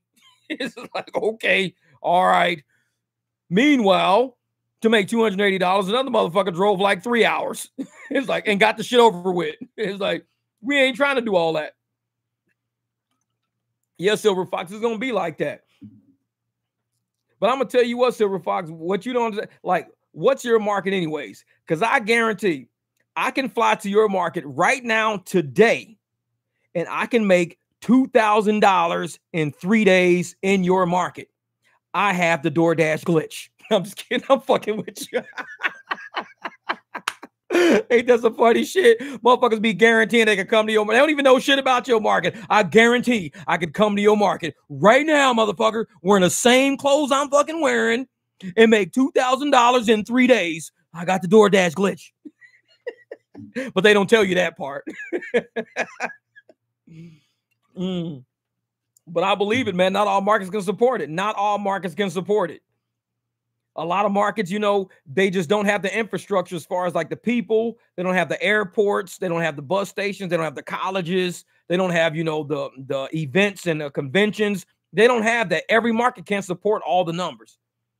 But with the market you're in, if you say, hey, I can crank out about $25 an hour, that's the best I can do, then you could budget for that. If you can do $25 an hour, do cherry picking, then that means you cannot spend as much as we spend per hour. Because cherry picking, we might have to drive a little bit more than you probably because we're going to get a few more rides than you. We can get about five rides an hour that are good. You'd probably say, hey, I can get two rides an hour that's good. Okay. And especially if it's saturated, if it's saturated for saturated markets, you've got to position yourself very close to traffic, very close to what you want to do. Like if you want to get motherfuckers from Walmart, position yourself by Walmart. You want to get people from a convention, position yourself next to the convention and find out what companies are in town having businesses. Go to different, say, hey man, there's a meeting this weekend down here. It's going to be, you know, all the drivers from motherfucking, you know, Chewy.com, the motherfucking dog biscuit company and shit's coming to town. They're gonna have a big ass convention here. So I'm gonna make sure I'm wherever the Chewy.com people are staying, whatever hotel they're in, I want to be by that hotel. Whatever, you know, hotel they got the events in, I'm gonna be by that hotel. And you just gotta kind of know shit, man. You gotta just know shit. Is your driver can. It's all about working in a place that meets the demand. If there's all about working in a place that meets, there is no demand, there is no profit. Real shit, real shit. And we said it all. If if your market can't support it, ride share is probably not for you. You're gonna have to W two it for a while. Either run your own independent business. You could do private rides or independent business as far as like you know making you know wood plaques or making something like that. But ride share may not be profitable enough for you to be 100% ride share. And a lot of people are going to sit up there and go, well, you know, you just got to keep driving nonstop, drive nonstop, and you'll make profit. No, you'll make gross. You'll make gross, but that's not making profit. Driving nonstop, you're using a lot of time, a lot of money, a lot of fuel, a lot of wear and tear. Like I said, the salvage yard got a whole motherfucking section over the top of the set, it says diamond drivers for Uber section. All the motherfucking cars is over in the salvage yard right now. they running those motherfuckers ragged. And and what they they just throw them away. They ain't no good. They can't even fucking sell you the goddamn the motherfucking the uh, the tree scent, the motherfucking black ice tree scent. They throw that motherfucker in the trash too. All that shit's trash. It's all done. That motherfucker's run down. So I'd make less of a W two. Some areas are like that. Small towns, you know, and like I said, even at saturated areas and stuff like that. If you're in a super saturated market for, you know, for W twos, some W twos, like I was talking to a guy last night, they own companies and they do interviews. Like they own companies in Vegas, but they do interviews by Zoom all the time. He said he can tell when he's interviewing somebody in the Zoom interview, he could tell whether or not this person is worth the money or not.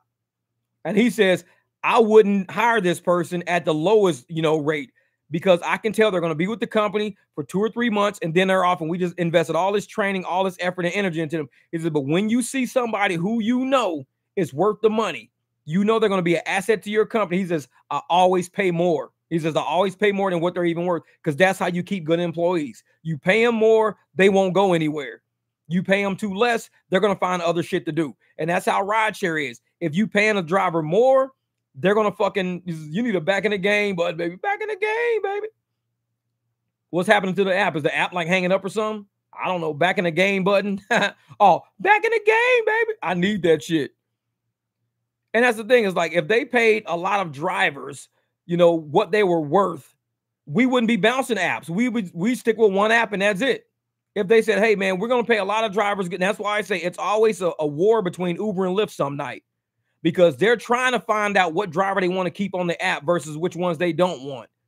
And, and a lot of nights when you get a lot of rides out there, You got people arguing and fighting with drivers. Drivers are calling it good. Drivers are getting bad marks, good marks. Drivers are having little small fender benders and shit. So they got to keep certain drivers on their app, or else they're not going to meet the demand that's out there. So they got to pay. And if if they're paying these high AR motherfuckers, they're taking these little 50 cent a mile, dollar a mile rides, and they know that's all that driver's willing to p- take. They don't have to pay a lot for the demand. They don't have to pay a lot for the demand. To get a driver like me to stay on their app, I need a surge or I need a good ride. You you're not gonna keep me on your app if you're not fucking paying. And just like the guy said when he's interviewing people, he knows who he should be investing in. He knows the good people who he wants to put money into versus the people who he hires and says, I don't want to pay this person a lot because I just know they're not going to be here that long. He's like, I could tell in the interview, I could just tell already. Rogue said, How do you think you were doing Tucson? Well, Tucson, especially with your little downtown area down there, plus you've got what you've got AU down there. You got AU, you got the downtown area, plus you got a couple of strip clubs down there. Because I remember I got stuck down there one day take, doing a long ass Tucson ride in my Jeep back when I drove the Jeep. It's a little strip club called Cherries or something. And I mean, I was doing nothing but rides there all day, and they live all back in little houses and shit. Because there was no other driver down there at that time of night. So I'm just doing all these motherfucking like strip club rides back and forth. I'm picking up like the the clients that were in there. I'm picking up the fucking workers. I'm picking up everybody just back and forth, back and forth all damn day. So Tucson could be a little hot spot if you stay out as late as I stay and you still getting all the good rides out and most of the drivers are done for the day. It could be a little hot spot, but you're gonna have to, you know, be able to just keep it moving. You got to keep it moving. You can't be hung up in traffic. You can't be stuck at trains and shit like that. They had a train down there. I'm like, what the fuck? Tucson is wild, man. But I think Tucson is, is a decent market. It's not, you know, horrible, completely horrible, but it, it's worse in the summer than what it is here in the summer. I'll tell you because we get the Tucson drivers up here all summer. Because during the year, you guys are doing okay because you got the colleges back open and stuff like that. Plus, you got the hospital down there, you got Banner down there. So you got some good shit going. But for the most part, the money up here is way too good to leave on the table to go work down there. It's like that's a long ass drive down there, a long ass drive back for no gain. It'll be a zero sum game for me to go in Tucson because I'll make more money just driving my ass like in a circle around my own neighborhood than driving 120 miles south, 120 miles back, 240 miles of driving to do worse than what I would do in my own neighborhood. It's like eh, I couldn't do it. I couldn't see myself doing it. People say, man, you should come on down here to Tucson and roll, man. Like, I don't know, man. It'd have to be Tucson drivers can come up here and make way more money up here than they can make down there. So the, the commute is worth it because they can, and then they're always gonna get an airport ride back. So they're gonna get their gas money anyways. They're gonna get gas money up, they're gonna get gas money back, and they're always gonna make a ton of money. But for me, it's like, you man. Steven in the building was good. Shane and Steven. Where y'all been, man? We been here for like almost four hours. Where the fuck y'all been, man? We been kicking it. Shit. We about to fucking, I think what Tuesday or Wednesday, somebody saying that uh, the Rideshare Guy has Lyft, um, had the CEO on there. So I probably won't drive. I think we should all go over there and check that shit out. Be like, hey, hey, man, I don't know what's wrong with YouTube. YouTube don't never send out my alerts. And I think they do that shit on purpose. If somebody at YouTube mad at me for whatever fucking reason, maybe I'll talk shit about them one day and they like, man, this motherfucker talk, fucking turn off his alerts. Fuck him. Turn off his alerts. we gonna fucking not not alert nobody for a good month. Fuck him. Let's turn this shit off. They do that shit to me sometimes, probably. Sometimes they do me right and they'll be like, okay, they, they got me out there. Other times, like, oh, fuck Jeff. We ain't worried about his ragged ass. Fuck him. I get your alerts. I don't know how that shit works. I get alerts all the time from different channels and shit like that. So maybe some of them I don't, but I know I get a lot of them. But hell yeah. Woo, man, almost four hours, man. Sheesh. We had a good chat though today, man. A good chat, a good chat. I appreciate you guys sitting on live with me. I'm gonna hop off this thing in a minute. I gotta grab me some dinner. Is what 5:55, 6 o'clock right now. Still parents weekend at ASU. I'm gonna try to make it out this house by about 7, 7:30, do some dinner runs, maybe a couple of airport runs. Try to make about 150 bucks. Y'all, man, we always have a good time, and we're gonna start up Tuber one day. Tuber.